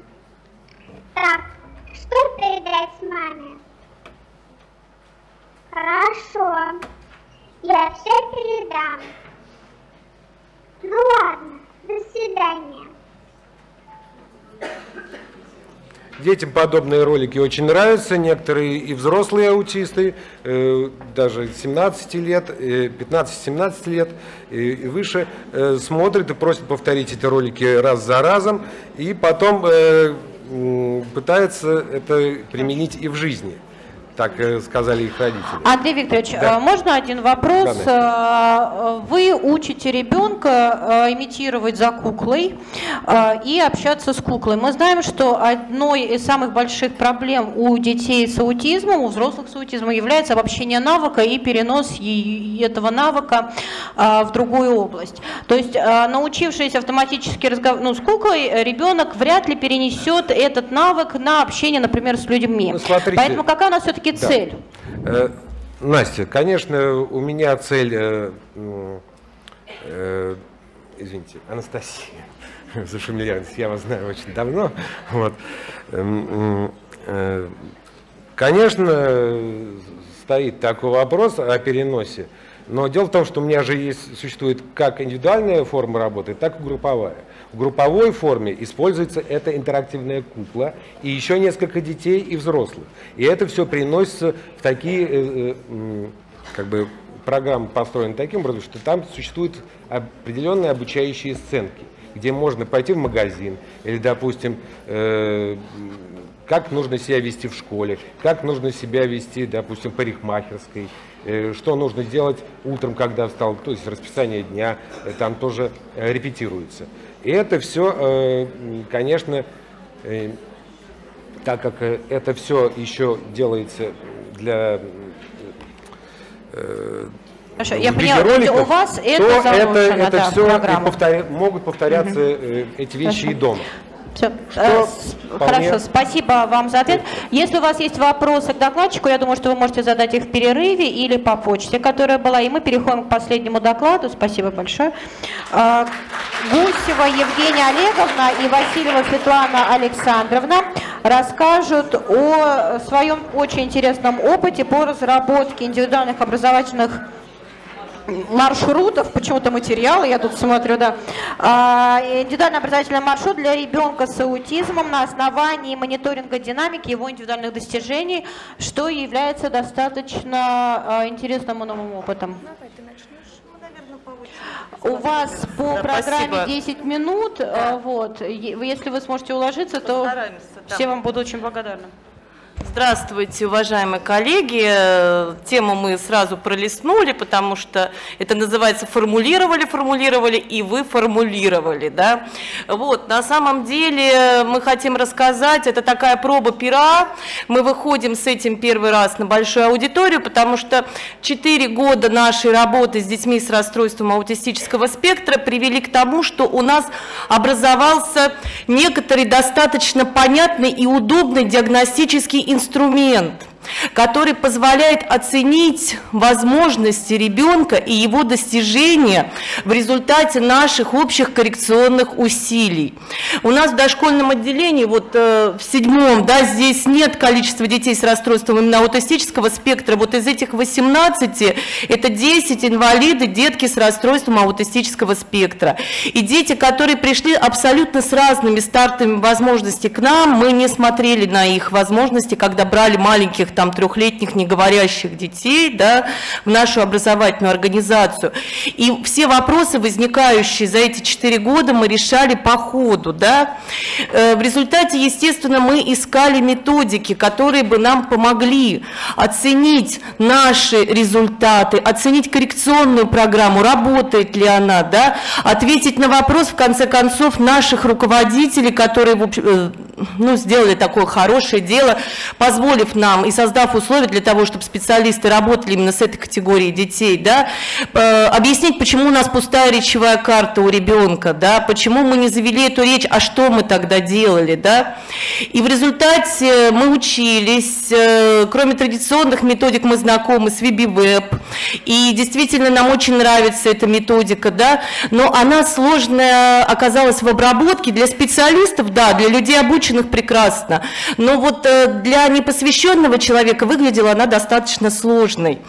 Э, Либо мы обращались к методикам, а они оказывались привязанными к возрасту ребенка, например, да, что абсолютно недопустимо с, с ребенком с расстройством аутистического спектра, потому что неправильно связывать его с, э, его, сравнивать его с его ровесником в определенный период жизни, там в 3 года, в 4, в 5, да, надо оценивать его индивидуальные достижения.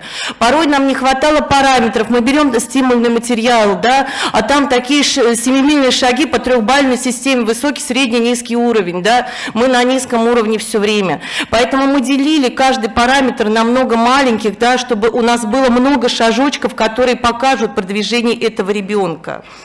Э, Задача стояла еще и такая, чтобы этот инструмент помог э, людям сформулировать э, задачи в индивидуальный маршрут, потому что мы говорим, есть дефициты, есть ресурсы, надо проставить, поставить задачу ее прописать. Специалисты обращаются, говорят, где нам взять формулировки.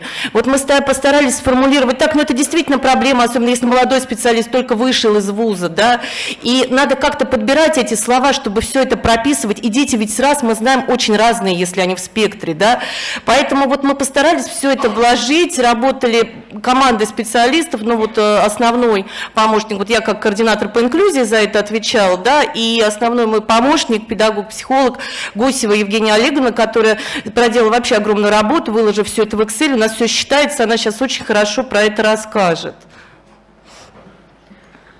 Ну, про ключевые особенности, э, на которых мы выстраивали мониторинг, я думаю, уже прочитали основные, да, Светлана Александровна сказала про большую часть. Основными его вот такими особенностями ля- является не привязка к возрасту и э, такое практически поэлементное, пошаговое э, критерии, да, разработанные. И важно еще понимать, что поскольку у нас в саду только половина да, из контингента наших деток это детки с РАС, у нас есть и другие э, категории детей с ОВЗ, И задача наша была разработать, то есть у нас был такой запрос от от администрации показать в единой схеме продвижения всех детей да, и эффективность нашей работе. Поэтому у нас разработано это на в принципе, на, для детей с УВЗ, естественно, основной уклон мы делаем на детей с РАС, поскольку это одна из самых сложных категорий для работы. А, Мы в своем вот этом мониторинге индивидуальных достижений а, разделили все шкалы на три таких больших блока, социально-коммуникативные, социально-бытовые коммуникативные навыки, общее представление, познавательные процессы. В каждый из этих блоков входит несколько шкал, и каждая шкала делится еще на отдельные параметры. Да? Например, вот в бытовых навыках у нас там одевание, раздевание, туалет, прием пищи. Все расписано отдельно по параметрам. Самым сложным для нас, вот для этого мониторинга, явилась именно речь, поскольку у детей, э, у детей с раз, да, у детей с задержками развития, это самый такой проблемный момент и в нашей коррекционной работе, его сложнее всего вот как-то показать, что да, мы продвигаемся, несмотря на то, что у нас звуки все еще не стоят, которые необходимы. Да? Помимо того, что у нас в самом блоке, в самой шкале речи есть несколько параметров, самый большой, у нас а, в других каких-то параметрах, да, в том числе в коммуникативных, а, в поведениях слушателя у нас есть отдельные параметры, которые также позволяют проследить вот это вот развитие речи, да, такие вот как вербальный контакт, общение с просьбой, а, понимание обращенной речи, далеко не все вот эти параметры, они входят именно в речь, как в познавательное развитие, да, они у нас в основном в коммуникативном находятся. Ну и для примера мы вам покажем описание одного параметра, входящего в шкалу в блок социально-бытовых навыков, одевание, раздевание. Да, самое первое, вот ребенок пришел к нам в детский сад, и самое первое, что он делает, раздевается. Вот мы сами, наши воспитатели, наши тьютеры могут посмотреть, да, раздевается, одевается он самостоятельно, или ему нужна какая-то помощь, и в каком размере она нужна. Мы постарались, изначально у нас было прописано всего на 4 вот этих вот оценочки, да, от 0 до 3, и вот за год работы, э, первый год, мы поняли, что нам этого недостаточно, мы стали мониторинг переделывать, мы его до сих пор, да, доделываем, что-то дописываем, что-то исправляем. А, Вот таким образом у нас выглядит наша основная табличка, в которой мы прям ручкой прописываем. Да, мы сделали ее сознательно на три года а, с двумя, преследуя две цели, чтобы было нагляднее видны результаты, ну и в целях экономии бумаги, поскольку это дело такое затратное тоже. И вот таким образом у нас выглядит финальный. Вот в конце года да, а, у нас получается в Excel обрабатывается большая таблица по всем шкалам, по всем параметрам, с процентным, то есть процент а, не от общих да, каких-то чисел больших, а именно от максимального значения по данному параметру высчитывается процент. И автоматически у нас выстраиваются диаграммы на учебный год, да, то есть уровень, что у нас ребенок в начале года, в конце года, в середине года, ну, то есть э, как, какого уровня он у нас мог добиться.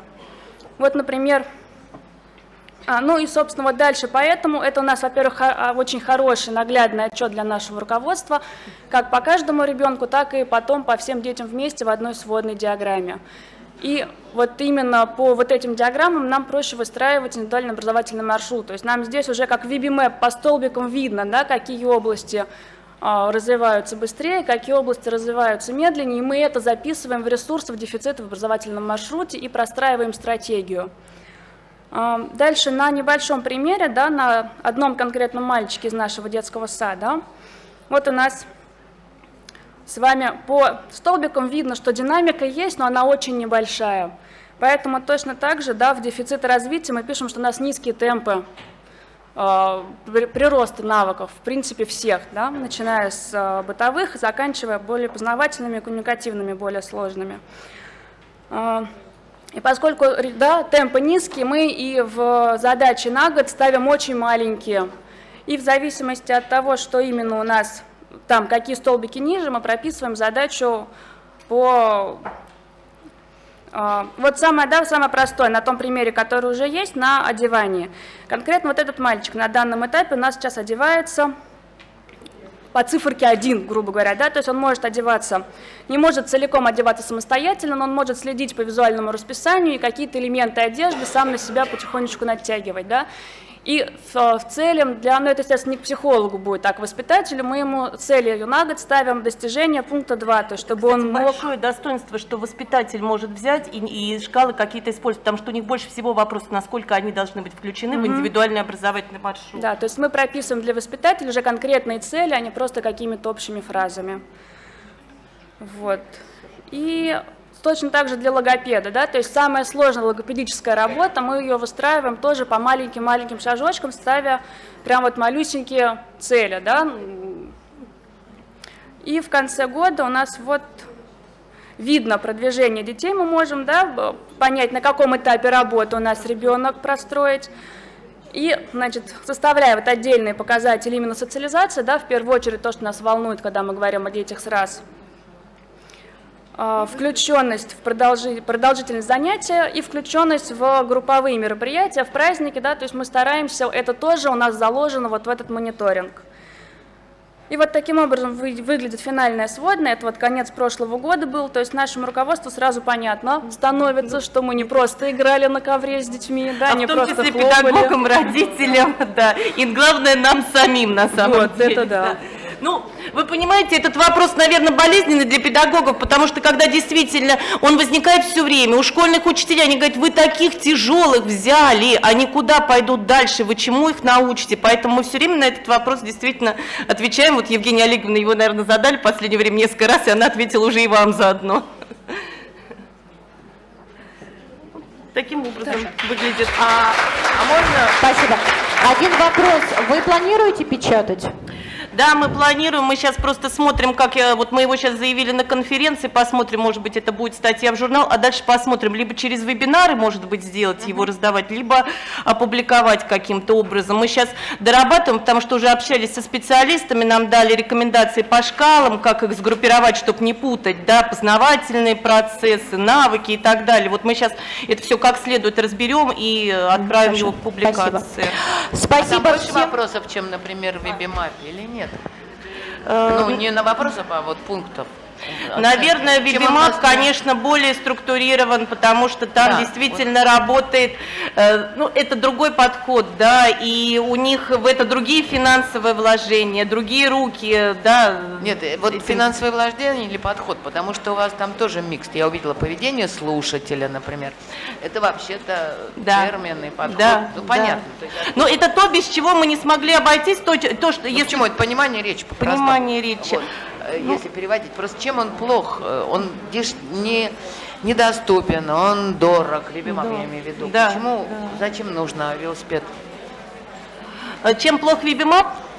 Чем это лучше ваше? Да? Э, Дело в том, что с VB-MAPP ом может работать только человек, который обучался работать с VB-MAPP ом. Когда мы предлагаем вот эту книгу э, человеку, который не работал, да, он, конечно, в терминологии путается максимально. У нас, по крайней мере, вот это поведение слушателя, оно прописано по параметрам, там он понятней. Действительно, Ну, у нас вот, понятнее для, для непрофессионала Короче, адаптирован получился. просто для человека. Не... Да, но это не спецобразования. Потом мы его делали в условиях э, дошкольного образовательного учреждения российского и учли наши, в общем-то, реалии, да, и то, что будет актуально для дошкольника Мгм. здесь и сейчас.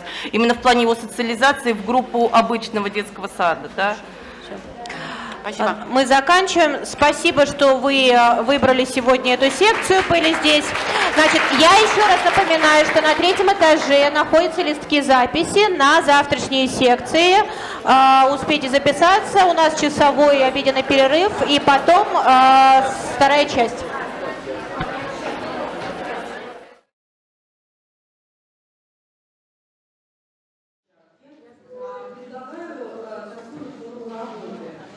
У нас э, есть эксперты, э, которые заявлены, и э, мы хотели бы предложить эксперта, э, который вот здесь у нас имеется. Ой. А, который здесь есть. Ну, сейчас поймем, что нам с этим делать. Да-да-да. А, а, Высказать э, свое мнение, свою точку зрения, от- на свой взгляд на вопрос, на проблему выбора подходов и методов работы с детьми с расстройством аутистического спектра. Также мы знаем, что здесь находятся эксперты, а, которые еще не заявлены, но мы очень приветствуем а, точно так же высказывать свою точку зрения, потому что это дискуссионная площадка. А, Мы приглашаем вас задавать вопросы экспертам. Мы попытаемся таким образом выстроить эту дискуссию, чтобы услышать мнение всех, кто хочет свое мнение здесь высказать. И чтобы, э, и я прошу сигнализировать экспертов о том, что вы хотели бы точно так же а, рассказать свою точку зрения. И дальше мы, наверное, переходим к программе нашей.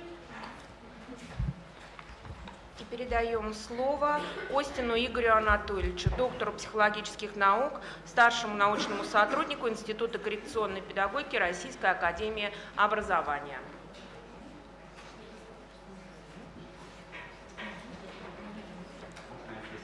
Можно я здесь оставлю?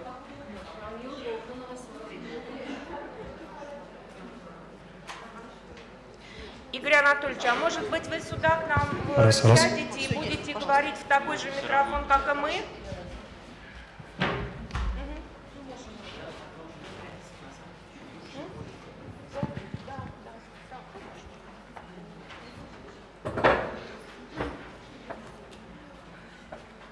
Добрый день. Я работаю в Институте коррекционной педагогики, где достаточно уже долго, на протяжении нескольких десятилетий, разрабатывается э, подход к изучению аутистических расстройств и к практической коррекционной работе с такими детьми и взрослыми. Этот подход получил название эмоционально-смысловым, эм, эмоционально-смысловой подход.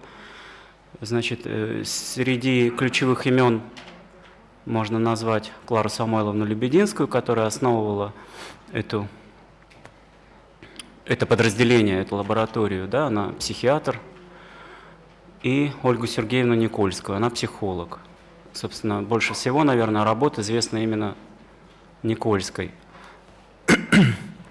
Ну, э, раз уж меня попросили об этом рассказать, то я сразу скажу, что, пожалуй, самая известная работа этого коллектива называется «Аутичный ребенок. Пути помощи». Ей уже больше 20 лет этой книги. Она много раз переиздавалась, она размещена в сети. И она так э, написана, что э, как бы ее адресатом являются как родители э, ребят с аутистическими расстройствами, так и специалисты. Ну, пожалуй, я не возьму сейчас излагать на, начало и суть этого подхода. Это не тот формат, но, наверное, если говорить кратко, то можно назвать два, вот среди ключевых таких понятий, которые, с которыми связан этот под, подход. Э, во-первых, это понятие адаптации, потому что э, аутистические расстройства рассматриваются как э, глубокое нарушение адаптации ребенка к постоянно изменяющимся условиям не только социального взаимодействия, не только отношения с человеком, да, но и со средой в целом. И, наверное, э, в этом смысле э, эмоционально-смысловой подход не может все-таки всерьез воспринимать концепцию нейроразнообразия, где постулируется, что аутизм – это только один из возможных вариантов развития человека. Вот. И э, другое совершенно важное, ключевое и необходимое понятие – которая в этом, ну, некий краеугольный камень, на котором строится вся коррекционная работа. Это понятие, которое можно назвать словом осмысление.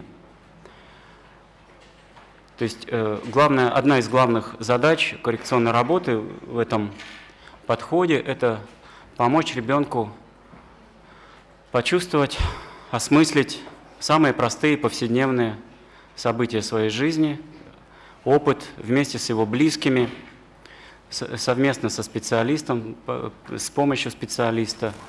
И только через осмысление, через э, вот, понимание своего опыта э, можно и академические какие-то необходимые навыки формировать, и социально-бытовые – и все остальные работы, все остальные направления работы, согласно эмоционально-смысловому подходу, они должны зиждиться именно на, вот, на фундаменте вот такого совместного осмысления ребенка и, э, э, ребенком и взрослым да, всего происходящего вокруг. Ну, мы тут сидим в аудитории имени Выгодского, да, и ясно, что это все восходит к классической такой советской психологии. Ясно, что вот, наверное, Выгодский незримо смотрит на это. Вот. Что еще можно добавить? Может быть, э, именно э, вот в связи с акцентом на э, такую осмысленность, на смысловую компоненту, да, может быть, поэтому в этом подходе с некоторой осторожностью относятся к, к, к отработке тех или иных упражнений, тех или иных навыков в специально организованных условиях, да, потому что всегда возникает вопрос о, о том, будет ли это использоваться для решения адаптивных, реальных жизненных задач. Вот. Ну, как мне кажется, у этого подхода, если говорить про слабые стороны, наверное, можно предположить, что он, возможно, слишком вербальный, такой гипервербальный. Здесь очень много выстраивается на речевом взаимодействии с аутичным ребенком. Здесь мало уделяется внимания тому, э, что, ну, как бы в- вопросам телесности, да, вот тому, с чем работают кинезотерапевты, например, да, здесь в этом подходе мало уделяется внимания. Наверное, мало уделяется внимания конкретным проблемам выработки определенных навыков. Вот, но как и все, что касается аутизма, да, нет такого подхода, который подходил бы ко всем. Вот. Но сейчас еще раз два слова про методы, и я уже закончу. Э, Значит, среди методов, которые используются здесь, в частности, в работе с детьми дошкольного возраста, конечно, игровая деятельность, развитие сюжетно-ролевой игры, совместное сюжетное рисование, такой метод, который очень подробно описан в разных публикациях, он есть в статьях, когда взрослый помогает э, ребенку, на, на ту же цель работает, да, осмыслить э, события его жизни и эмоциональный опыт, и взаимодействие с близкими с помощью пос- постепенно разворачивающегося рисунка. Э, Работа с книгами очень большое значение, за ним большую роль играет вот в этом подходе. Вот. Пожалуй, вот это вот э, самые главные методы в отношении работы с, вот, по крайней мере, с маленькими детьми. Есть еще немножко отдельно стоит метод холдинг-терапии, который был адаптирован из англоязычной литературы и по-своему был развит, вот, потому что э, здесь классический холдинг обязательно сочетается с игровой деятельностью, с развитием, ну, в общем, с игровым занятием. Его цель, прежде всего, сформировать, не- немножко опустившись антогенетически, так сказать, вниз, э, помочь ребенку сформировать, ребенку с аутизмом сформировать такую вот более органичную привязанность э, с близким человеком, с мамой. Вот. Значит, кроме э, источника, который я назвал, книга «Аутичный ребенок. Пути помощи», работы сотрудников этой лаборатории можно прочитать в научном альманахе Института коррекционной педагогики. Есть такое электронное периодическое издание. Его очень легко найти. Альманах Института коррекционной педагогики. Номер 18, 19, 20 и 23. С 18 по 20 и 23. Вот, пожалуй, если в двух словах, то об этом подходе. Хорошо, спасибо. Положено начало нашей дискуссии. Спасибо вам большое. Давайте все же дальше послушаем еще одного эксперта. И сегодня уже говорили про эрготерапию, э, и это очень э, такое важное, значимое э, направление. И поэтому мы приглашаем Розмари Уайт, да, для того, чтобы рассказать основные положения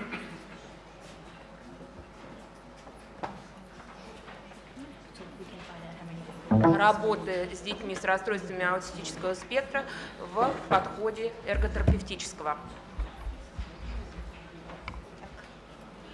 Добрый день. Пока там готовится презентация, Розмари интересуется, кто был сегодня утром на ее презентации. Поднимите, пожалуйста, руки. Больше, большая часть людей. Просто... А кто не был, тоже поднимите руки.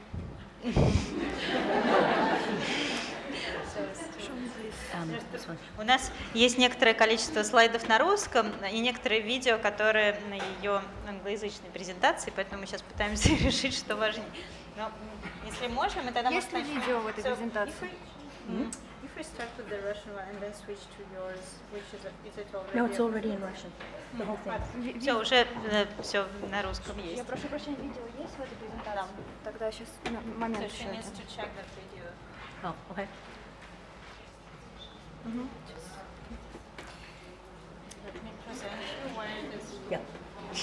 Может быть, я тогда пока представлю Розмари Уайт, это э, сертифи- да, еще как-то подлиннее список ее регалий, да, потому что это не просто эрготерапевт с большим стажем, вот, но и э, специалист по сенсорной интеграции и по подходу э, Dear Floor Time, и по подходу, и, и- еще э, э, да, даже специалист по боботерапии и нейроразвивающему обучению или нейроразвивающей Yeah, терапии. this. Вот, и, и много чего еще, и ей, вот, и, и мы рады, что она с нами здесь м, на конференции.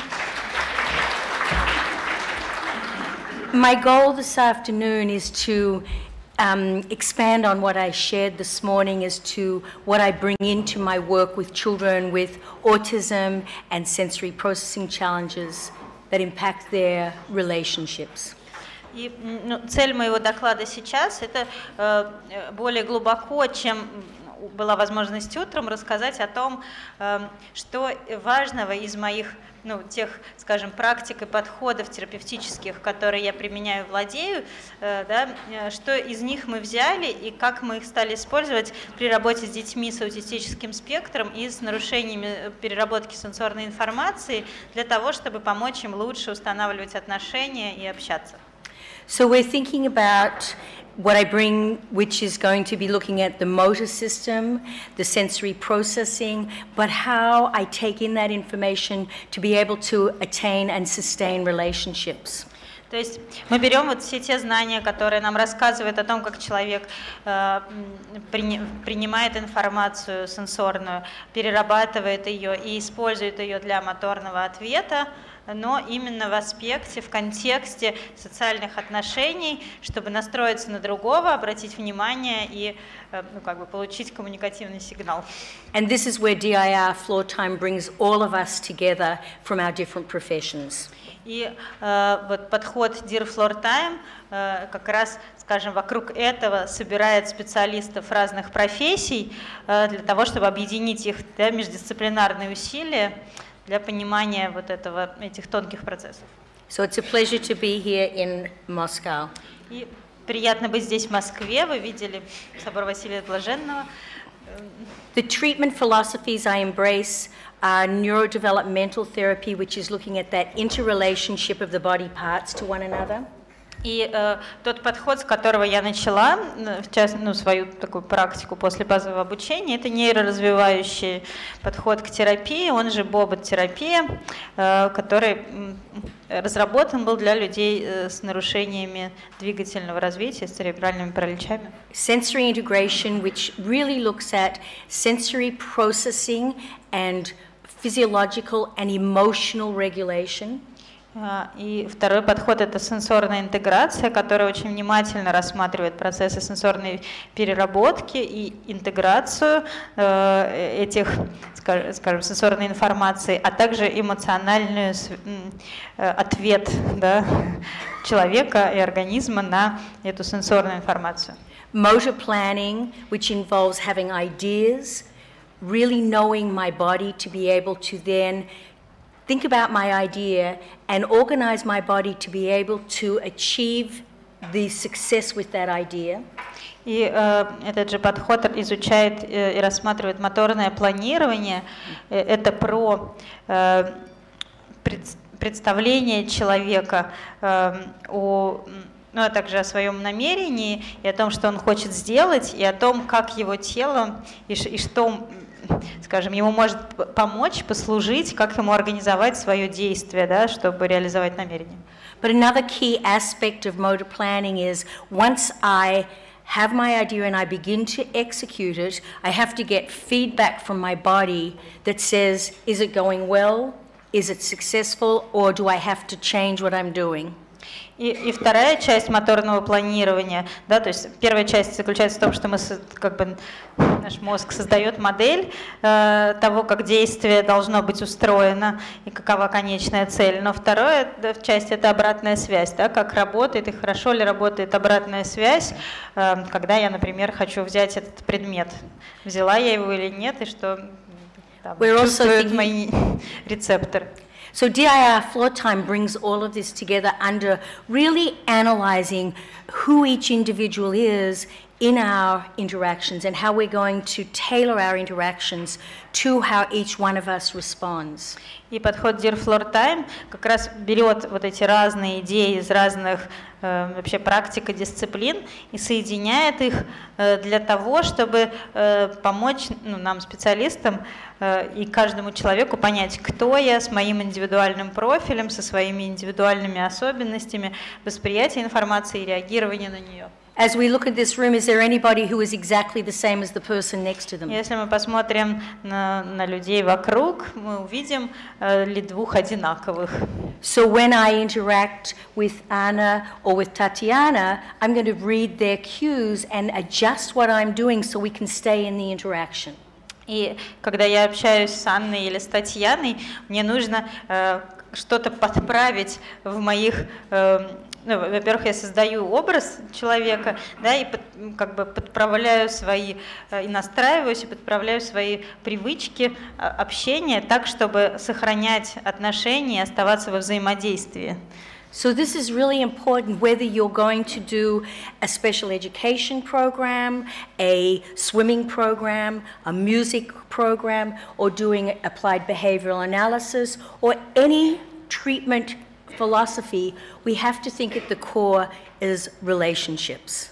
И какой бы метод мы не применяли или какую бы программу мы не планировали, это может быть э, э, какая-то игровая программа или музыкально-терапевтическая программа или какая-то спортивная программа или э, п- подход да, поведенческого анализа, который нам так или иначе, э, у них всех есть какая-то одна крыша, что их всех объединяет э, э, нацеленность на отношения. Э, So this is a five-year-old boy, his first time coming to my clinic, and he is overwhelmed. He doesn't know what's going to happen in the future. И вот пятилетний мальчик перед нами, который пришел в, клинику, где работает Розмари, и, э, и он перевозбужден, и, м- и он тревожится про то, что сейчас случится в ближайшем будущем. So we're going to look at it, and I want you to observe, reflect, listen, listen and reflect, and think about what we might do.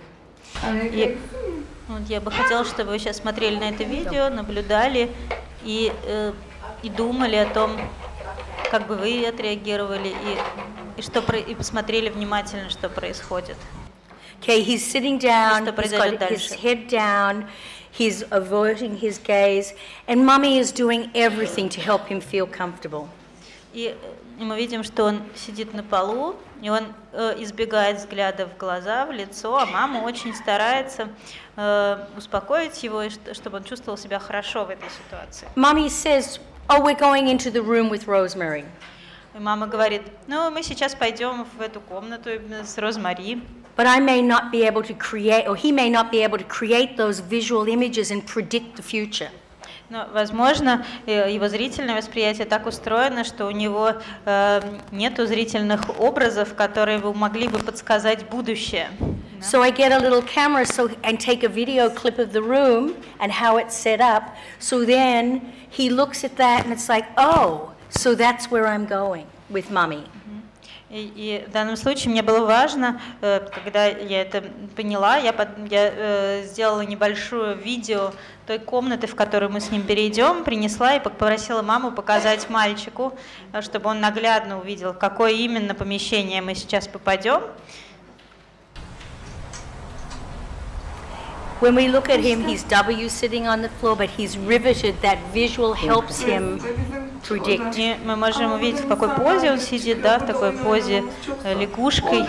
Э, э, Но мы видим, что и зрение ему очень помогает, When что we go- взгляд на экран ему помогает собраться. When we go into the room, I'm going to look at him playing with symbolic toys, sensory toys, and movement toys to get a sense of how he plays and how he interacts with his mummy. И потом мы приходим в мой такой терапевтический кабинет, и я ему даю э, какие-то тактильные объекты, э, игрушки э, ну, для символической игры и игрушки, которые ну, как бы пригласят его двигаться для того, чтобы я смогла и посмотреть на его взаимодействие с предметами и на его взаимодействие с мамой. But what I see now is instead of being overwhelmed, he now gets a little bit escalated. Но сейчас, вот в этот момент, я вижу, что он уже не э, тревожно перевозбужден, а наоборот, э, в сторону хорошего эффекта возбужден. И он нарастает, да? We got that. He's showing you the There's one more left, yeah.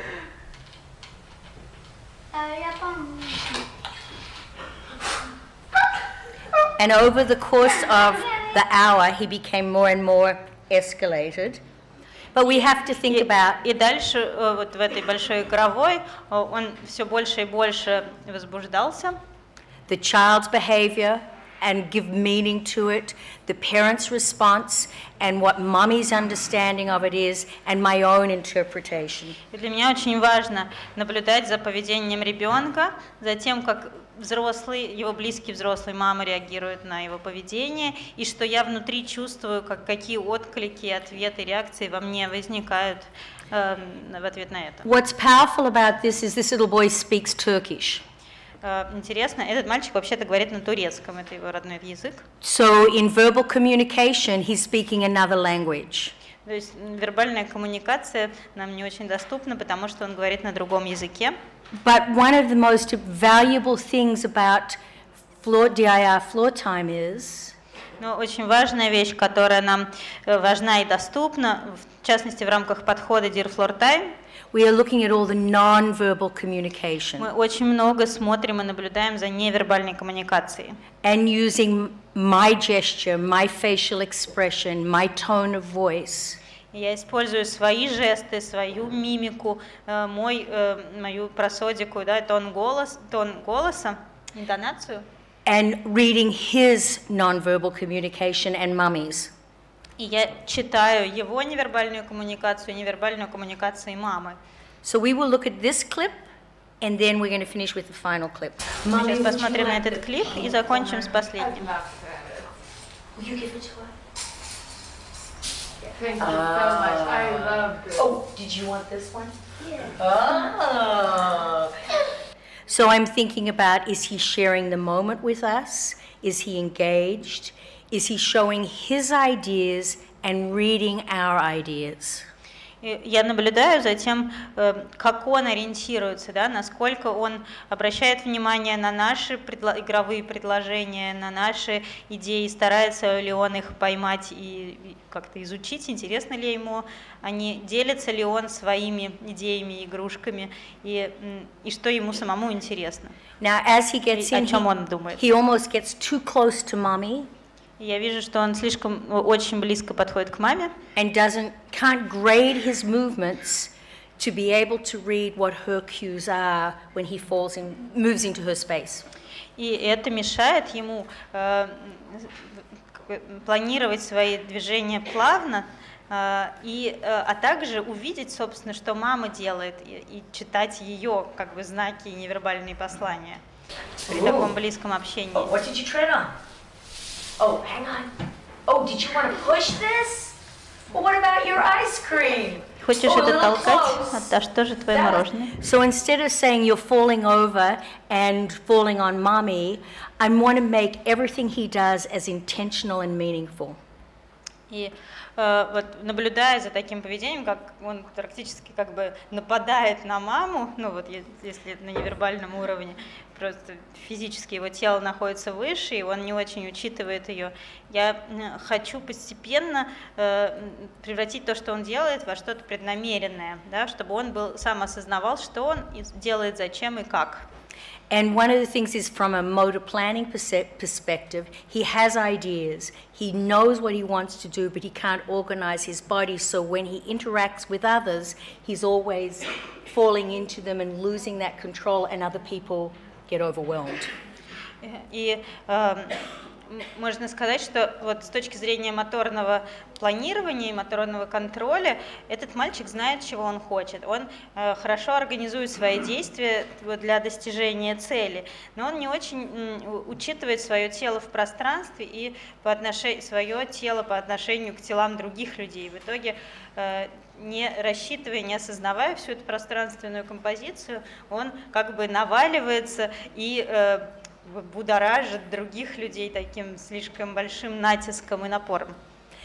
And one of the things we want to be able to help him experience or understand, and this is about regulation, what did it feel for mommy when he came so close? What did it feel for me? And what did it feel in our bodies? Not you're too close, move away, but what did it feel inside us? What did it feel s- inside him? That's how he's going to be able to begin to appreciate from a physical level what's happening in interactions. И вот то, что мы хотим осознать сами и передать ему, чтобы он тоже мог это осознавать, это то, как физическая близость э, влияет на него самого, насколько, что он чувствует, когда он близок к другому человеку, что чувствует мама, когда к ней так близко все время подходит резко довольно сын. И мы чувствуем, как помогающий специалист, я чувствую тоже, что во мне, в моем теле происходит, и я стараюсь это изучить. И потом передать ну, какую-то альтернативную модель. A Here he goes. Oh. Oh. Подойди чуть-чуть поближе. So my voice mirrors his actions. И мой голос сейчас отражает, как бы отзеркаливает его э, движение, его действия. So right there too, when he starts like come right in at you, you can be able to say a little close, a little close. So he starts to sort of recognize. So I just say to mum, you know, when he comes in like that, it's okay to say, ooh, a little close. Oh, my heart. Really helping not only sharing her experience, but also helping him understand his experience. И в данном случае я делюсь с мамой идеей, что она вообще-то ему тоже может сказать и показать, ой, ты мне так близко и так резко подошел, у меня сердце забилось, аккуратней, дорогой, давай чуть помедленней. И это важно не, не только, в общем, для них обоих это важно. Она может выразить то, что она чувствует, и осознать это лучше. Но она может это передать и ему, и тогда мальчик тоже станет лучше осознавать, что происходит, э, каков эффект его действий на других. So this is um, about six weeks later.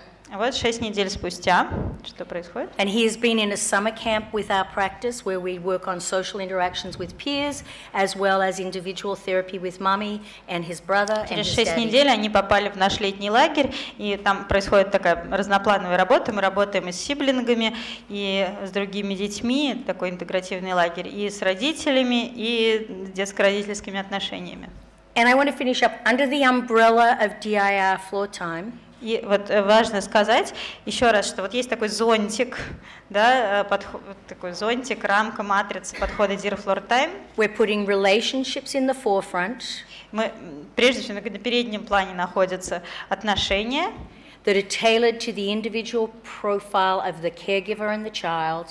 и э, детали ин- индивидуальных различий, собственно, близкого взрослого и ребенка, to support that functional emotional development of engagement, showing my ideas, understanding another person's ideas, staying in a long flow of interaction, and developing robust scenarios of play and engagement that reflect the inner world as well as the experience of the child. А, и есть э, то, что помогает развиваться. Прежде всего для нас важны, опять же, социально-эмоциональные и сенсорные функции. Мы помогаем, э, вот рассмотрев и проанализировав, как устроены э, в данном случае эти близкие люди, мать и ребенок, родители и ребенок, э, мы помогаем им лучше развиться, да, развить отношения до какого-то оптимального максимума. So I want you just to observe, listen, and reflect on this two minutes and think about the journey of this child and his mother. И э, сейчас я вас приглашаю наблюдать, слушать и размышлять о том, какой путь прошли за 6 месяцев э, эти мама и сын. А.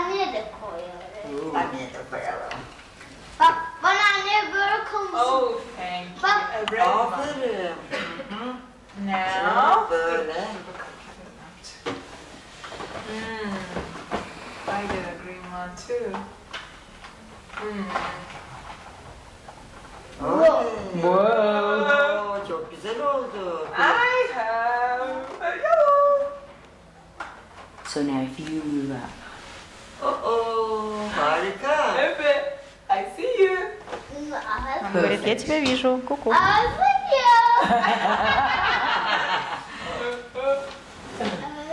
Я тебя ищу. Ой, сейчас не вижу тебя. А теперь вижу.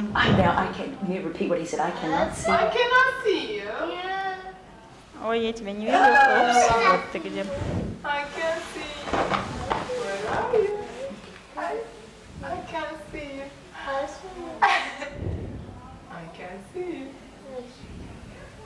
Uh, oh, I can't see. There you are. Oh, I cannot see you. I cannot see you. Не вижу тебя. It's perfect.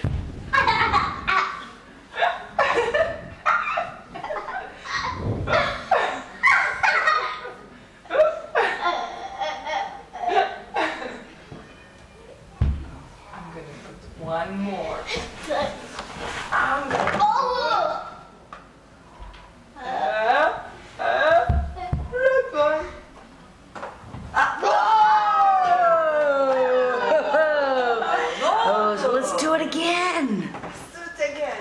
Сделайте еще раз, говорит. So, does that look like typical play with a young child who's developing an understanding of his body and the world in the context of a rich relationship with the most important person in their life?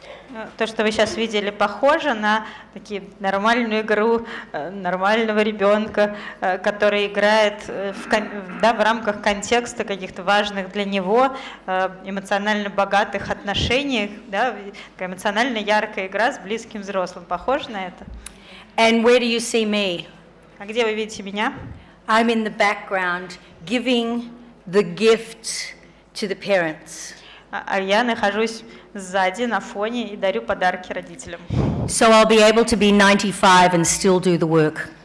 И я надеюсь э, дожить лет до 95 хотя бы и в этом возрасте все продолжать работать. because it's more important to give the parents the sense of I know my child and we have rich relationships which are going to go through to support them in their lifetime.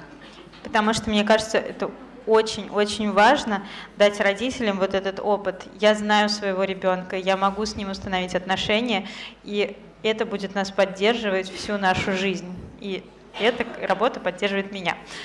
So um, tomorrow I'm going to be speaking for two hours. This is just a little plug. Two hours, and I'm going to be doing three cases that'll show you treatment over the long, a long period of time, so you can get a sense of the development. Завтра будет такая пре- презентация, на которой на- в течение двух часов мастер-класс, где Роза Мари будет рассказывать такие три случая э, от начала до конца работы, очень пр- планомерно, да, как, как развивалась работа. Thank you. Спасибо. Спасибо большое. Э, Хотелось бы немножечко сейчас, э, сейчас, сейчас э, спросить, есть ли какие-либо вопросы? Есть ли какой-то опыт, которым тоже хотелось бы поделиться в рамках подхода, который сейчас был озвучен, описан, показан? Хорошо, тогда продолжается наша дискуссионная площадка, подчеркиваю, далее. И э, все же мы посоветовались с Ларисой э, Витальевной и решили, что сейчас мы немножечко э, вернемся к истокам, к истокам раннего возраста и э, попытаемся выстраивать э, стройную систему организации помощи, выбора подходов и методов, э, начиная с раннего возраста. Сейчас Лариса Витальевна немножечко про это проговорит. А, Уважаемые коллеги, пока открывается моя презентация, а, на самом деле я хотела бы немножко затронуть такую тему, как а, изменение подходов к помощи детям и вообще к процессу абилитации и проговорить о том, что теперь мы, наверное, ориентируемся, но вот в раннем возрасте мы уже очень интенсивно ориентируемся на это. Мы ориентируемся на международную классификацию функционирования, ограничений жизнедеятельности и здоровья. И мы ориентируемся на так называемый биопсихосоциальный подход, в котором активность человека, его функционирование стоит в центре а, нашего взгляда, в центре нашего размышления о том, как мы можем помогать человеку. И если обратиться, к сожалению, здесь этого слайда нет, но я на словах скажу, а, если обратиться вообще э, к международной классификации функционирования, то большой авторский коллектив а, это буквально много страниц формата А4 а, перечисления этого авторского коллектива составил, классифицировал всю нашу с вами жизнь, разложив ее на 9 областей. И несмотря на то, что они ее разложили на 9 областей, если а, кто-то из вас знаком с МКФ, знает, что это и то, а, как мы с вами учимся, и то, как мы с вами общаемся, а, и то, каким образом мы передвигаемся, и как мы вступаем в социальное взаимодействие а, с другими людьми, как мы участвуем в общественной жизни – а, так вот, в центре как раз лежит активность человека и его способность участвовать а, во всех этих видах деятельности. А, и несмотря на то, что активность у нас так или иначе представлена девяти областями, наша с вами жизнь, она представляет собой такое интегративное начало. Невозможно в каждый момент времени взять и выделить вот сейчас мы с вами только учимся, а сейчас мы с вами только общаемся. Даже если мы сейчас посмотрим на то, чем занимаетесь вы, то мы сразу можем понять, первое, что вы делаете. Вы поддерживаете позу сидя вы себя удерживаете, да? И это, собственно, а, активность, которая обозначается словом мобильность а вы смотрите на меня, вы слушаете меня, вы думаете параллельно о том, о чем я говорю. И это у нас с вами обозначается а, такими терминами, как научение и применение знаний. Вы сконцентрировали свое внимание. Если я сейчас попрошу вас что-то сделать, а, например, там, посмотрите мне в лицо, Большинство из вас поднимет глаза и посмотрит на меня. Что вы сделали? Вы следовали моим инструкциям и их поняли и выполнили. Более того, многие из вас сейчас кивают мне головой. А, я вам рассказываю истории свои, да? А вы их понимаете и даете мне обратную связь. У нас с вами состоялась коммуникация.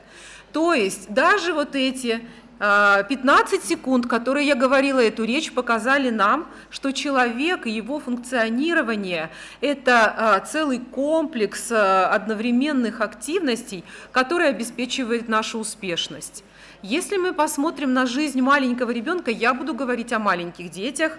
Вы видите, что я занимаюсь ранним вмешательством, и это детки от рождения до трех лет, то Конечно же, мы говорим о том, что вся жизнь ребенка, она точно таким же образом выстроена. И когда ребенок проснулся, в кроватке еще лежит, но тем не менее уже начинает издавать какие-то звуки, а это его повседневная жизнь, это тоже сразу одновременно целый комплекс его а, активностей. Так вот, а, если у ребенка есть трудности, например, есть подозрение на расстройство аутистического спектра, то мы не можем говорить, что это влияет только на, одну, а, на один вид его жизнедеятельности. А, Допустим, что это влияет только на коммуникацию или только на социальное взаимодействие. Мы должны сказать, что а, если расстройство аутистического спектра возникает, оно затрагивает целостно всего ребенка, эмоциональную сферу, познавательную сферу, например, то, как он может да, например, он может проще познавать а, окружающий мир через действие с предметами, но сложнее познавать окружающий мир через общение с другим человеком. А, Затрагивается также сфера социального взаимодействия. А, Ну и, собственно, сфера познания затрагивается еще и в том, что а, те действия, которые выполняет ребенок, мы часто видим, что они становятся, например, стереотипно повторяющимися. И поэтому мы, а, и мы, собственно говоря, и все люди в мире а, думают о том, каким образом выстраивать программы помощи маленьким детям, а вслед за маленькими и большим детям, а, так, чтобы мы могли откликнуться на все потребности ребенка. А, И вот а, если говорить м, сегодня, затрагивать нашу дилемму, что мы выбираем, отдельный метод, комплекс методов или какой-то подход, я хотела бы в качестве примера, а, следуя за своей преамбулой, а, рассказать, ну, затронуть только один подход, который сейчас активно распространяется. Это подход, который называется Денверская модель раннего вмешательства для детей с аутизмом. Почему я использую слово подход? А, Потому что внутри этого подхода как раз заложены множество методов, приемов, которые а, могут быть направлены в целом на функционирование, на жизнедеятельность ребенка. И если мы говорим хотя бы об, только о том, а, какая оценка проводится, а мы знаем, что ни одна программа помощи без оценки не строится, то мы видим, что оценка направлена на коммуникативное развитие, на социальные навыки, на особенности познавательного развития, навыки имитации, а, на индивидуальные особенности ребенка, в частности его сенсорные предпочтения, то, как он играет, адаптивные навыки, и в том числе среду, которая влияет, тоже может и влияет на то, как ребенок а, функционирует. Так вот, я хочу сказать, что если оценка нам предлагает а, совершать реальные практические пробы, а, выверенные для того, чтобы наблюдать поведение ребенка, включает в себя плюс еще, конечно же, интервью с родителями, то когда мы переходим с вами к программе, а, то мы можем видеть, что а, программа как раз а, денверской, вот этого подхода денверской модели, она является комплексной. А, Основная, ключевая характеристика этой программы – комплексность. А, Как раз затрагивает то, что мы ориентируемся и на то, что мы а, про коммуникацию говорим, и про то, что у нас а, а, затрагиваются навыки ребенка в мелкой и крупной моторике, и на то, как он взаимодействует, как он играет, навыки самостоятельности. Но самое главное, о чем я хочу сказать, это то, что все цели, которые выстраиваются в этом подходе, они собираются для одной большой глобальной единой цели, для той естественной жизненной ситуации, в которой ребенок живет. То, с чего я начала.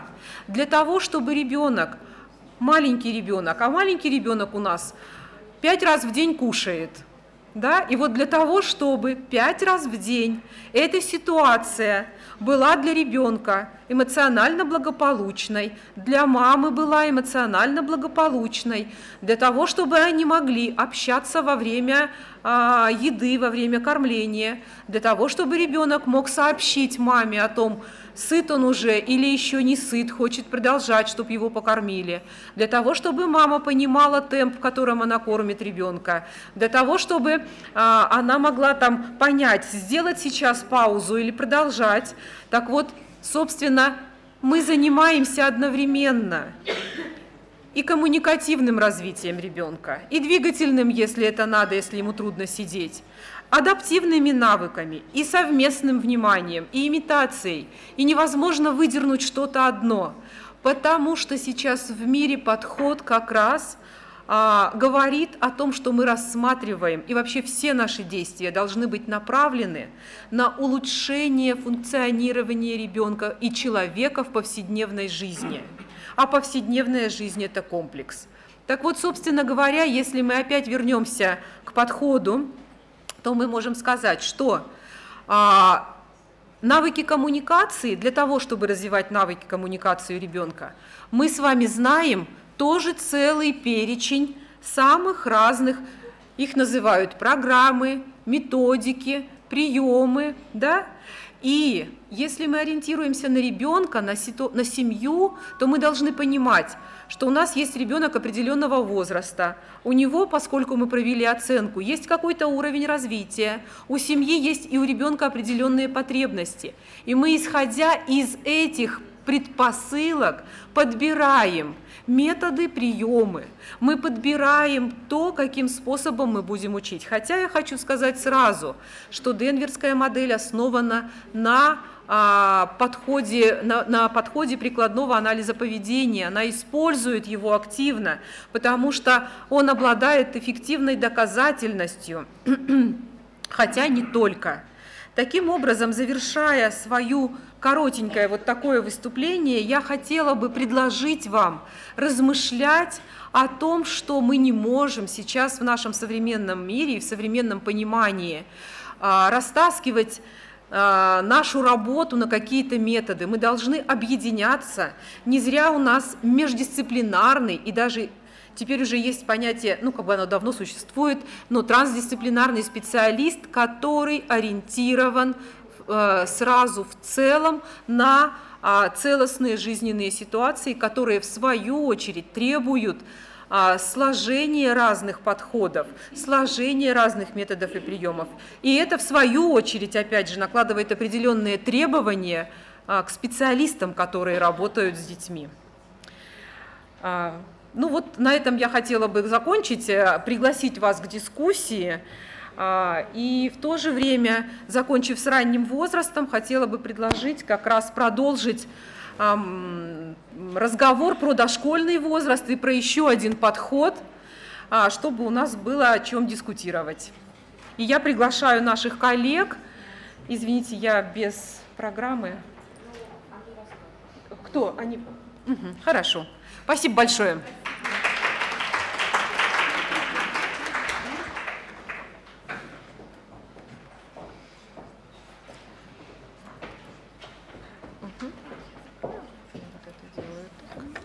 Единственное, э, я полностью согласна о том, что мы должны консолидировать свои усилия, всячески нарабатывать разные методы и подходы, но не стараться их использовать как мозаику. Сегодня здесь захотел, завтра там захотел. То есть это должен быть единый системный подход использования той или иной технологии, дабы не было такого ощущения, что дети, которые вместе с нами взаимодействуют, да, и которых мы учим, которых мы поддерживаем, э, не выступали у нас э, в качестве экспериментального какого-то материала, где мы совершенно не представляем, каких результатов мы добьемся и каким инструментом. Так, так, так, так, так. Гриша. Подождите. Все Гриши? Нет, Гриша до. Гриша после и Гриша детский сад должен быть. Даш, дай твою книжку. У тебя, да? там, у тебя прям там в папке было все, да? А ты точно сюда мне на жесткий диск скидывала? Не уверена. Нет, ну компьютер скидывала. Гриша после. Угу. Где-нибудь Гриша детский сад есть?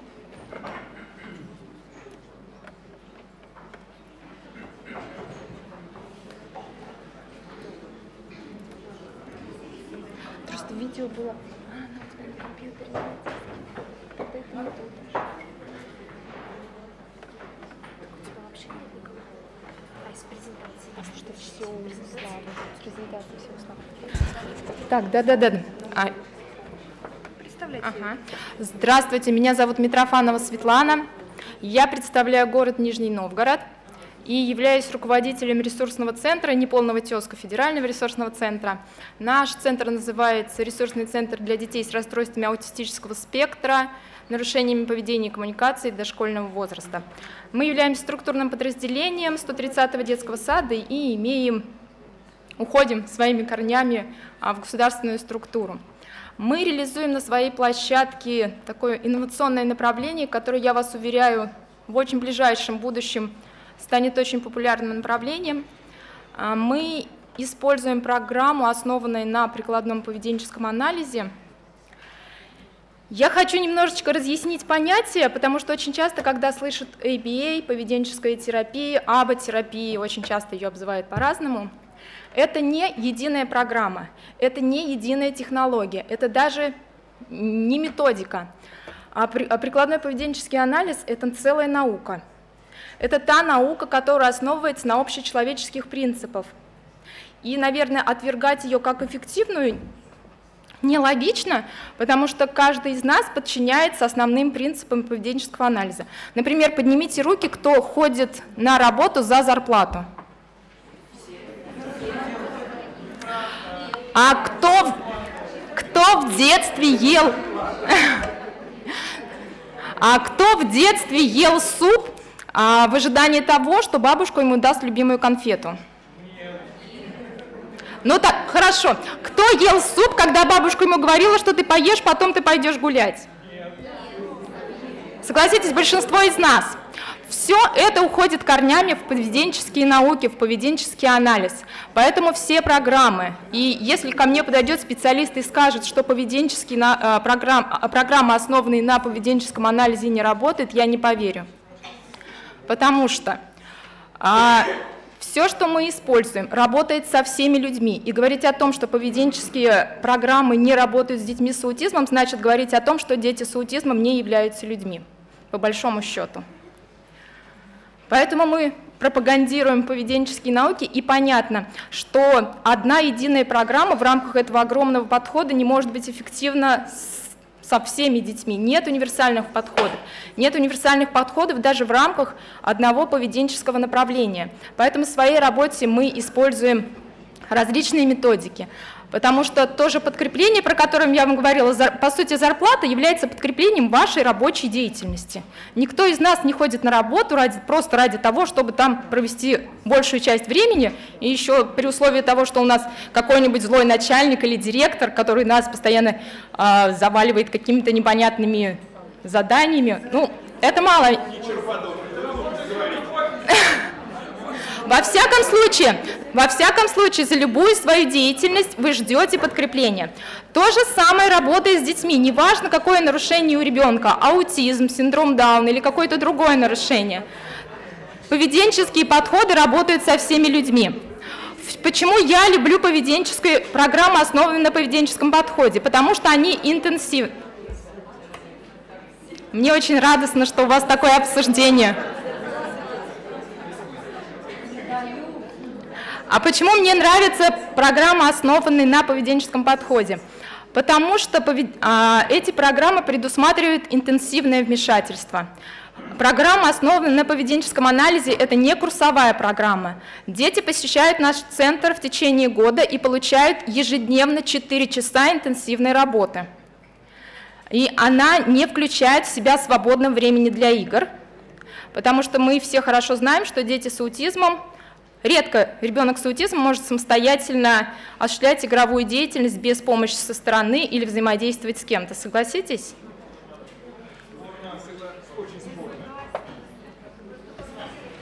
Я очень рада, если у вас есть дети с аутизмом, которые могут самостоятельно взаимодействовать с друг другом. Почему могут не работать поведенческие программы? Потому что может быть сниженная интенсивность, и программа осуществляется очень маленькое время. А может быть низкий уровень квалификации специалистов, которым этим занимаются. И может а, быть очень плохой сбор и анализ данных, на основе которых строится программа поведенческая. Потому что все знают, что такое ПЕКС, да? И оказывается, ПЕКС тоже основан на прикладном анализе поведения.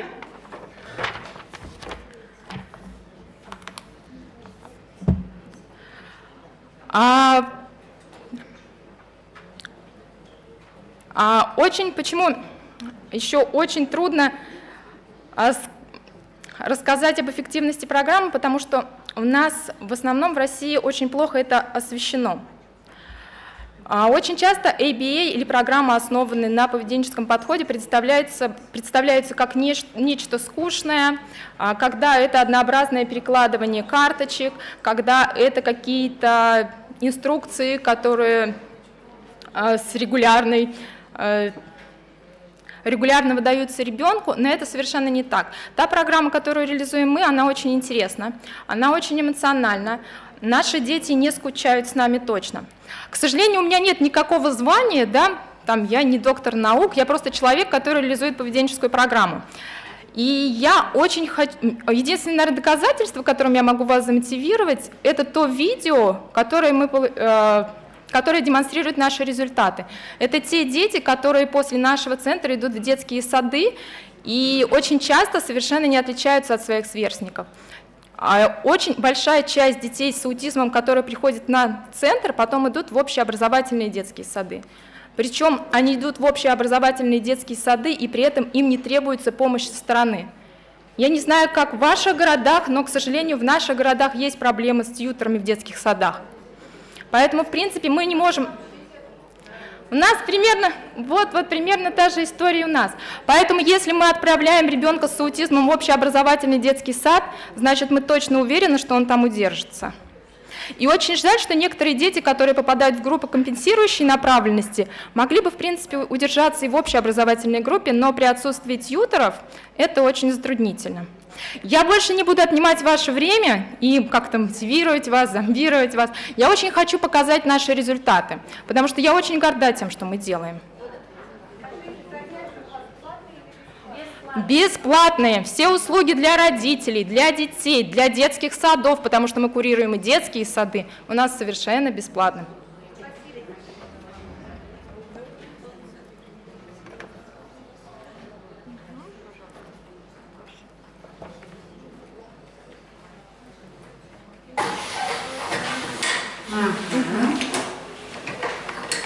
Это очень долгое видео, я сейчас его буду перематывать, потому что у меня, к сожалению, нет того видео, которое было у меня на выступлении. Это мальчик Гриша, он пришел к нам в три года. Давай соберем велосипед. Он был а, совершенно хорош а, в предметной деятельности, но никогда не пускал никого в свою игровую деятельность. Ты молодец, Гриша.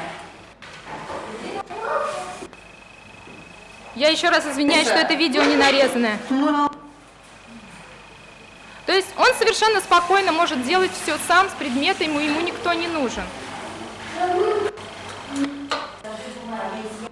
Попробуй.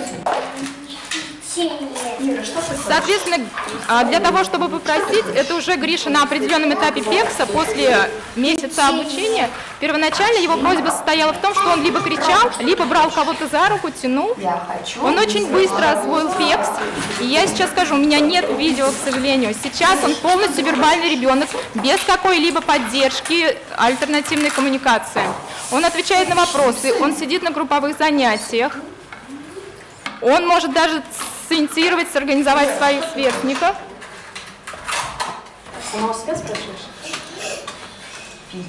Вот сейчас вот эта дама в очках, она была тоже полностью невербальная. Трое из этих детей сейчас полностью вербальные, то есть они пользуются словесной речью без какой-либо дополнительной альтернативной коммуникации. Рома, что ты хочешь? Ты хочешь? Сейчас мы Это все было до, ему очень много нужно было поддержки со стороны педагога.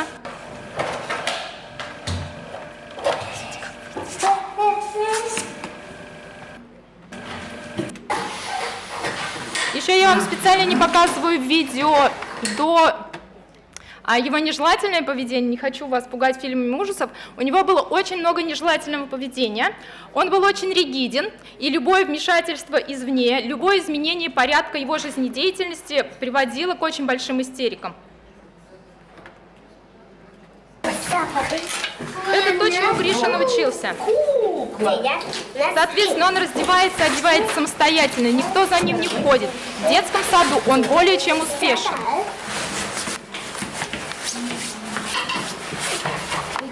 Он самостоятельно использует визуальную поддержку, у него нет нежелательного поведения, и он не старается снять штаны, при том, что его ботинки одеты, потому что он смотрит и знает, что зачем.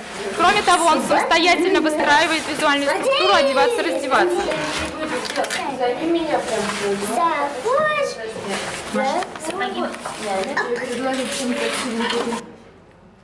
Считай. Два. Сколько получилось?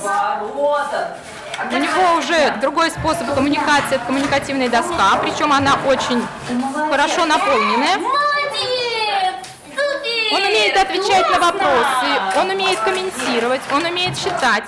Я еще раз скажу, это всего один учебный год. Дети приходят к нам всего один учебный год. Потом мы их направляем в другие детские сады.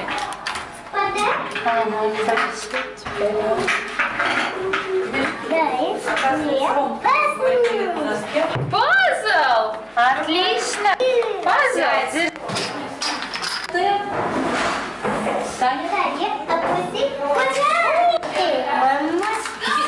Желательное поведение очень сильно сократилось. Аутизм мы не лечим. Нежелательное поведение может, а, когда ребенок попадает в детский сад, он приходит в новые условия. И, соответственно, эти условия могут спровоцировать нежелательное поведение. Но смотрите, в рамках нашего центра нежелательного поведения не было, потому что в нашем центре все кардинально понятно. Да, но я могу сказать сейчас, я курирую тот детский сад, в который ходит Гриша.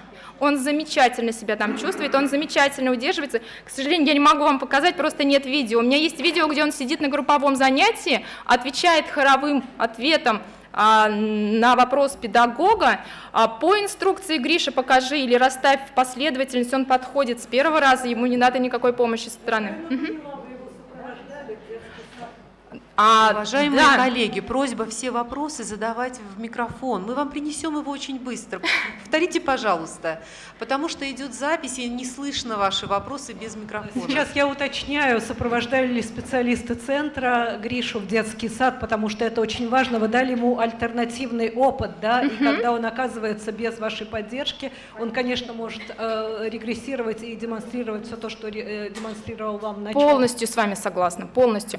А мы кроме того, что а, мы обучаем ребенка, мы осуществляем переход даже ребенка в детский сад. То есть, когда ребенок заканчивает обучение у нас, мы проводим определенную диагностику, пишем рекомендательный маршрут, отдаем его в департамент образования. Кроме того, мы оцениваем навыки ребенка и отдаем эту диагностику в тот детский сад, куда идет ребенок. Кроме этого, эту же диагностику мы отдаем родителям. И специ... Да, да, я просто сейчас, я договорю, и специалисты, а, которые будут заниматься этим ребенком, могут прийти к нам на стажировку и поработать с этим же ребенком в условиях нашего центра. Теперь насчет меня, да. С Гришей работаю не я одна, с Гришей работало 8 человек, все 8 сотрудников огромного нашего 120 квадратного метра центра. И, в принципе, у него нет привязанности к работе к одному педагогу. Но я могу сказать, что есть специалисты, которые курируют работу детских садов, участвующих в проекте. Нам мне говорят, заканчиваем. Вот. И мы курируем те детские сады, куда пошли дети. То есть мы выходим в детские сады и учим уже не детей, а учим специалистов, которые с этими детьми взаимодействуют, как это правильно построить, как правильно построить условия окружающей среды, как правильно построить их обучающие занятия, чтобы ребенка был успех. Ну и при этом будет очень хорошо и педагогу, потому что он получит результат.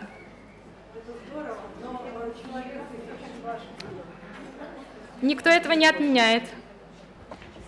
А, большое спасибо, Светлана. На самом деле мы слушали о программе СЕРТ. Да? да, я же не сказала о том, Вы что же мы самого программу нам не сказали. Да, которая как раз использует целый комплекс. Целый комплекс поведенч... а, тех- технологий, основанных на анализе поведения. И мы не используем одну технологию. Кроме того, что у нас есть поведенческий подход, у нас есть индивидуалистические стратегии. Потому что, например, такой поведенческий подход, как дискретные пробы, замечателен в усвоении академических навыков, но а, формирование игровой деятельности намного будет успешнее в натуралистических условиях, в естественных условиях. Тогда их не придется переносить из искусственной среды в естественную среду, где находится сверстник. Все.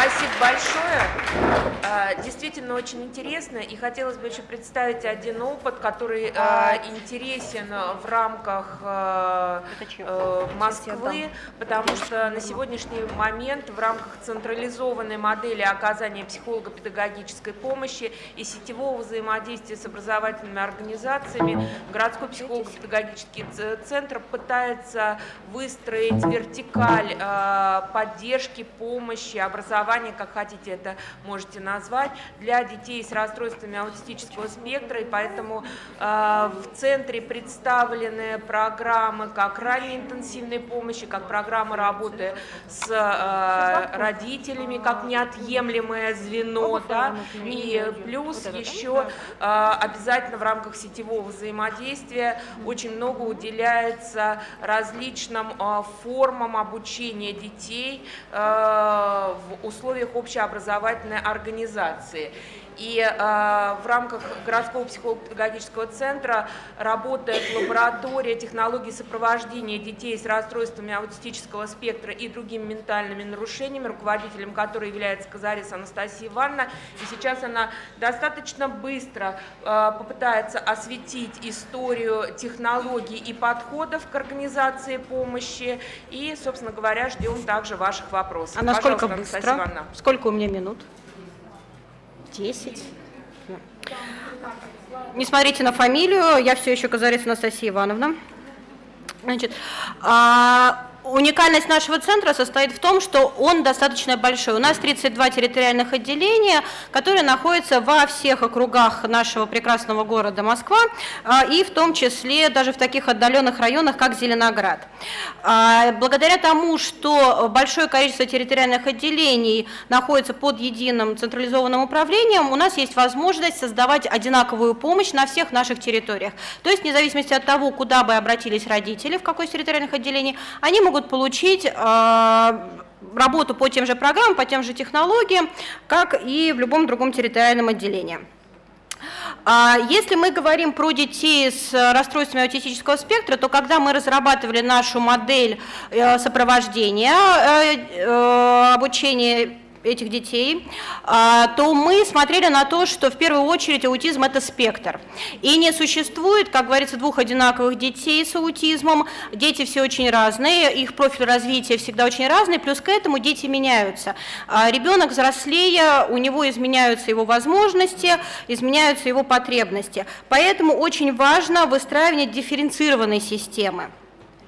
И когда мы говорим про эту дифференцированную систему помощи, мы понимаем, что для этого нам необходимы в первую очередь вариативные модели технологий на каждом этапе.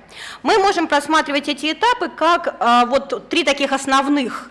Понятно, что а, это не говорит, что вот мы в какой-то возраст вклиниваемся, это на протяжении всей жизни ребенка. Это ранняя помощь, это общее образование, которое начинается с дошкольного образования, и профессиональное образование. Значит, у нас есть э, несколько городских проектов Департамента образования города Москвы, где наш центр э, выступает как методический ресурс, и э, в этих проектах как раз через них и реализуются очень многие вариативные подходы. Это такие проекты, как Обилимпикс, инклюзивная молекула, ресурсная школа и ранняя помощь, про которые чуть-чуть подробнее э, дальше. Значит, это та модель э, раннего сопровождения э, и сопровождения дошкольного уровня образования, которую мы, э, начиная с прошлого года, выстраиваем в центре. И мы ориентируемся прежде всего на принципы того, что помощь должна быть адресная, доступная и вариативная. Но говоря о вариативной помощи, как и говорила уже Елена Викторовна, мы не исходим из того, что э, вот тут мы захотели вот такую технологию, а вот завтра мы вот такую технологию, давайте попробуем здесь. Нет, у нас все равно есть единый подход, но в рамках этого единого подхода есть вариативность, которую вы подбираете этому конкретному ребенку в этот конкретный период его жизни, в зависимости от того, какие сейчас у него потребности какие стоят сейчас задачи. А, у нас есть направление а, работы с а, семьей, детско-родительские группы. Это основное направление именно касаемое ранней помощи. Раннюю помощь мы рассматриваем не только как помощь детям до трех лет, да, но и как можно более ранняя помощь после постановки диагноза. И у нас есть э, две программы, э, одну из которых мы реализуем благодаря сотрудничеству с фондом «Обнаженные сердца», это программа «Ранняя пташка», и мы выступаем одним из, одной из э, пилотных площадок для апробации программы Всемирной организации здравоохранения «Тренинг родительских навыков», которая вот прошлый год у нас был предпилотный проект, сейчас мы перешли в пилотный проект, и кто был на секции ранней помощи, там представлен представлялась эта информация. Завтра мы будем более подробно рассказывать на нашей секции. Вот. А дальше это а, группа ОСЕРТ, про которую рассказывали наши коллеги из Нижнего Новгорода. А, в рамках нашей модели эти группы являются программами интенсивной помощи. То есть эта программа рассчитана всего на год работы. Мы берем ребенка вот в эту интенсивную помощь на год, ребенок получает по 15 часов в неделю. Принцип работы программы заключается в том, что там большое количество специалистов на количество детей. То есть у нас такой принцип, что на вот, количество специалистов плюс один ребенок. То есть у нас может быть, например, если 6 детей, должно быть 5 специалистов. Благодаря этому мы можем делать э, много индивидуальной работы. Дети раннего возраста, они очень хорошо берут навыки, лучше берут навыки именно в индивидуальной работе. И задача за год подготовить их к тому, чтобы они могли обучаться в группе или парами, чтобы они могли обучаться друг у друга, а, и чтобы они могли обучаться наиболее естественным образом, так как а, их сверстники типично развивающиеся. То есть, как и сказали коллеги, мы начинаем с очень э, структурированных методов, например, такие как метод отдельных проб, и постепенно мы переходим к более э, неструктурированным методом. И наша большая еще задача – это подготовить детей к самостоятельности, потому что мы понимаем, что ребенок, который наиболее автономен, он будет более успешен при адаптации в образовательной организации. У нас есть программа, а, в том числе «Портаж», это для семей, которые воспитывают детей от полутора до восьми лет а, с тяжелыми формами нарушений. А, и у нас есть группы кратковременного пребывания, которые Э, которые посещают дети, получают дошкольное образование, если они не посещают образовательные организации города Москвы. А, плюс к этому у нас ведется коррекционная работа, коррекционно-развивающая работа, под которую мы создаем комплексные модульные программы. И у нас на данный момент есть э, и проходит апробацию комплексная модульная программа для детей раннего и дошкольного возраста с расстройствами аутистического спектра. А, и на данный момент готовится такая же модульная программа для детей школьного возраста от 7 до 18 лет. Смысл модульной программы заключается в том, что я уже говорила, у нас нету похожих детей. У каждого ребенка есть а, свой очень, свои очень индивидуальные потребности. И эти потребности и задачи не зависят от возраста ребенка. У нас может, например, быть ребенок трех лет или ребенок 10 лет, у которых основная задача, основная их потребность и дефицит будет одинаковой. Поэтому, естественно, у нас не может быть такой программы, как стандарты вот мы взяли, и у нас там с первой по десятую тему мы, вот мы даем. Поэтому мы разработали именно модульную программу, которая состоит из очень-очень маленьких блоков.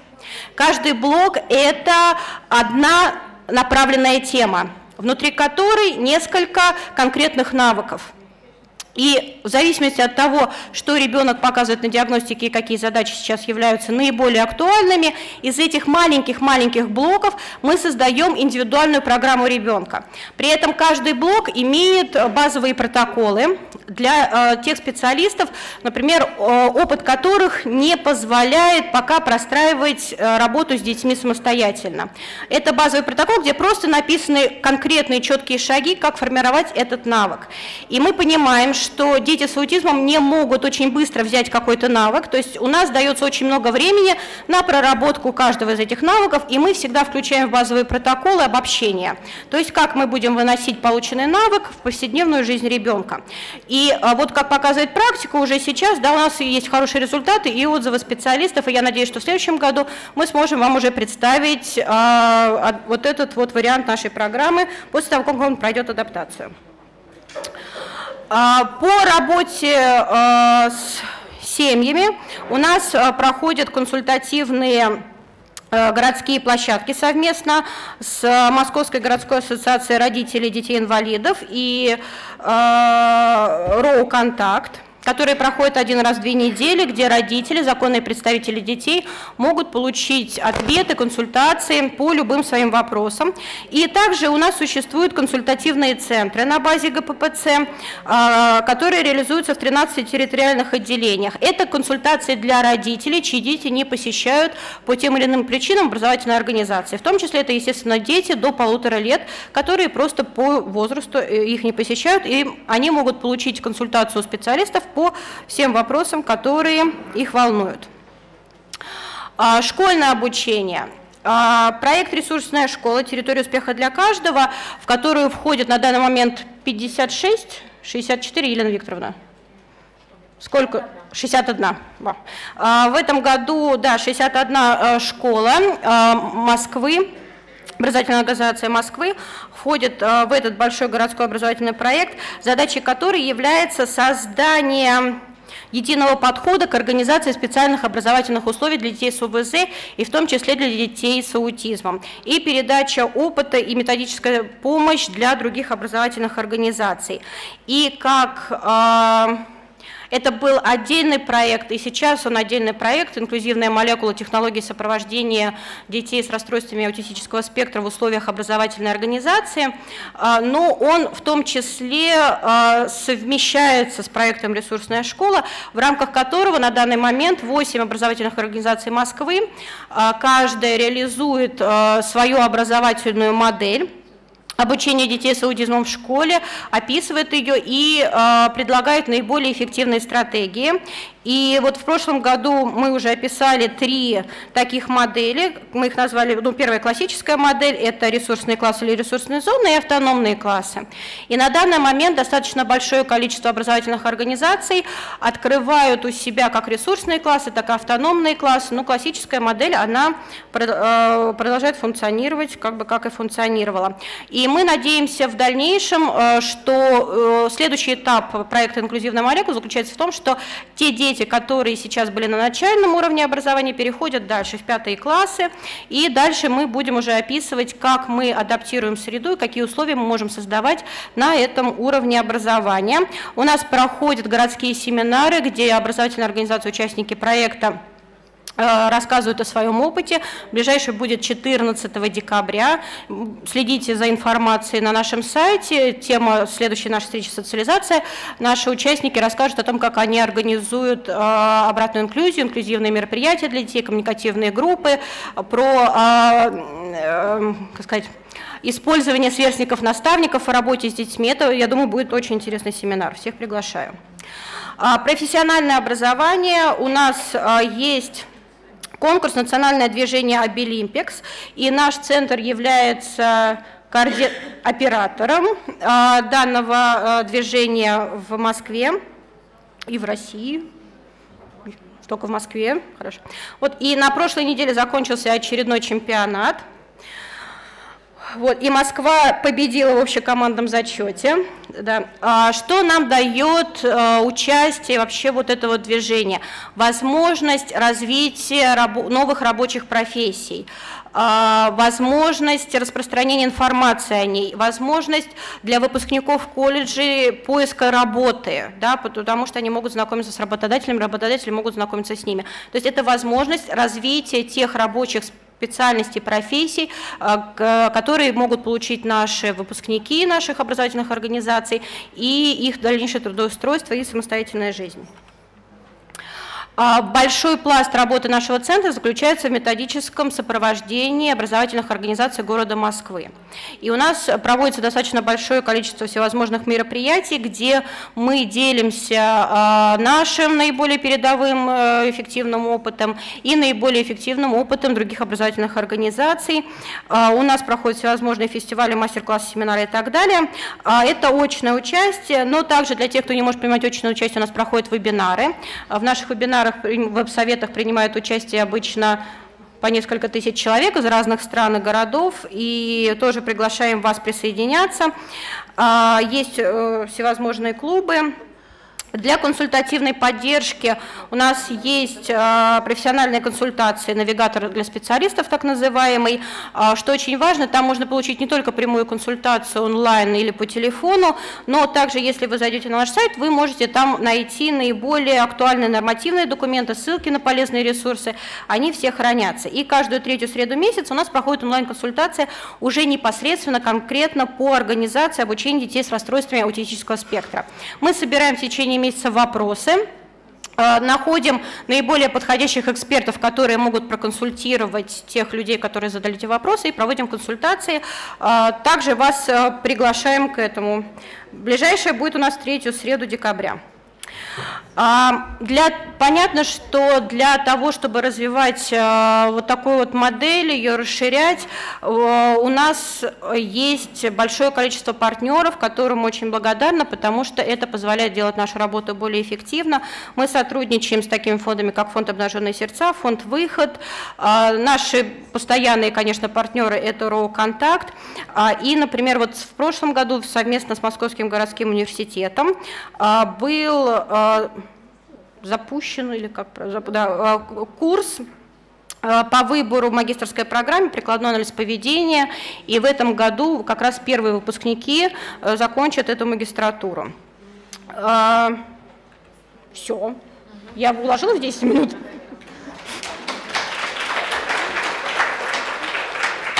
Но я хочу сказать вот про методическую поддержку. На всех мероприятиях, которые посещают у нас специалисты в городском психолого-педагогическом центре, мы не просто а, рассказываем какие-то вещи такие отстраненные. В основном мы стараемся сделать практикоориентированные а, семинары, мастер-классы для того, чтобы человек, который пришел, ушел обязательно с каким-то пакетом знаний, умений. Ну, про навыки, конечно, трудно сказать, но каких-то знаний и умений. Это очень важно, потому что э, это необходимо в практике, мы должны быть полезны именно с точки зрения практики. И, конечно, на вебинарах мы очень часто обсуждаем вопросы подходов, технологий, выбора методов в работе с различными категориями детей, в том числе с детьми с расстройствами аутистического спектра. И это очень важно, и очень хорошо, что у нас есть э, конференции, что у нас есть семинары, у нас есть вот такие дискуссионные площадки, которые позволяют нам на сегодняшний момент делиться опытом, э, обсуждать, критически оценивать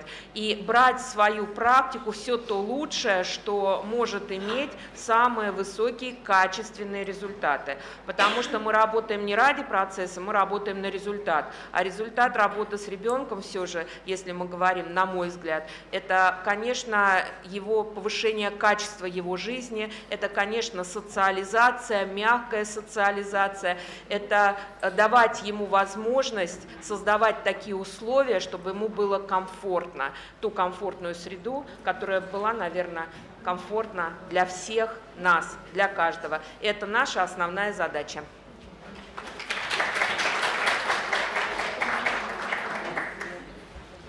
А, Благодарю всех за участие. Тогда а, разрешите закрыть работу нашей дискуссионной площадки с возможностью подойти к а, выступающим и задать необходимые вопросы.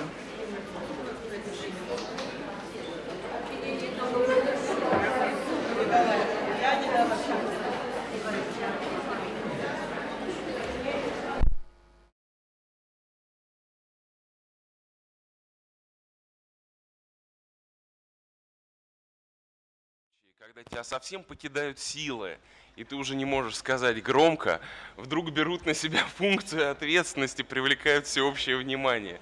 Я всегда знал, что ГППЦ города Москвы можно в этом смысле довериться.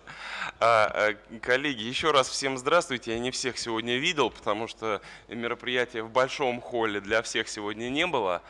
А, значит, сейчас немножко необычная ситуация по плану, по идее. Мы должны были подытожить то, что происходит в течение э, всего сегодняшнего дня, и э, модераторов, ведущих попросить рассказать о том, как у них прошли их форматы, и главным образом внести предложение в резолюцию, потому что все эти секции, все эти круглые столы и дискуссии, они не самодостаточны. Их конечная цель является как раз внесение предложений. Но поскольку э, я сам с трудом вырвался с круглого стола, который сейчас происходит, э, и, и где как раз все они и заняты, э, я думаю, что мы сделаем я сообщу некоторую информацию. После этого все-таки те, кто присутствует, будут иметь возможность сказать о том, как прошли их секции, какие предложения. И дальше мы немножечко услышим предложения от вас. Ну и в конце э, я хотел бы, э, пока не скажу что. Пока не скажу что. Сейчас, буквально в это время, вы знаете о том, что в программе вот ведется вот это мероприятие а, по приглашениям «Круглый стол». Идет очень горячее обсуждение межведомственного взаимодействия. А, эксперты, которые собрались, во многом понимают, что э, системы помощи региональные, они, а, вот это межведомственное взаимодействие, оно не очень-то хорошо и строится.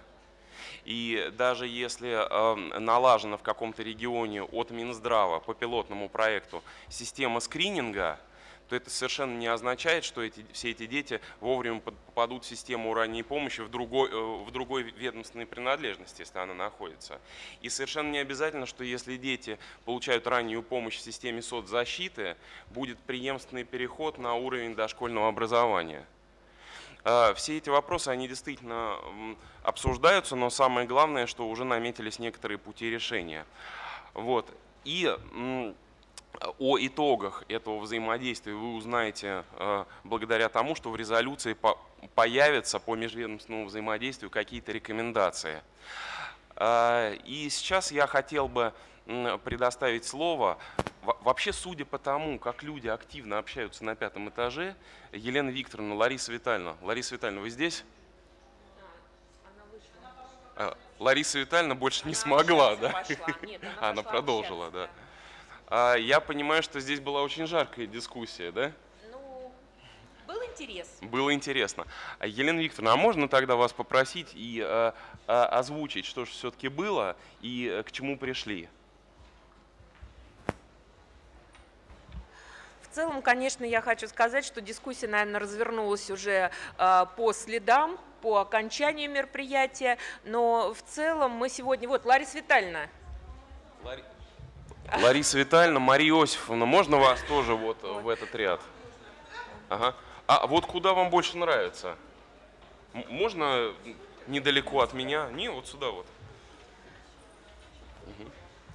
Да, Елена Викторовна, В целом извините. мы, конечно, увидели разный опыт, разные подходы, разные технологии. Э, прозвучало достаточно много интересных э, сведений, которые позволили нам э, дальше уже уйти на дискуссию. Много интересных вопросов казалось обучения специалистов, э, много интересных вопросов казалось э, именно выстраивание той непрерывной модели помощи детям э, с расстройствами аутистического спектра, ну и, собственно, целевых ориентиров, на которые были и нацелены все наши выступления. А, самое интересное, что дискуссионная площадка была выстроена в аспекте ранее, дошкольная, школьная а, поддержка детей. И, наверное, это как раз-таки сегодня а, зародило понимание той системы непрерывной, последовательной помощи, которая построена на единой платформе с использованием разных методов, подходов и технологий, но которые воспринимаются специалистами не как мозаика, а действительно последовательные, взаимосвязанные и преемственные. А, Я хочу продолжить и сказать а, то, о чем как бы я уже упоминала, что мы не можем рассматривать а, отдельно какие-то трудности, с которыми сталкивается ребенок. Мы должны думать о его собственно, всей жизни и повседневной жизненной ситуации, поэтому мы, а, у нас комплекс э, методик э, мы используем. А кроме того, это первое. Второе, я хотела бы сказать о том, что мы наблюдаем сейчас тенденцию в современном мире, э, когда а, авторами собираются, прописываются комплексные готовые подходы типа прикладной анализ поведения, денверская модель, типа программа СЕРТ, которые, как сегодня э, Святослав упоминал, а, выглядеть могут, условно говоря, как некий сундучок, в котором собраны разные инструменты. И совершенно невозможно взять один инструмент для того, чтобы э, а, им пользоваться, а необходимо а, из этого инструмента как раз сделать набор, который подходит а, и отвечает потребностям ребенка. И третье, что мне хотелось бы сказать, что в этот сундучок нельзя положить какие-то подходы, которые не были опробированы, которые не были исследованы, которые не были описаны. Ну, то есть история, когда несколько лет назад, у нас э, э, несколько десятков, наверное, лет назад, а, в нашей стране поощрялось, что каждый педагог писал свою авторскую программу. Помните, у нас было такое время, да, наверное, теперь это время уже не, не, ну, подошло к концу, и, скорее всего, все-таки правильнее пользоваться а, методами, которые были подготовлены учеными, опробованы практиками, описаны, обобщены, и их эффективность доказана. Да, это, почему мы, э, я про это говорю, потому что ответственность перед детьми и семьями, которую мы несем за свою работу, она очень велика. А, и довольно часто мы можем слышать, к сожалению, от родителей такие вещи, которые, обращаясь к специалистам, говорят, что где же вы были, почему мы не использовали тот или иной метод, потому что если бы мы его использовали, моя жизнь была бы другой, жизнь моего ребенка была бы другой. И вот эти слова, они должны всегда в голове у нас быть, потому что мы отвечаем не просто за то, научится ребенок говорить или кушать, или одеваться, или учиться. Мы отвечаем за всю его последующую жизнь. Образом, вот насколько я понимаю, да, э, э, мы вообще на начали я считаю правильно, хоть мы начали не, пожалуйста, секция номер один, да, мы начали с того, вот что вот прямо сейчас по свежим следам. А, ну, на самом деле а, мы хорошо понимаем вот эту вот проблему, и действительно, я повторюсь, а, то, что а, ждет Российская Федерация, это а, показать, какие существуют методы и какова степень их эффективности. Мы уже говорили в первый день а, конференции о том, что а, именно с этой целью а, Федеральный ресурсный центр в, в следующем году с партнерами партнерами будет реализовывать этот проект. И мы уже говорили о том, что начинается все даже не с доказательной базы, то есть, не, собственно, не с проведения научного исследования самого, а с того, что все методы, они описываются по неизвестной структуре. То есть нету структуры, по которой описывается метод. И в связи с этим вот те программы, которые вы формируете как самостоятельные, или они приходят к нам из-за рубежа, у каждого метода, у каждого начальника разного, разных подходов, у них свое представление о том, как эти методы правильно описывать. И нам представляется, что в России довольно важно сделать единую вот эту структуру описания методов, чтобы, ну, хотя бы, так сказать, если история вопроса, то, пожалуйста, история вопроса. Концептуальные положения, концептуальные положения критерии эффективности, заложенные в сам метод, пожалуйста, критерии эффективности. И тогда те методы, которые уже, э, э, э, так сказать, описываются, вот после этого, после того, как они описаны, уже они должны будут опробироваться. И здесь очень важно, конечно, понимать, что существует технология апробации, то, что называется рандомизированные исследования, и вот эта технология апробации, она, конечно, должна быть, культура ее должна быть. И с нашей точки зрения очень важно, чтобы тогда, когда вот это будет описано и выявлены критерии эффективности, и стандарт описания методов есть, вот после этого, используя вот этот вот документ, важно запускать научные проекты с нашей точки зрения по всей России, для того, чтобы эти методы действительно проходили апробацию.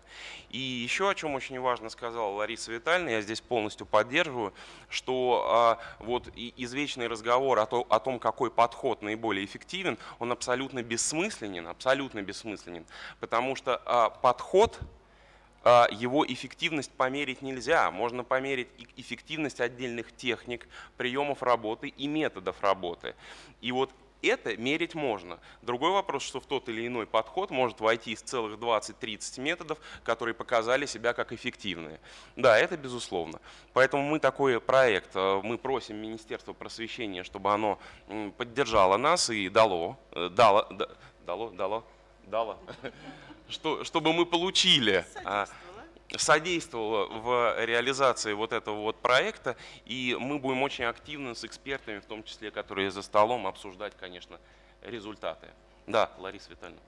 Я, извините, добавлю, потому что буквально, наверное, месяц назад как раз читала доклад по тому, как специалисты могут использовать научно доказанные методы. Да? И а, одним из а, важных предложений было, не мое личное предложение, а в принципе, а, следующее. Во всем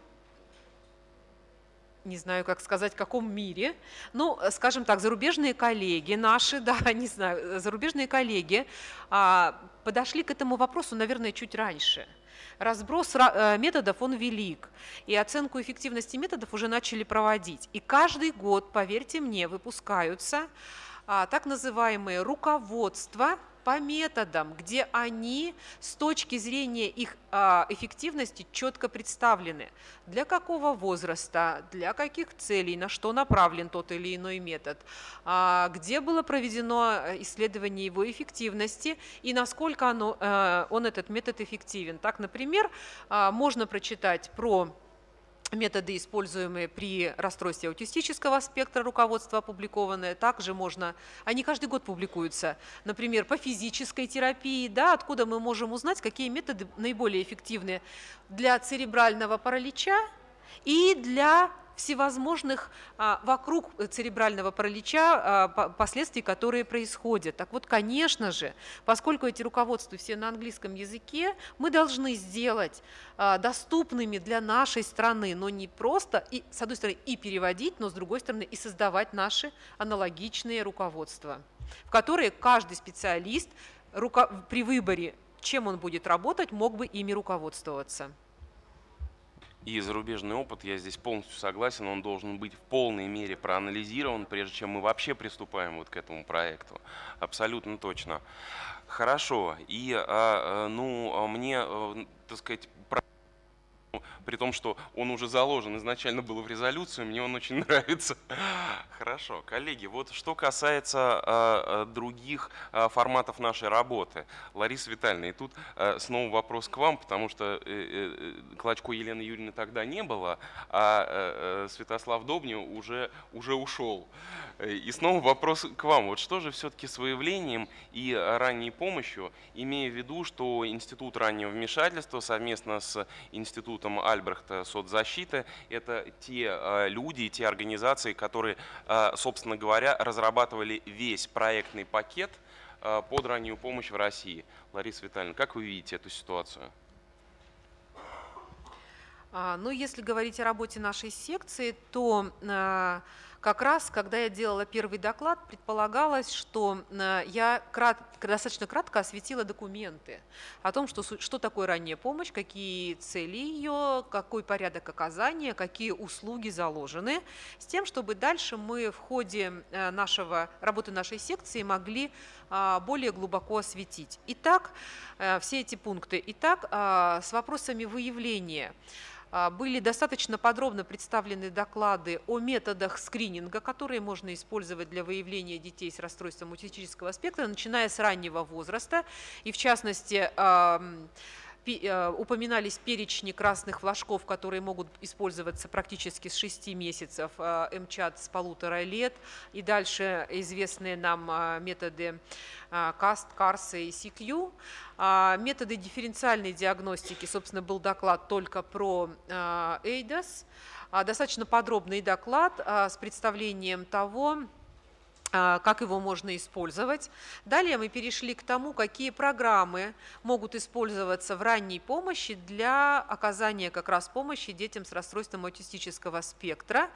А, Были представлены два подхода а, С одной стороны, подход, э, который носит название «Денверская модель раннего вмешательства», к сожалению, пока еще в России не широко представлены и трудности с этим, и подход «Ассерт», который был достаточно хорошо как раз на секции освещен, и освещен был именно с точки зрения множественности метод, методов использования в нем.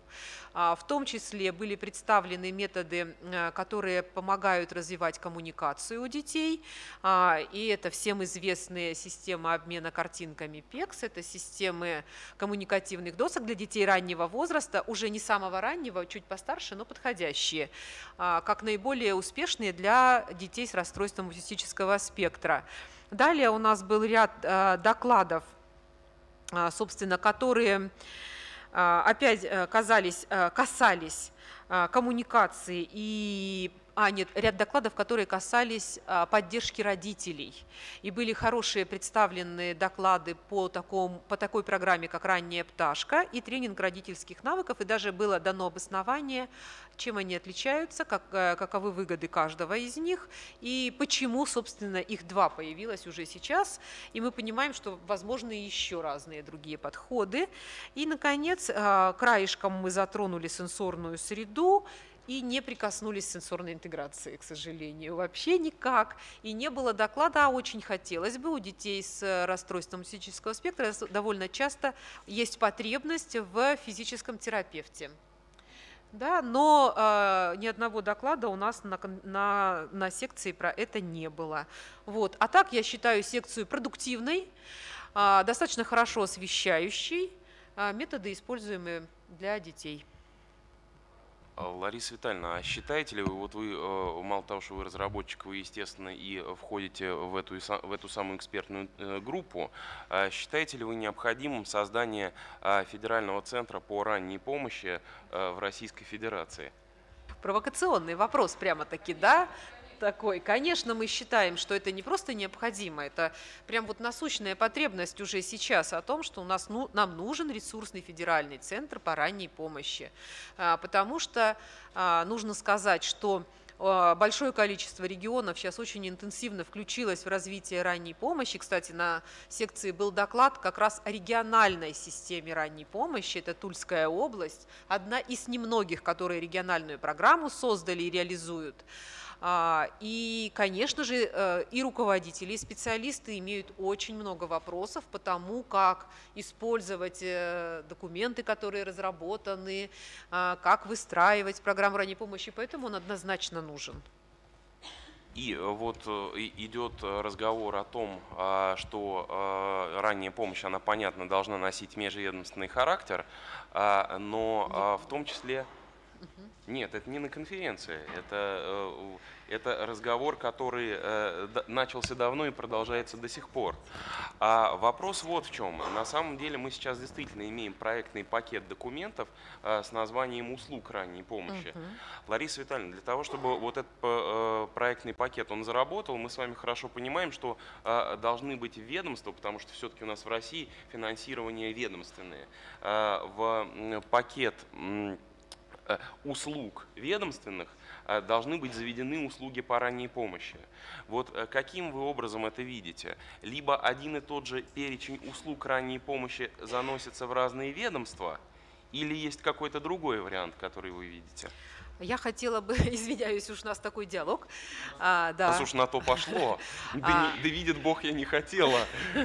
На самом деле а, мы говорим о том, что межведомственность для ранней помощи, она выступает на этапе своевременного, раннего выявления детей, нуждающихся в ранней помощи, А, И здесь у нас для этого, для выявления, конечно же, объединяют свои усилия три ведомства, как минимум три. Здравоохранение, образование и социальная защита. Далее, услуги ранней помощи, они как раз оказываются на междисциплинарной основе когда профессионалы разных специальностей объединяются, чтобы помочь семье и ребенку достичь целей более успешного функционирования. И эти услуги, независимо от того, в каком ведомстве поселяется ранняя помощь, должны быть универсальны и одинаковы. И по итогам оказания услуг ранней помощи мы знаем, что она должна заканчиваться тем, что ребенок поступает в образовательное учреждение, а, либо параллельно с услугами ранней помощи получает образовательные услуги. Вот тут опять включается межведомственный подход, когда а, служба ранней помощи взаимодействует с системой образования для того, чтобы помочь ребенку как раз встроиться в систему образования. Также межведомственный подход может быть во время оказания услуг ранней помощи в том случае, если ребенку нужны дополнительные медицинские обследования и обсуждение совместное того, как здоровье ребенка влияет на его функционирование – а, либо, если ребенок нуждается во вспомогательных технических вспомогательных средствах, которые он получает через систему социальной защиты. И вот здесь вновь включается межведомственный подход. Но нужно очень четко различать, что сами по себе услуги оказываются на междисциплинарной основе. А, то есть тезис такой, заводятся одинаковые услуги в разные ведомства, но сама услуга предполагает межведомственное взаимодействие разных специалистов и разных, соответственно, организаций. Нет. Сама услуга. Давайте я просто пример приведу. Да? К нам команда специалистов. Команда специалистов это, команда специ... это междисциплинарная. Да, это междисциплинарная. междисциплинарная. Подход. Давайте я просто пример приведу. Да а, приходит семья, например, с малышом, а, ну, малыш, допустим, у него серьезные двигательные нарушения. И в силу этого он не может самостоятельно поддерживать позу сидя, и мама его кормит на а, коленке держа и облокачивая на свою руку полулежачем положении. Также у ребенка есть большие трудности с тем, чтобы самостоятельно снимать пищу с ложки губами, удерживать ее во рту, а, манипулировать ею, там, жевать и глотать. А мама всякий раз, когда кормит ребенка, тратит на это время около часа, понимая, что ребенок кушает пять раз в день, то есть семья из 9-10 а, часов бодрствования 5 часов проводит за кормлением. Это ужасная проблема для семьи.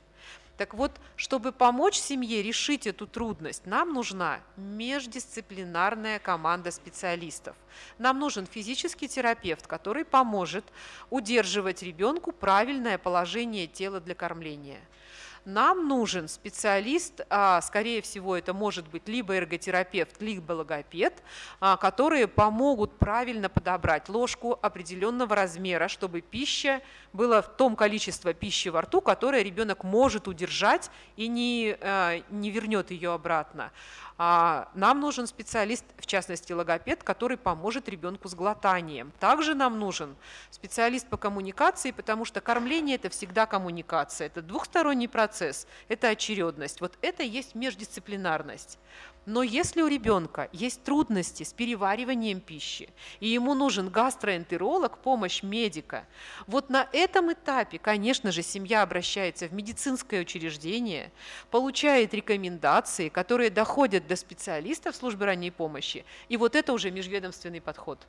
Во а если случае... ребенку нужно получить кресло, чтобы стабилизировать положение тела, это межведомственный подход с социальной защитой.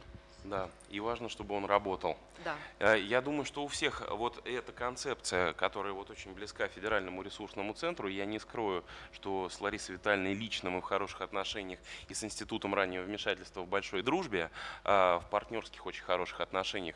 А мне кажется, что такая концепция, она максимально адекватна. И э, в этой связи вот то предложение, которое мы готовим в резолюцию, мы готовим как разработка перечня совместно трех министерств вот этих самых услуг, которые могут быть как одинаковые услуги заведены в разные ведомства. Да? Угу. Хорошо, отлично. А, э, Анастасия Ивановна, вы э, были руководителем совместно с Натальей Георгиевной второй секции, модератором, да, абсолютно, а, по методам развития и обучения детей с раз. У вас была самая переполненная аудитория. Я когда зашел, э, я почти сразу вышел, потому что просто места не было. Вот. И что вы скажете? Ну, как показывает практика, эта секция всегда бывает самая многочисленная, потому что вопрос, э, чему учить и как учить, как развивать э, и как работать, всегда очень важный для специалистов. Я могу сказать, что на секции были представлены разные подходы, причем доклады были ну, как сказать так, разные по уровням. То есть где-то были конкретные маленькие, вот конкретные четкие методы по формированию конкретных навыков были представлены, например, с кейсами. Где-то были даны описания более крупных подходов. При этом были э, также еще представлены авторские методики и разработки. И можно сказать, что часть из них э, действительно достаточно интересна, и у аудитории был проявлен интерес к этим разработкам, особенно к логопедическому тренажеру, который был представлен. Э, очень интересно. Э, часть вещей, конечно, вызывает вопросы, но я так понимаю, что требуется дальнейшая апробация многих эм, начинаний у специалистов. Что можно сказать, что больше и больше становится, э, вот звучит разных методов и подходов с каждым годом. Да, в этом году мы познакомились как и с эрготерапией, так и был доклад, связанный с э, подходом ДИР и методом FlowTime. Ну, естественно, прикладной анализ поведения. Э, были затронуты практически все области, но мне кажется, что все равно методов больше. И хотелось бы, конечно, чтобы э, вот те доклады, которые относятся э, к данной секции, были более практикоориентированные, и это было заметно, что там, где была четкая практика и меньше теории, э, интереса было у аудитории больше, потому что это то, что можно действительно потом взять в работу, это то, что нас вдохновляет и дает нам новые идеи. А, я считаю, что секция прошла достаточно интересно, потому что она была многочисленная до самого конца. И после кофе-брейка люди к нам вернулись что показывает их заинтересованность. И мне кажется, что такую секцию нужно делать на весь день. Ну, чтобы можно было осветить как можно больше и действительно дать возможность э, еще, еще, или сделать отдельную э, авторских методов, авторских разработок, отдельную секцию, потому что только там мы можем познакомиться с тем, с чем мы не познакомимся нигде. Про известные подходы мы можем почитать, а авторам дать возможность представить свои разработки, мне кажется, это очень важно. Спасибо. Когда вы сказали на весь день, а э, я уже достроил, да, вот вчера мы слышали очень интересный доклад достраивания воображения той модели, которую мы себе уже в голове представляем. И э, э я уже хотел сказать, да, э, и, и это нужно делать на всю жизнь. Вот, то есть во все конференции, которые происходят. Э, хорошо, спасибо вам большое. Я думаю, что э, вот эта, эм, э, эта секция и то обсуждение, та дискуссия, которая была, это очень связанные между собой вещи, и проект предложения под, под него у нас в принципе готов. Э, коллеги, два слова насчет апробации программы дошкольного образования, потому что я знаю, что туда хотели попасть многие люди, но, к сожалению, э, это был закрытый формат. Э, впервые с момента апробации все апробационные площадки и регионы встретились в одном месте. Мы впервые познакомились с опытом каждого, вот, с опытом друг друга, и у нас действительно, вы знаете да, о том, что проект этой программы выложен на портале ФРЦ, и в принципе ну, его можно сейчас брать за основу при, в вашем дошкольном образовании, понимая, что еще будут в нем какие-то изменения. Э, на самом деле э, Э, очень интересное было, обсуждение. Мы очень боялись того, что это станет просто отчетом каждой презентационной площадки о том, что мы сделали за три месяца. А в действительности это было совсем не так. А, и настолько было активное обсуждение, что мы даже задержались на кофе-брейк на 20 минут. э, и разные площадки, поделившись своим опытом, сошлись в нескольких вещах. Первое, что все-таки нужно дорабатывать нормативно-правовую базу, в том числе приказ 10.14, потому что в приказе 10.15 там больше конкретики по численности сопровождающих специалистов, какие это специалисты должны быть, сколько детей они сопровождают. Вот этой конкретики, конечно, в приказе 10.14 нет. Но об этом говорила и Татьяна Юрьевна, поэтому э, здесь этот вопрос, я надеюсь, он на мази. Э, конечно, мы говорили о э, трудностях финансирования, и мы продолжаем говорить о том, что очень важно эм, обеспечивать финансовое, финансирование с дополнительными коэффициентами финансирования в разных регионах. Мы хорошо знаем проблему, связанную с тем, что в некоторых регионах нет дополнительных коэффициентов вовсе, а в Воронеже есть 19. Это очень хорошо известный да, а факт. Э, мы прекрасно понимаем, что невозможно создать специальные условия без этого дополнительного коэффициента финансирования. Конечно, очень остро встала проблема э, кадрового обеспечения, потому что э, здесь вопрос, собственно говоря, как с наличием кадров, так и с профессионализмом кадров. Что касается наличия, то оно опять же таки завязано на финансировании, тогда СМ пункт 1. А что касается профессионализма кадров, то существует очень большая сложность, а, потому что а, если мы говорим о тех подходах да, и методах работы, которые уже доказали свою эффективность, то мы прекрасно понимаем, что обучение по ним – это система сертификации довольно сильно коммерческая, она не связана с повышением квалификации в системе российского образования, и больше того, государственные организации в России не имеют на это права, потому что у них нет лицензии на трансляцию тех или иных методов. Это вопрос действительно очень серьезный, и один из и одна из вещей, которую мы предложили на базе Федерального ресурсного центра совместно с нашими партнерами э, разработать либо одну программу повышения квалификации, либо несколько, которые могли бы, но здесь я повторюсь, здесь нельзя без ключевых организаций. Если мы говорим о ключевых организациях, вот представители которой э, были и э, из, из области прикладного поведенческого анализа, и Floor Time, например, в этом году, то здесь нужно вести с ними переговоры о том, чтобы был какой-то стартовый обучающий вводный модуль э, на государственной основе, а дальше, если специалист готов двигаться в этом направлении, то уже система сертификации на коммерческой основе. Во всяком случае, вот такой вот пласт в начале, он позволит во многом э, ну, хотя бы познакомить специалистов с существующими методами и как они работают. Вот. Э, возможно, что это войдет тоже вот в проект резолюции. Коллеги, итог того, как проходит апробация, он будет понятен к э, концу уже этого учебного года. Мы будем вас беспрерывно информировать и проводить разные мероприятия на эту тему. По итогу и завершению апробации будет точно большое мероприятие в Федеральном ресурсном центре по этой тематике. И вы получите информацию прямо сразу. А, а, Елена Викторовна, ну вы, вы как это, вы с Ларисой Витальной звезды всегда, но сегодня особенно. Да, так случилось. Э, я была ведущей вместе со Светланой Владимировной Алюхиной секции технологии включения детей сразу в школьную и социальную жизнь. У нас достаточно была тоже многочисленная секция с очень интересными докладами. Э, один из самых интересных докладов, самый первый был доклад, это Мени Екатерина Евгеньевна. Хочу сказать, что в рамках ее доклада был сделан ряд э, существенных таких ремарок, замечаний по Э, в отношении вообще всей системы сопровождения детей с расстройствами аутистического спектра. И некоторые замечания были весьма справедливые, поэтому говорить о системе сейчас приоритетно. Несомненно, вот даже поддерживает меня музыкальное сопровождение, это так. А, но при этом хочу сказать, что, конечно, когда мы делаем а, доклады с критической оценкой, мы совершенно точно должны очень глубоко и хорошо знать весь опыт, чтобы делать правильные выводы. И к этому я вас тоже призываю.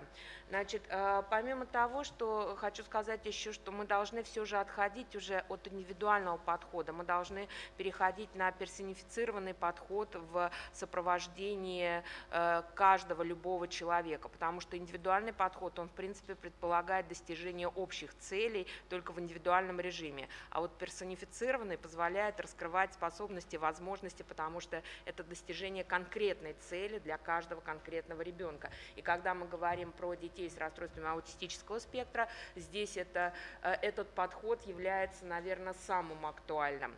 Ну и, конечно, говорили очень много про э, методики, которые мы на сегодняшний момент заимствованы из зарубежной практики, они к нам много очень приходят. И здесь э, очень много обращалось внимание на перевод и адаптацию этих методик к условиям а, города, России и так далее. Вот. И здесь мне понравилось то, что были и научные выкладки, которые имели свою высокую практическую значимость. И это очень важно, чтобы теория была неразрывна с практикой. Теория сама по себе, практика сама по себе приводит нас в глубокие заблуждения, и сегодня на этой секции это было очень сильно показано. Но помимо этого мне понравилось, что в секциях мы отошли, и все же это я увидела практически в каждом обсуждении, от истории э, успеха одного ребенка. Раньше это было. Мы перешли уже к системным историям э, организации города, и это радует, потому что на сегодняшний момент мы оцениваем достижения уже не конкретного ребенка, а можем говорить об оценке э, достижений в системе. Но при этом мы видим все равно определенную мозаику, у нас есть достижения здесь, здесь, здесь, здесь, но нет связи. И вот в нашей секции очень хорошо а, был показан ресурс города. В данном контексте это был, конечно, ресурс в большей степени города Москвы, именно социокультурный ресурс для поддержки, сопровождения, обучения детей с расстройствами аутистического спектра. А, запущено много проектов в музеях, которые как раз-таки помогают включить а, в культурные достижения, в образование детей с расстройствами аутистического спектра и их семей. Запущены а, проекты спортивные. Мы сегодня слушали представителей батутного центра, которые рассказывали об удивительных результатах, которые они получают в результате введения адаптивной физкультуры в рамках батутного батутных центров. Это безумно интересно и радует, что это батутные центры не только в Москве, но они есть и в других городах Российской Федерации, и что такая работа становится системной, интересной совершенно точно. Рассказывали про театральные студии, где дети с э, особыми потребностями, где дети с расстройствами аутистического спектра реализуют себя совершенно по-другому. А, и действительно их качество жизни повышается. Вы знаете, я рассказываю, и мне от этого так радостно, что у нас столько много ресурсов, которые мы на сегодняшний момент можем объединить и создать совершенно другую среду, создать совершенно другие условия условия, чтобы каждому человеку, э, который здесь среди нас, которых нет среди нас, но было бы комфортно жить в этом городе. И действительно очень приятно, что многие разговаривали о методах мягкой адаптации, говорили, приводили конкретные примеры, э, приемы, технологии, которые работают как в школе, так и в пространстве города. И вот, наверное, самым большим достижением то, что действительно мы услышали про социокультурный ресурс ресурс города для того, чтобы э, ребенок был максимально мягко адаптирован и социализирован для жизни в нашем обществе. Спасибо большое. И вы знаете, я а, а, понимаю, что действительно мы на определенном этапе, помните, когда был введен федеральный государственный образовательный стандарт начального общего образования, мы буквально на несколько лет застряли в начальном общем образовании, и э, хорошо, что там э, были катализаторы в части ранней помощи, например, а, но э, вопрос, связанный с социокультурной интеграцией, он куда-то уплыл. И вот в прошлом году Федеральный ресурсный центр начал, а, я бы не сказал, что именно мы инициировали эту работу, потому что были люди, которые, и были а, организации, которые ее инициировали раньше нас, но мы начали исследовать эту тематику. И мы в определенный момент поняли, что вот этот ресурс, социокультурных, адаптивных, музейных программ, а, организации культуры и спорта. А, это очень большой ресурс для социализации детей. И начиная с этого момента, вы об этом многие знаете, у нас появилось восьмое направление работы в Федеральном ресурсном центре. Это очень удобно. А, мы, мы все думали, ну вот у нас это семь кружочков, э, четыре наверху и три внизу. Как хочется еще одного. И вот он э, нарисовался абсолютно эм, естественным образом, который называется вот на этом роллапе, его здесь нет, э, социокультурная интеграция. Это наши совместные с музеями межмузейные проекты, э, и э, вы увидите, те, кто записались завтра на площадку музея Царицына, мы очень дорожим нашими отношениями с музеем, и как раз вы увидите, какие адаптированные программы для детей с раз они реализуют, если кто-то туда поедет по роду своей деятельности. А может кто-то от конференции устал и просто решил сходить в музей, заодно и полезно. А, а, ну и у нас, конечно, я скажу еще о тех площадках, которые будут а, на следующий день. Я могу, Елена Викторовна, сформулировать это следующим образом. Министерство культуры, Министерство спорта и ну, вот какое-то вот такое сочленение слов про реализацию адаптированных э, программ для лиц с расстройствами аутистического спектра в подведомственных организациях. Вот, вот как-то вот в этой области потом, потом поможете сформулировать тогда. Угу.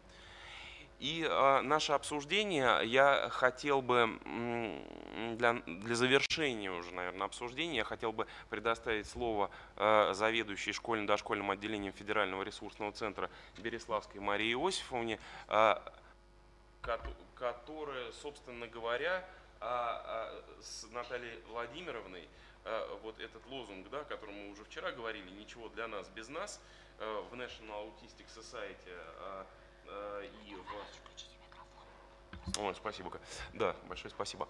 А, а, и в аутизме Европа, а, вот прям в, в этой самой организации, там представлены люди с расстройствами аутистического спектра, без которых не делается никакая, никакая европолитика в области помощи детям с аутизмом. И мы имели возможность на нашей конференции услышать успехи и трудности ребят с такими расстройствами. Я лично, Мария Иосифовна, совершенно обалдел, когда увидел повзрослевшего нашего выпускника выпускника. Расскажите о том, как это было. Ну, э, добрый вечер. Мне как э, действительно руководитель школьного, э, начально-школьного и дошкольного отделения, вот досталась такая секция. Надо сказать, что я многих выпускников наших, своих в том числе, обзванивала. Очень многие отказывались прийти, потому что они не готовы говорить на эту тему. Но тем не менее, у нас было несколько выпускников, довольно взрослых, от 21 года и старше. И была моя бывшая ученица в восьмом классе, она сейчас учится. Вот. Э, это было необыкновенно интересно. Это было... Эм, многие из детей смогли, э, не многие, но кое-кто смог проанализировать свои чувства, свои ощущения э, от предыдущих лет обучения. Ну вот, например, один юноша э, сказал, что он ощущал себя в школе как Форест Гамп. Вот. Э, и надо сказать, что к какому выводу мы пришли, и то, что нам, видимо, нужно будет рисовать девятый кружочек, Артур Валерьевич. Да, потому что наши ребята, которые учатся в вузах, которые учатся в колледжах, э, все равно не справляются с новыми совершенно для себя условиями. То есть то, что они привыкли в школе к некой системе э, подачи материала и вообще э, к определенной структуре, к определенной Э, систематизации вот совсем этого нет в вузах. Они теряются, они, у них ухудшается состояние, у них ухудшается самочувствие. Многие из них бросают институты, потом возвращаются и э, говорили о том, что им нужна поддержка. Им нужна поддержка психологическая, им нужна ну, вообще любая поддержка – и кроме того, вот уже те, кто уже совсем закончил, уже совсем э, получил, э, либо уже они стали бакалаврами, либо какие-то другие они получили специальности и э, навыки, и они опять требуются, им опять требуется поддержка в их трудоустройстве, в их некой профессиональной реализации. Причем, даже успев поговорить с мамами, э, мы сошлись на том, что им не очень нужны деньги, им не очень нужны заработки, но им нужно некое профессиональное э, сообщество, им нужно расти, им нужно чувствовать себя нужными. И вот здесь вот мне кажется, что это и перед Министерством высшего образования мы должны поставить задачу, эм, что наши дети все равно уязвимы, все равно ранимы, все равно требуют э, ну, такой поддержки и подпорки. И э, в то же время, конечно, перед обществом – Э, но перед обществом ставить вопросы о том, что они требуют помощи в трудоустройстве, довольно бессмысленно. Но, может быть, нам на нашем портале завести какую-то отдельную страничку, иконку, где они бы могли ну, что-то о себе сообщать, друг друга находить и сообщать о том, какие у них есть навыки и, которые, и как эти навыки, может быть, кто-то, кто заглядывает на наш сайт, да может быть мы сами подумаем, как их навыки можно использовать. Например, мальчик, который изучает иностранные языки, знает уже три языка, э, он не востребован, но мы бы могли ему к нашей конференции предложить заранее сделать переводы слайдов. Да? Ему не нужны деньги, он даже не знает, когда у него моя ученица спросила, какая же у тебя стипендия, он на этот вопрос не ответил, он не знает, какая у него стипендия. Но он хочет быть полезным, он хочет быть востребованным. Точно так же, как э, там тот, у нас, надо сказать, что у нас половина нашей секции всплакнула, вот, и ведущие другая, в том числе. А другая? Э, вот, другая держалась. Вот, и таким заключительным аккордом было выступление выпускника с Кашонкиного луга, который поет, который учится сейчас. Да, Кирюш приходил, который учится сейчас в МГППУ на в МГПУ на вокальном отделении. Вот он нам спел арию э, Бель. Вот, э, и ну, в том числе, например, разместить на нашем портале, что концерт нашего выпускника состоится тогда-то, тогда-то, и мы с удовольствием все на него придем, и ему будет поддержка, и нам это будет тоже вот э, такое, на самом деле ужасно приятно видеть своих выпускников, повзрослевших и чего-то достигших, достигших. Вот, мне кажется, что это было бы правильно. А, я в этой связи поддерживаю ваши идеи, Мария Иосифовна. Я думаю, что нам нужно продумать конкретно, как это будет на портале выглядеть. Здесь, так сказать, возможно, вся команда наша сработает. И а, что же касается конкретных предложений, мы с вами и вчера, и сегодня многократно слышали о том, что вопросы образования на уровне а, профессионального образования, они открыты настолько сильно, что шире не бывает а вопросы трудоустройства – это широко распахнутая дверь, а, а, которую и вот это вот все нужно решать. Да? А, поэтому я бы на самом деле продумал тоже четкие формулировки, которые с этим связаны. Потому что, смотрите, на законодательном уровне есть механизм, который дает возможность принятия и обеспечивает для этого условия определенные, да, вот, преференции для организаций, которые таких ребят берут на работу. Но реально это не работает. Нам известны факты, когда организация, прижатая в угол, говорила, ну да, мы готовы вас взять на работу, он, значит, приходил, отрабатывал да, там какую-то минимальную зарплату, дальше его вызывал начальник или там приходил к нему и говорит, слушай, все хорошо, мы тебе зарплату платить будем, ты только на работу не ходи. И вот э, здесь, да, вот здесь вот хочется с одной стороны просто хохотать, а с другой стороны здесь хочется очень горько плакать. Вот. И на самом деле давайте продумаем формулировки, коллеги. Здесь очень важно, что а, вот то, что вы сейчас услышали, если у вас будут идеи по конкретным предложениям, то а, на ту же самую почту а, конференции э, Федерального ресурсного центра вы можете в течение недели эти предложения с очень четкими формулировками выслать. Но, внимание, очень четкая формулировка. Мне в, этом, в этой связи нравится очень Елена Викторовна. А у меня уже есть очень четкая формулировка от ГППЦ в той части, то, что мы обсудили пять минут назад. А, и вы знаете, вот э, у нас, к сожалению, совсем мало, точнее не осталось времени. Я хотел бы взять буквально пять минут э, на один, э, наверное, неожиданный для многих момент.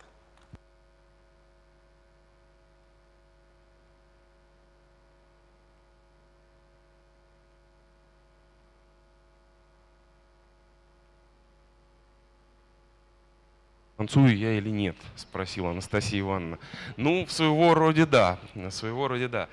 А, э, дело в том, что, э, коллеги, что э, вы обратили внимание, возможно, обратили, что в отличие от разных других конференций по аутизму, вот эта конференция, она действительно, она всероссийская, она действительно межведомственная. И самое главное, то, что она сделана не одной организацией, а большим большим числом усилий и большим числом организаций. Вот среди наших партнеров это Институт раннего вмешательства и городской психолого-педагогический центр и многие-многие другие организации, о которых вы, конечно, знаете и вы их видели на второй страничке программы. Я выражаю огромную признательность нашим партнерам, потому что без них эта конференция, эта программа интересная, насыщенная, она бы, конечно, не состоялась. И, Марина Алексеевна, спасибо да, вам за Э, помощь. Ах, вот она, уже уехала. Они об этом-то и не знают. И я с большим удовольствием хочу э, вручить э, благодарность от Федерального ресурсного центра Санкт-Петербургскому институту раннего вмешательства. Лариса Витальевна, спасибо вам большое за участие в конференции. Спасибо.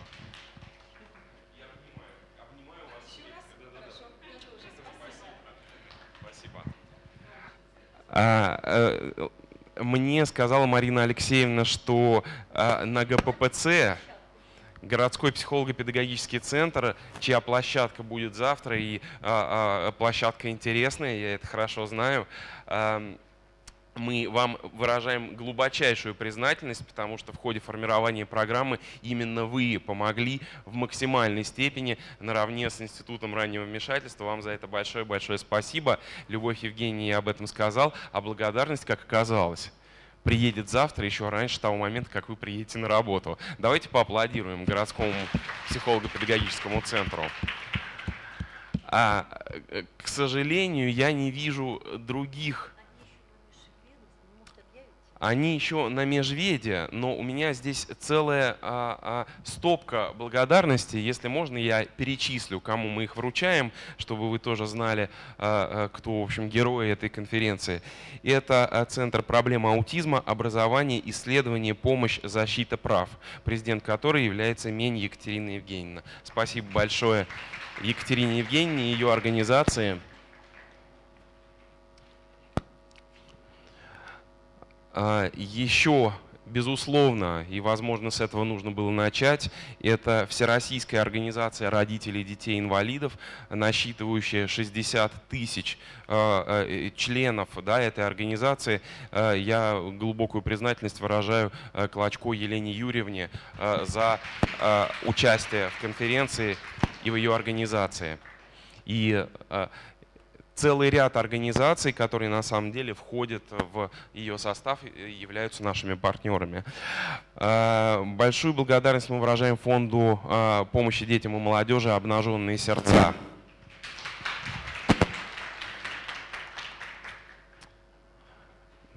Э, я сейчас с рюкзаком спущусь в ректорат.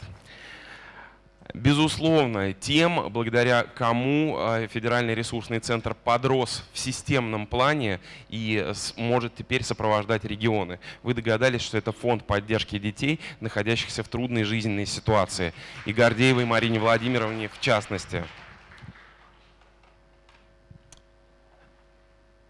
И это, конечно, э, региональная общественная организация «Контакт», э, руководителем которой является Елена Вячеславовна Богородникова.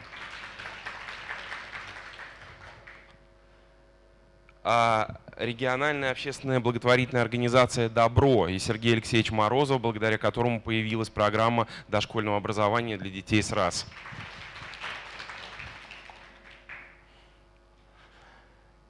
А, безусловно, входящий в состав ВАРДИ коалиции помощи детям и взрослым с РАС в Российской Федерации.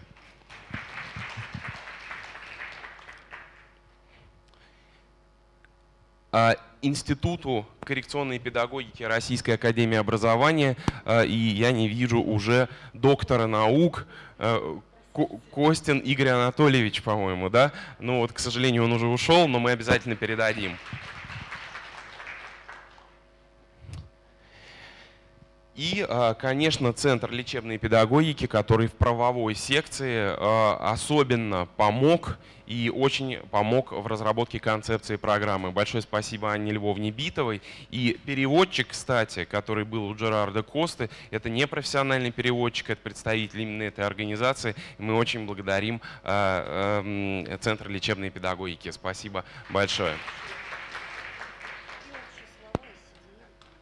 И наши гости, конечно, я сейчас не буду уже называть всех, а, но вместе с тем это наши зарубежные гости, которые, как мы вчера уже отмечали, преодолели много тысяч, иногда десятков тысяч километров, чтобы быть а, с нами на этой конференции. Некоторых из них вы услышите завтра по Floor Time, если кого-то заинтересовал этот метод, это будет проходить прямо в этой аудитории. Так что можете не уезжать, те, кто заинтересовались. А здесь, здесь можно даже разложиться, да? А, и, конечно, 10 площадок, посмотрите, обратите внимание, это те, а, кроме федерального ресурсного центра еще 10 площадок, на которые вы завтра поедете. Это все тоже наши партнеры, мы им также выражаем признательность, благодарности уже уехали. И э, я надеюсь, что с выбором площадки вы не ошиблись, потому что каждая из них совершенно уникальна, совершенно индивидуальна. Там реализуются свои программы. И э, как вы увидели, вот что отличает эту конференцию от предыдущих двух, это то, что мы постарались этими площадками охватить весь жизненный цикл а, помощи детям с расстройствами аутистического спектра и при этом далеко не только образование. Я благодарю вас всех за участие в конференции. Хочу сказать большое спасибо и, конечно, как всегда, за второй день а, удачно организованной конференции. Большое спасибо команде Федерального ресурсного центра. Спасибо. Ждем вас завтра на площадках. Я, наверное, скажу прям общее слово ото всех оставшихся уже здесь и, наверное, от тех, кто был на конференции. Спасибо Федеральному ресурсному центру. Вы выполняете свою основную миссию, вы консолидируете нас, вы обобщаете тот опыт, который крайне необходим, даете возможность поделиться своим опытом, это очень важно. Вот, и спасибо вам за ту проделанную работу. И каждый год конференция становится все лучше и лучше, а мы становимся узнаваемы. Я просто смотрю и вижу, вот он Дефектолог года был недавно конкурс, и э, участница этого конкурса сидит здесь, она приехала из Крыма. Я же не, не ошибаюсь, Елена Константиновна. Вот, видите, какая у меня все же хорошая память. А, Оренбург э, узнаваемый, уже в принципе видно людей, которые заняты э, не просто так ради интереса приехали, а профессионально занимаются вопросами и решают те задачи, которые ставит перед нами современная образования. Спасибо вам большое.